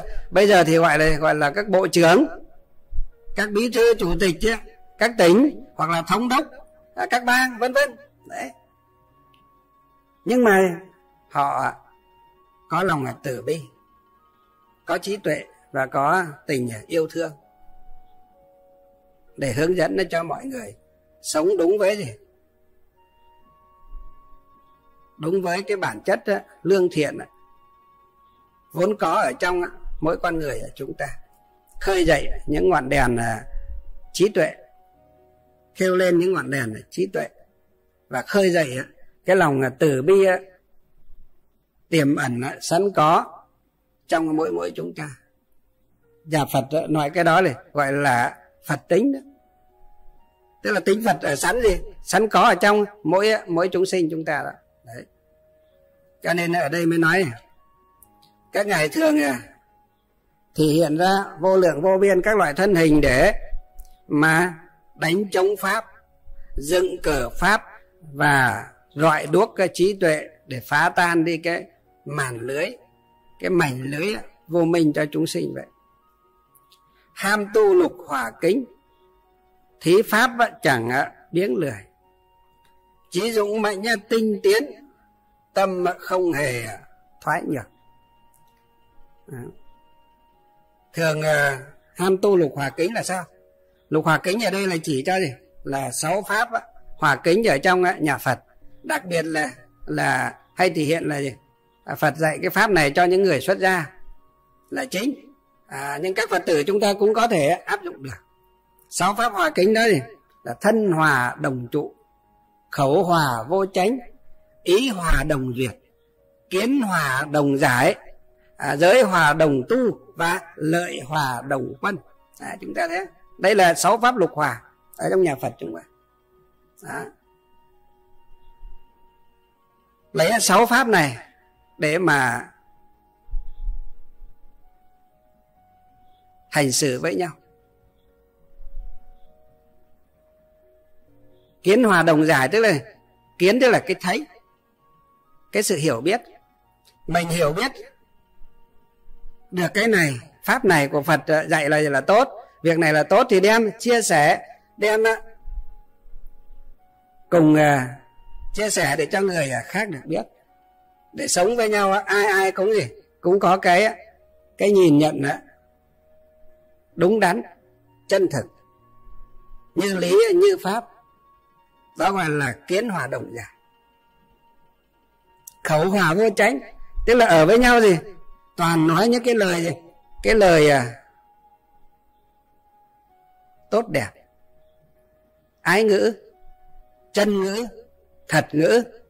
Tức nói những lời à, ái ngữ thì là những lời gì? Những lời à, dễ nghe. Chân ngữ tức là những lời nói gì? Đúng sự thật. Không à, vọng ngôn không ỷ ngân lưỡng thiệt không ác khẩu đó gọi là gọi là chân ngữ. Và thực ngữ này à, chân ngữ rồi á thật ngữ nói những lời à, xuất phát từ đáy gì đáy lòng mình. Chứ không phải á nói những lời khéo để rua nịnh để cho người ta vui. Mà phải xuất phát từ gì chỉ trong tâm can cốt tủy ở trong ấy, trong sâu thẳm ở trong. A lại giao thức của chúng ta nó phát ra. Để gọi là trong tâm can của mình. Đấy. Gọi là nói những lời chân thật ngữ. Ý hòa đồng duyệt là sao? Tức là ý chúng ta ý chưa chỉ có tâm ý cái sự suy nghĩ. Cái dòng là suy nghĩ ở trong mỗi mỗi chúng ta. Chúng ta muốn làm cái gì đó chúng ta trước tiên là suy nghĩ đúng không? À, chúng ta suy nghĩ. Ra một cái việc làm nào đó mà chúng ta muốn làm chúng ta đưa ra chúng ta bàn nhau. À, chúng ta cùng nhau. Thống nhất ra thảo luận mọi người hoan hỉ thấy cái việc đó là tốt. Làm thì sẽ có lợi ích chứ, cho cả mình và người. À, thì khi đó thì đưa ra thảo luận. À, mọi người gì hoan hỉ à, việc đó là việc tốt tất cả đều làm gọi là ý hòa đồng duyệt. Đó.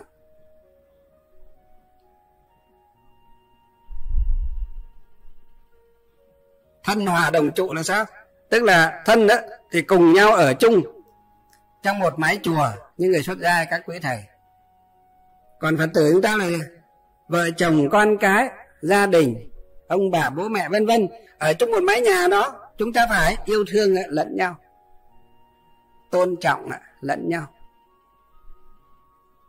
Giống như trong kinh đức phật nói, bố mẹ đối với con cái phải có năm đức. Con cái đối với bố mẹ cũng phải có năm đức chồng đối với vợ cũng phải có năm đức. Mà vợ đối với chồng cũng phải có năm đức. Như vậy, đều lấy cái đức hiếu kính, tôn trọng, trách nhiệm để lo cho nhau. Thì gia đình sẽ gì? Sẽ được thái bình, hạnh phúc mà thôi. Gia đình lúc nào cũng đầy ắp tiếng cười mà thôi các quý vị đó các quý vị muốn biết cái những cái đức vợ đối với chồng như nào chồng đối với vợ như thế nào con đối với bố mẹ bố mẹ đối với con ra sao? À, nàng dâu đối với à, à, bố mẹ chồng ra sao bố mẹ chồng đối với nàng dâu ra sao? Con à, à, rể đối với bố mẹ à, vợ ra sao bố mẹ vợ đối với con rể ra sao vân vân đó. Các quý vị tìm học trong quyển gì? Có trong quyển Phật học phổ thông của cố trưởng lão hòa thượng à, thích thiện hoa. Ở trong cái bộ Phật học phổ thông có cái cách hành xử mà Phật đã dạy ấy. À, hòa thượng này đã rút lại trong kinh Phật để viết theo cái lối văn của Việt à, ngữ chúng ta. Chúng ta đọc cho nó dễ hiểu. Ừ. Thế còn như trong theo cái lối văn của kinh nhà hàm hoặc là trong chữ hán đó chúng ta đọc khó hiểu. Mà thậm chí chữ hán chúng ta không đọc được đó, thì hòa thượng đã dịch ra trong đó rồi. Chúng ta đọc trong bộ phật học phổ thông. Quyển 1 cố giác linh đại lão hòa thượng thích thiện hoa ngài đã viết lại ở trong đó hết. Chúng ta tìm đọc. Đấy thầy đang nói là thân hòa đồng trụ. Là mọi người chung sống với nhau ở một chỗ xứ như là người xuất gia. Mình gọi là một ngôi chùa đó một tinh xá một tịnh thất một niệm phật đường đó phật tử tại gia chúng ta là một gia đình đó. Hay là như ở cơ quan thì là cùng một cơ quan đó, cùng một công ty như là doanh nghiệp đó, vân vân. Biết là tôn trọng. Ái kính hòa mục chung sống với nhau một cách là là vui vẻ. Hoan hỷ an lạc, tôn trọng. Nhau thì đó chính là thân hòa, đồng trụ. Và một cái điều nữa là lợi hòa đồng quân à, giới hòa đồng tu đấy chứ. Giới hòa đồng tu. Giới tức là là những lời ở đức phật à, chỉ dạy.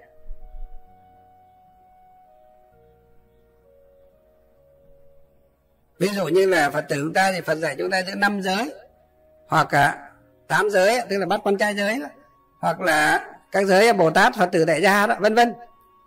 Hoặc là chúng ta tam quy chúng ta cũng có thể gọi là giới rồi. À, quy tam bảo đối với các phật tử tại gia chúng ta cũng có thể gọi là giới rồi các quý vị. Đó cũng là gì? Cái gọi là cộng giới đầu tiên. Để cho gì? Hàng à, sơ tâm à, học đạo rồi. Quy tam bảo có thể nói là, là giới luật đầu tiên đối với hàng sơ tâm học đạo của các tín đồ phật tử chúng ta.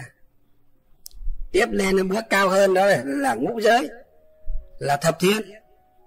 Đó, đối với các phật tử chúng ta. Rồi bồ tát giới tại gia sáu giới trọng 28 giới khinh. Đối với bồ tát phật tử tại gia chúng ta. Đó. thì chúng ta thì, đã là người à, con phật rồi thì phải phải biết đi yêu thương nhau, kính trọng nhau, nhường nhịn nhau, đùm bọc nhau, vân vân đó. Cho nên đấy gọi là giới hòa đồng tu. Người xuất gia cũng như vậy. Đã xuất gia rồi, thọ năm giới, mười giới. Rồi tỷ khiêu tỷ khiêu ni giới, bồ tát đã xuất gia giới. Thì à, chúng ta lại càng phải gì? Có trách nhiệm cao hơn. Càng phải lấy giới luật để làm thầy. Để hành xử với nhau một cách gì? Đúng mực. Đúng với gì? Phép tắc của người đệ tử phật xuất ra. Đó. trên kính dưới hòa có trên, có dưới, có lớp, có lang, có trước, có sau. Đấy gọi là gì? Giới hòa đồng tu. Còn cái thứ sáu đó gì? Là lợi hòa đồng quân lời hòa tức là những người xuất gia thì à, ví dụ như là à, các sư hay đi à, an cư kết hạ đó thì các phật tử họ cũng cho các à, chư tăng à, ba tháng an cư đó để ví dụ ba tháng an cư mà còn à, dùng chưa hết á thì à, có thừa lại gì một yến gạo cũng phải chia đều cho nhau. Ví dụ có 50 vị sư à, đi à, hạ ở trường hạ này mà có một yến gạo đó thế lúc chư tăng ăn hết ba tháng cư mà còn một yến gạo thì cái gạo đó một yến đó vẫn là của tăng. Cho nên đại chúng phải đưa ra để họp phải chia nhau cho đều. Với 50 người thì mỗi người một yến gạo đó mỗi người mấy lạng mấy lạng đó. Ví dụ thế. Đó. Hoặc có bao nhiêu gói mì chính bao nhiêu à, can dầu mà còn nó chưa ăn hết đó thì đem ra để quân tăng cho đều. Gọi là lợi hòa đồng quân. Đó. Ví dụ như vị nào họ thấy là thôi à, chúng con à, không lấy được thì À, con là cúng giảng chư tăng thì các quý thầy đem chia cho người khác. Ấy, họ nói như thế rồi thì thôi 50 người bỏ đi một người. Hoặc 10 người không lấy thì họ bạch là 10 người không lấy thì còn 40 người. Hoặc 30 người không lấy thì còn chỉ còn 20 người lấy thôi. Thì à, họ đã nói không lấy rồi, họ cúng giảng chữ tăng. Thì cái số còn lại, chia đều cho 20 người còn lại. Đấy gọi là lợi hòa đồng quân. Đấy, thế ví dụ thế. Đấy là pháp lục hòa. Còn các phật tử ở nhà chúng ta trong một gia đình, chúng ta có gì? Có cái gì ăn ngon thì cũng phải biết gì? San sẻ, nhường nhịn lẫn nhau. Có cái gì ngon? Nếu có, các cụ già có ông bà nội, ông bà ngoại ở trong nhà cùng thì phải nhường gì? Nhường cho các cụ lớn tuổi gọi là kính lão đắc thọ vậy. Đó thứ nữa sau đó là gì? Là nhường cho các cháu gì? Các cháu nhỏ tức là các con các cháu nhỏ tuổi ở trong gia đình chúng ta. Đấy. Sau rồi đi mới đến những người những người khỏe khoắn làm cha làm mẹ làm anh làm chị như chúng ta trong gia đình. À, tôi nhớ ngày xưa chúng tôi còn là bé gia đình rất là nghèo. Năm đứa con bố mẹ nữa là bảy gia đình bảy người cái lúc mà gia đình sum họp nhất á, là gia đình đầy đủ hết. Chị gái chưa đi lấy chồng. À, ông bà vẫn chung sống với nhau. Trong một mái nhà bảy người tức là bảy miệng ăn. Mà mỗi một à, bữa cơm như vậy chỉ có một à, xét xét một cái bát gạo. Tức là xét xét một cái bát gạo đó các quý vị. Còn lại là sắn hết. Ăn sắn đó các quý vị cơm độn sắn cơm độn ngô thì còn gì còn là dễ ăn nhé. Cơm độn sắn. Cho nên bây giờ các sư với các phật tử á à, cứ mang sắn lên bảo ôi thầy ơi sắn ngon lắm con cúng thầy. À, thôi thôi a di đà phật? A di đà phật? Nhìn thấy sắn mà tôi sợ. Vì sao? Vì tôi hai lần say sắn rồi tôi sợ. Các cụ ngày xưa nói rồi khi chúng ta đã bị à, à, một cái nạn gì đó mà chúng ta sắp chết về cái đó thì chúng ta cho dù ở mấy chục năm sau chúng ta vẫn gì, vẫn sợ, giống như chim sợ cảnh cong vậy. Hai lần tôi xây sắn nó tí nữa thì chết. Vì sao? Vì nhà nghèo. Phải ăn cơm độn sắn nhưng sắn thì à, chín phần cơm có một phần thôi. Tôi thì à, lại là cái người à, giữa giữa ở trong nhà. Vì dưới tôi còn hai đứa em gái. Vì vậy mà chúng ta biết không? Đó cả nhà bảy miệng ăn, thì có một là xét bát gạo, cái bát con chúng ta ăn cơm đấy nhá. Chứ không phải là cái ờ, cái bát năm lạng đâu, cái bát ăn cơm nó chỉ khoảng ờ, ba lạng ba lạng rưỡi gạo mà thôi. Bảy người ăn chỉ có như vậy thôi, còn lại bao nhiêu là sắn thì ờ, cho vào đấy bố mẹ thì ăn sắn là chính. Chỉ có mấy hạt cơm nó dính vào củ sắn thôi các quý vị. Nhìn mà cũng tội. Bây giờ nghĩ lại mà cũng thương, cũng tội nhưng mà cuộc sống nó thế. Phúc báo không có, nó phải thế các quý vị. Nhìn rồi bố mẹ ăn những cái củ sắn, cái khúc sắn thì dính mấy hạt cơm thôi. Chị gái và anh trai của mình cũng thế. Sắn chín mươi phần trăm. Thêm một tí cơm ngoài cái cơm nó dính vào củ sắn đó thì nó à, thêm một chút nữa, khoảng một hai thìa cơm ở đó nữa thôi mình nhớ thì à, là người à, đứng thứ năm ở trong à, trong nhà. Vì bố là thứ một mẹ là thứ hai chị là thứ ba anh là thứ thứ tư tôi là thứ năm. Nên người thứ năm ở trong nhà thì được một lưng bát cơm. Còn lại á là khoảng một bát sắn đấy làm thế nào thì làm. Chỉ có được thế thôi. Còn à, hai đứa em nó nhỏ hơn nó được à, hai lưng cơm mỗi đứa được hai lưng cơm vì nó không ăn sắn được, ăn sắn là gì? Nó khóc, nó không ăn cho. Mình thì ờ, cũng muốn khóc. Nhưng mà nhìn ra thì có còn ai nữa nữa đâu mà khóc. Thì ờ, có hai đứa em nó nhỏ hơn thì nó được hai lần ờ, sới cơm, hai lần hai lần lưng sới cơm. Còn mình thì là người đứng thứ năm ở trong nhà. Đứng từ trên xuống dưới mình là người đứng thứ năm trong nhà. Cho nên mình đã được một lưng cơm rồi. Với lại hai, ba khúc sắn rồi, còn gì nữa. Cuộc đời lắm khi á. Bây giờ chúng tôi nói thì các vị có thể không tin. Đặc biệt là các bạn trẻ bây giờ các em nhỏ các cháu nhỏ bây giờ nó không tin. Nó bảo làm gì mà? Thời của thầy mà còn đói như thế đói như năm 45 mà. Làm gì có? Có các quý vị. Đặc biệt là cái năm 88, 89, 90, 91 mấy cái năm đó là trong quê thầy là nó đói dữ lắm đấy khủng khiếp lắm thiếu ăn nhiều lắm. Lên rừng kiếm cả cái củ củ rừng cơ mà. Trong quê thầy gọi là cái củ vớ củ quạch đó. Ừ. Nó đắng khủng khiếp luôn. À, phải lên rừng đào nó xong về là đem ra để mài nạo nhỏ nó ra. Phải đem ra ngoài gì? Ngoài sông. Và ngâm cả đêm ở ngoài sông á, nước nó đỏ hết cả dòng sông. Xong mang về để luộc. Luộc xong rồi bóp xong rồi thì lại phải ngâm xong bắt đầu mới mới đem để đổ lên để ăn. Đổ như là đổ sôi ấy à, đem thổi một chút cái cái à, khoảng một à, một bát gạo đó. Cũng xét xét bát gạo đó sắn hết rồi thì phải ăn cái củ đấy.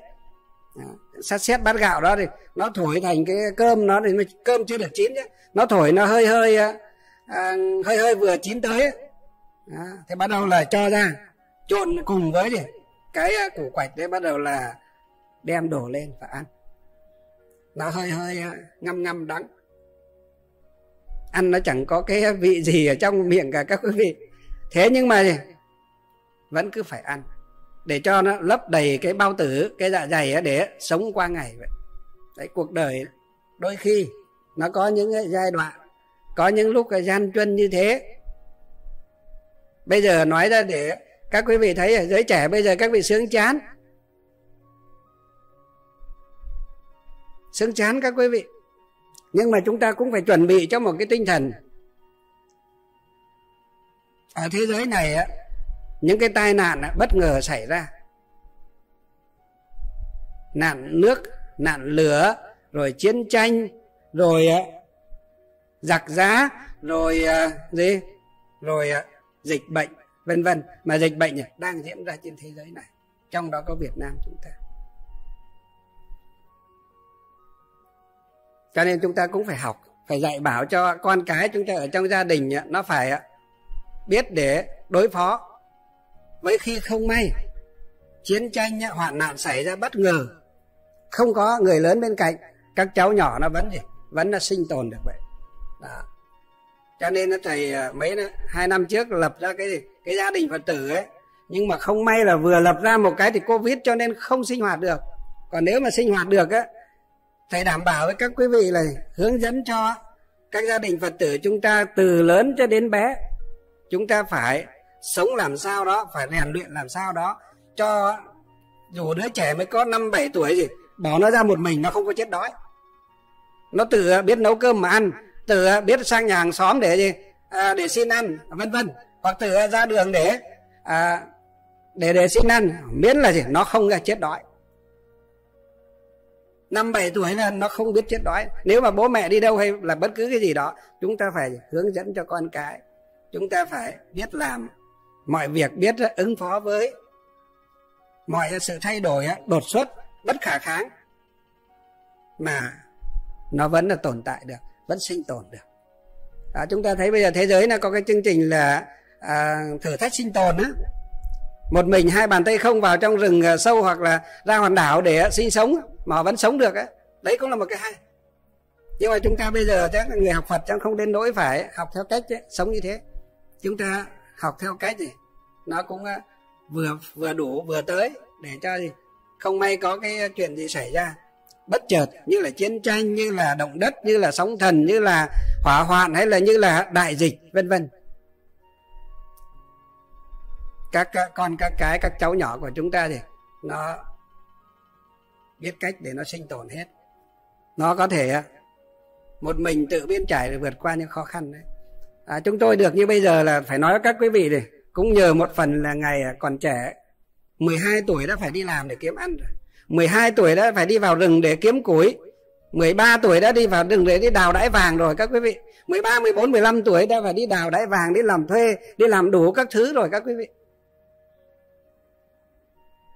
không có một cái việc gì người ta làm được. Để kiếm ra bát cơm manh áo mà chúng tôi chưa từng làm qua. Người ta làm được thì mình cũng làm được. Đó. cho nên là bây giờ nói đến cái gì là mình cũng biết là như thế. Mặc dù mình có thể là chưa biết nhiều, nhưng mà cái đại cương cái cần thiết thì mình à, cũng đều nắm được vậy. Đó. cho nên nhiều phật tử bảo cái ông sư này á ông cứ bảo ông dân tộc mà cái gì ông cũng biết. Dân tộc làm gì mà cái gì cũng biết như thế? Vì sao? Vì à, chính vì gì được cọ sát.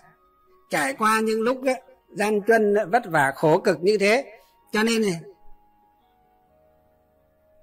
chúng tôi biết vậy nhờ những khó khăn, những khổ cực mà mình được à, rèn luyện, được cọ sát một cách thực tế. Đó. Cho nên trong à, đời sống chúng ta thấy đôi khi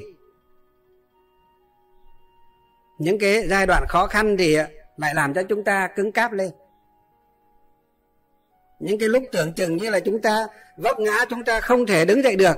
Nhưng nếu chúng ta đứng dậy được, á, đấy là một kinh nghiệm sống rất quý giá, rất quý báu đối với chúng ta, các quý vị vượt qua những lúc khó khăn đấy, thì à, các cụ ngày xưa nói, qua cơn mưa, trời lại sáng. Kiểu nói như thế. Cho nên à, chúng ta cũng phải rèn luyện cái ý chí sắt đá, cái lòng à, tin kiên cố và cái sự dũng mãnh và tinh tiến đã hướng về phía trước, hướng tới cái nơi ánh sáng để mà mà đi đến vậy. Đó cho nên lợi hòa đồng quân là ở trong một gia đình. Chúng ta thì trước hết là phải kính già. Sau nữa là phải gì? Thứ nữa là thế thương trẻ. Kính già, thương trẻ. Sau mới đến thì đến phần là bố mẹ, đến phần là anh chị em còn lớn. Ừ. Đấy, sống được như thế. Thì à, gia đình sẽ đầy áp tiếng cười. Sẽ thực sự là an vui, sẽ thực sự là hạnh phúc thôi đấy, gọi là ham tu lục hòa kính. Thì lục hòa ở đây thì người phật tử tại gia chúng ta cũng đem áp dụng để tu được. Đặc biệt là những người xuất gia chúng tôi thì lại càng phải gì? Phải làm theo lời phật nữa. Nhưng mà cũng buồn là vì bây giờ thì thực sự là trong pháp lục hòa này bây giờ nói thì dễ đấy, nhưng mà làm á, có mấy ai làm được rốt ráo đâu. Thôi thì làm được bao nhiêu, quý bấy nhiêu. Nói thật với các quý vị như thế kể cả chúng tôi bây giờ ở đây cũng thế. Cũng chưa phải là làm được một cách là viên mãn rốt ráo đâu các quý vị. Cũng chỉ được ở phần nào mà thôi. Còn phải học, còn phải tu và còn phải thực hành nhiều nữa mới mong có ngày đạt tới cái chỗ lục hòa kính viên mãn như lời Phật dạy ở trong trong à, kinh luật luận vậy. Các vị Bồ Tát ở Tây Phương Cực Lạc ở trong kinh à, này nói thì Đức Phật dạy là giới thiệu là các ngài không chỉ tu pháp lục hòa kính mà thường gì? Thường uh, thí pháp á, chẳng biếng lười. Tức là các ngài thường thì à, thuyết pháp giáo hóa độ sinh. Một người cũng đăng đàn thuyết pháp vậy. À, chẳng chút biếng lười. Có người đến nghe cũng thuyết mà không có người đến nghe cũng thuyết vậy. À, giống như ngày xưa à, ấn tổ. Có một lần ngài à, đi trải qua gì? Đi à, bốn năm ngày ngày xưa là đi tàu hỏa với là đi ờ, đi bộ đó. Mà đất nước Trung Quốc thì chúng ta biết là địa giới hành chính họ rất là rộng. Từ tỉnh này sang tỉnh kia nó phải bằng ờ, từ à, Hà Nội chúng ta vào thành phố Hồ Chí Minh nhé các quý vị. Nó như thế. Từ tỉnh này sang tỉnh kia nó đã như thế rồi. Hoặc là từ đây vào tới ít ít mèng mèng cũng phải vào tới à, Đà Nẵng vào tới miền Trung đó các quý vị mà chúng ta từ đây vào tới miền Trung chúng ta biết bao nhiêu tỉnh, không? Nhưng họ đi từ đầu tỉnh này sang tỉnh kia, có khi mèng nó cũng phải, ít nó cũng phải. Nửa quốc gia, nửa cái đất nước chúng ta theo chiều dài rồi. Mà đi, họ thường vừa đi, cụ tổ, cụ vừa đi tàu hỏa, vừa đi bộ. Xuống tàu hỏa mà hết à, cái chỗ đi thì phải phải đi bộ. Cho nên mấy ngày mới tới, cái nơi mà họ, trước đây thì họ đến họ thì mời hòa thượng đến nơi đó để làm lễ để quy y cho các phật tử. Nhưng đến hòa thượng à thuyết pháp ba ngày. Mỗi một ngày duy nhất chỉ có một gì? Một người đến để nghe pháp thôi. Các vị à, nếu mà đọc ấn quang đại sư văn sao hay ấn quang đại sư ra ngôn lục, các vị thấy cái cảnh đó.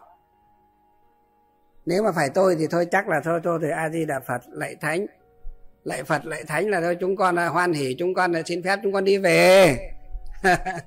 Đúng không? Vì sao? Vì à, thí pháp á, chưa được bình đẳng chưa được à, tinh tiến chưa được chân tinh tiến mà vẫn gì vẫn còn gì có đối tượng vẫn còn có gì biếng lười vậy. Nhưng mà tổ á đã nhận lời đến đó thuyết pháp mặc dù đi bốn năm ngày mới đến nơi mệt nhoài ra cứ tưởng là đến đó thì à, họ có vài chục thậm chí vài trăm à, người đến nghe pháp. Vì tổ rất nổi tiếng lúc đó rất nổi tiếng rồi. Nhưng chúng ta biết không? Chính quyền à, địa phương của Trung Quốc lúc bây giờ cái địa phương đó này, nó ngăn sông cách chợ. Nó cho người đi từng gõ từng nhà bảo từng người không ai được đến để nghe tổ thuyết pháp. Chúng ta thấy nó khủng khiếp chứ ngăn sông cách chợ như thế. Và ba ngày liền, ngày nào, cứ đến giờ, họ mở cửa ra, mời hòa thượng gì mời tổ đến gì đến à, cái cái cái à, hội trường ấy, để thuyết pháp. Ngày xưa vốn nó cũng là cái chùa, nhưng xong rồi cái thời à, cải, cách mạng văn hóa trung quốc cái chùa họ là biến thành gì? Biến thành cái hội trường của thôn. À, nói đúng là nó là như thế. Việt nam chúng ta cũng có một thời học theo mấy năm như thế đấy. Phải nói thật với nhau là như thế. Nhưng việt nam chúng ta may là chúng ta làm cũng chưa chưa tới cái mức như thế. Mà may là gì? Bác hồ bác ờ, sớm nhận ra và bác phải gì bác phải khóc và bác xin lỗi trước các toàn thể đồng bào nhân dân cả nước bác nhận lỗi vì cái đợt đó là bác đi, bác đang đi chữa bệnh ở quảng châu, trung quốc thì phải. Đó. Và ở nhà là người khác làm. Chứ không phải là bác hồ, bác chỉ đạo và làm cái đó. Bác đang đi chữa bệnh. Đó. người ở nhà thay nắm quyền điều hành ở đất nước để làm cái việc đó. Nhưng mà bác là với cương vị là chủ tịch nước, là người đứng đầu, cho nên bác đứng ra bác xin lỗi toàn dân. Bác vừa khóc vừa xin lỗi các quý vị. Đấy bên trung quốc chúng ta thấy cái giai đoạn nó như thế. Tổ đến thuyết pháp mỗi một ngày duy nhất có một người ngồi nghe pháp từ đầu đến cuối. Đến ngày à, thứ ba khi mà thuyết pháp sắp xong thì hòa thượng à, à tổ mới cảm ơn cái à, cái vị đấy. Bảo này cảm ơn gì phật tử? Mà ngày nào cũng một mình chăm chú đến để nghe pháp. Thế kia chúng ta biết cái cái vị kia nói với tổ thế nào? Vị nói rằng dạ thưa đại sư, không phải là con đến nghe pháp đâu, mà đây là là con đến mở cửa cho đại sư vào để thuyết pháp. Con nhận lệnh đến để mở cửa, để đón hòa thượng, đón đại sư vào thuyết pháp bao giờ hòa đại sư để thuyết pháp xong con người chờ ở đây ngồi ở đây để để đóng cửa. Chúng ta thấy đau không? Đó đau chứ.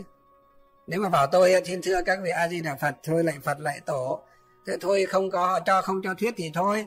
À, không cho giảng thì thôi. Không ai đến nghe thì thôi. À, chúng ta đi về. Tôi đi về vân vân. Đúng không? Vậy chúng ta chưa đạt được cái cái sự chân tinh tiến, cái sự dũng mãnh và cái sự gì? Cái sự à, bình đẳng à, thuyết pháp như là các tổ vậy. Cho nên tổ thấy một người tổ cũng đã thuyết pháp suốt cả ba ngày. Tưởng rằng, á, cái người đó thì nó đến là chăm chú, nó nghe pháp. Nhưng cuối cùng thì nó trả lời này không phải, á, con đến để nghe pháp đâu mà đây là con thì nhận lệnh ở cấp trên đến để mở cửa để cho đại sư vào để thuyết pháp. Và chờ đại sư thuyết pháp xong, hết giờ là con đóng cửa. Là gì đà phật. Chúng ta thấy không? Chúng sinh càng cường khó độ. Pháp nhược à, ma cường là ở chỗ đấy đấy các quý vị. Phật cao à, một thước, còn ma cao một trượng là ở chỗ đó đó các quý vị. Đấy. Vậy mà tổ vẫn gì? Vẫn không à, động lòng. Vẫn không có khởi ra một cái niệm tâm là sân hận, oán thù. Mà tổ vẫn à, cười à, tươi và bảo với cái vị kia rằng á dù sao thì trong suốt ba ngày ngày nào ông cũng đến đây để ngồi đây, á, làm bạn, á, với ta.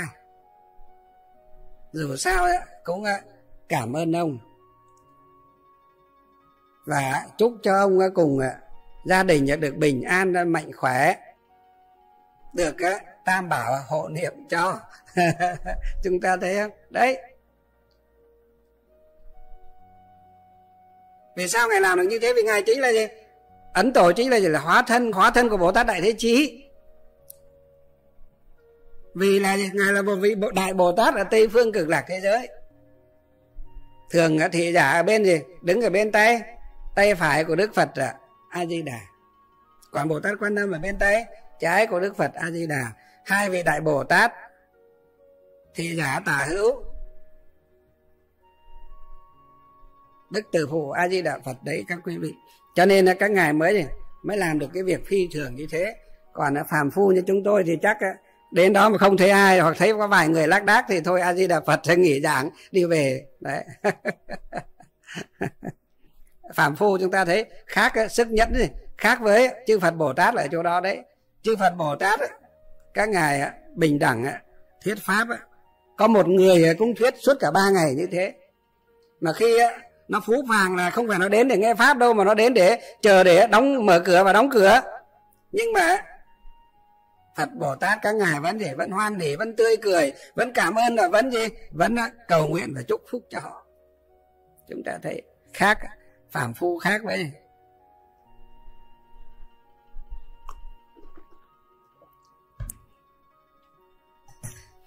phàm phu là khác với thánh nhân là ở chỗ đó đấy. Khác ở chỗ đó.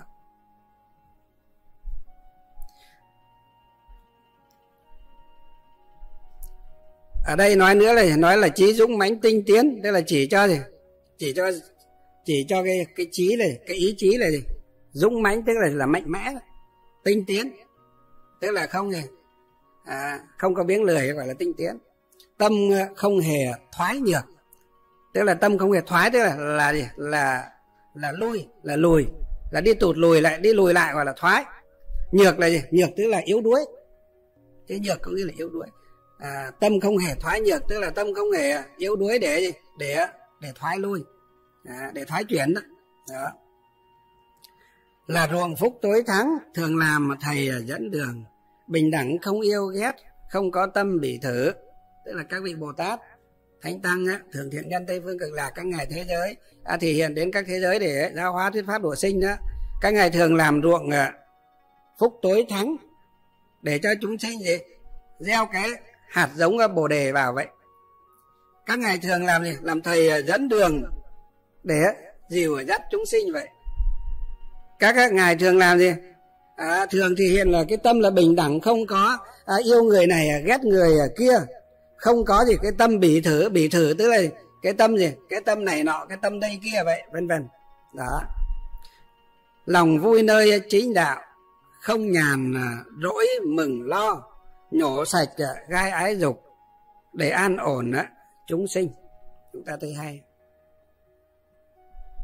Các ngài lòng ở đây chính là tâm đó. À, cái, cái chữ Việt Nam chúng ta dịch tới cái viết này cái chữ lòng đấy có nghĩa là chỉ cho tâm. Ở trong tâm á, thì thì thường vui mừng á, ở nơi chính đạo. Thường là trụ ở trong gì? Ở trong cái chính pháp của đức như lai gọi là lòng vui nơi chính đạo. Tức là thường trụ ở trong giáo pháp của phật. Lấy pháp làm vui lấy đạo làm vui lấy thiền định làm vui lấy trí tuệ làm vui lấy giới luật làm làm vui vậy đó. mình nói nôm na là gì? là thường à, lấy chính đạo. Thường lấy gì? Lời dạy của đức phật. Ở trong uh, tam tạng thánh hiển kinh luận luận để để làm uh, niềm vui vậy. Ừ. Không cái nhàn rỗi à, mừng lo. Tức là không để cho cái thời gian này nhàn rỗi. Để cho cái tâm gì? Nó chạy theo gì? Mừng và lo vậy. Mừng thì gọi là gì? Là hỉ à, giận thì gọi là gì? Là nộ. Yêu thì gọi là gì? Là ái. Ghét thì gọi là ố. Không để cho cái tâm gì? Hỉ nộ ái ố. Nó gì? Nó làm mà dao động vậy. Thường là nhổ sạch gì? Gai ái dục. À, chúng ta thấy kinh phật nói hay thường nổ nhổ sạch cái gai ái dục để an ổn chúng sinh nhổ sạch gai ái dục cho mình rồi. Lại còn nhổ sạch thường là à, nhổ sạch gai ái dục cho chúng sinh nữa và khiến cho chúng sinh được an ổn như như là các ngài được an ổn. Đấy. Đấy là bồ tát đấy.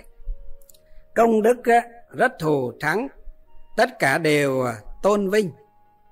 Tức là đem tất cả gì? Những à, công đức thù thắng để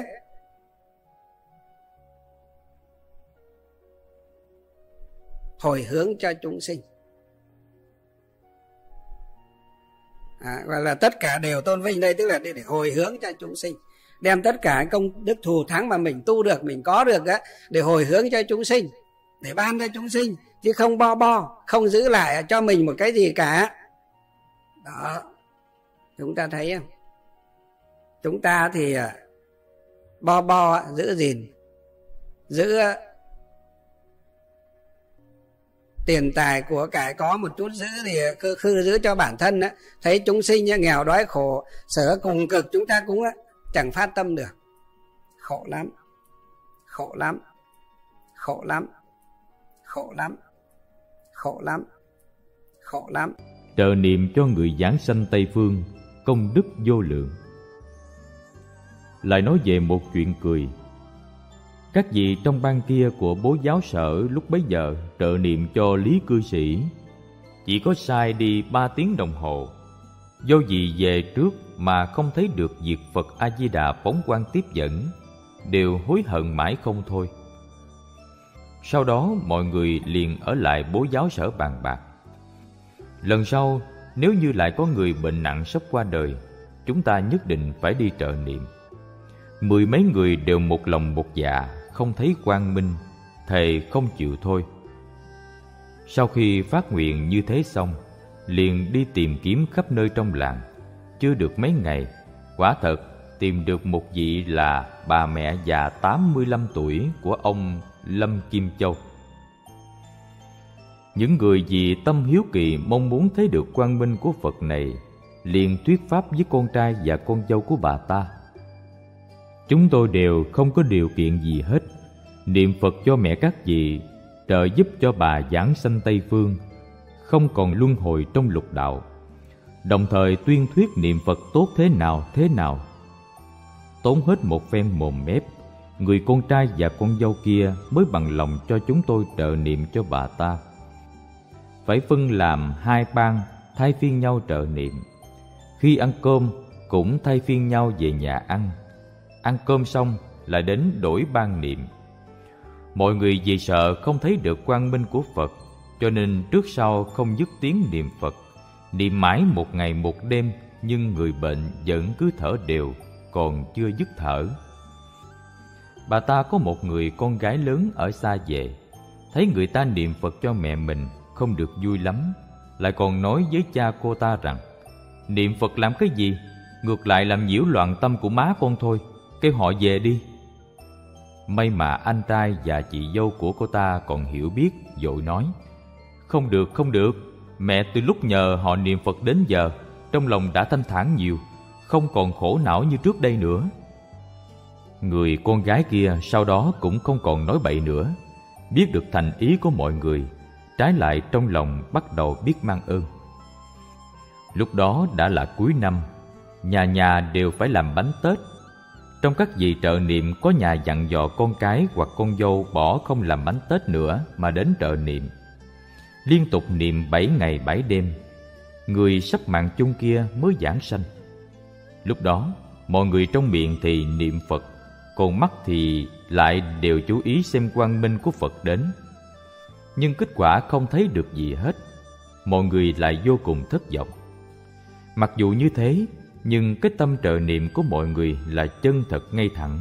Giúp người thì phải giúp cho đến nơi đến chốn. Liền lại niệm thêm 8 tiếng đồng hồ nữa, đúng nghi thức trợ niệm. Thăm dò trên đỉnh đầu vẫn còn một chút hơi ấm, sắc diện như sóng, thân thể vẫn mềm như bông. Đây cũng chính là tướng lành được giảng sanh tây phương. Điều không thể nghĩ bàn nhất là niệm xong 8 tiếng đồng hồ rồi con cháu của bà ta mở những chăn mềm đắp cho bà ta ra, thì thấy hai tay của bà đang chấp ngay ngắn. Sư tỷ thẩm, gọi là trương thẩm ở bài trước.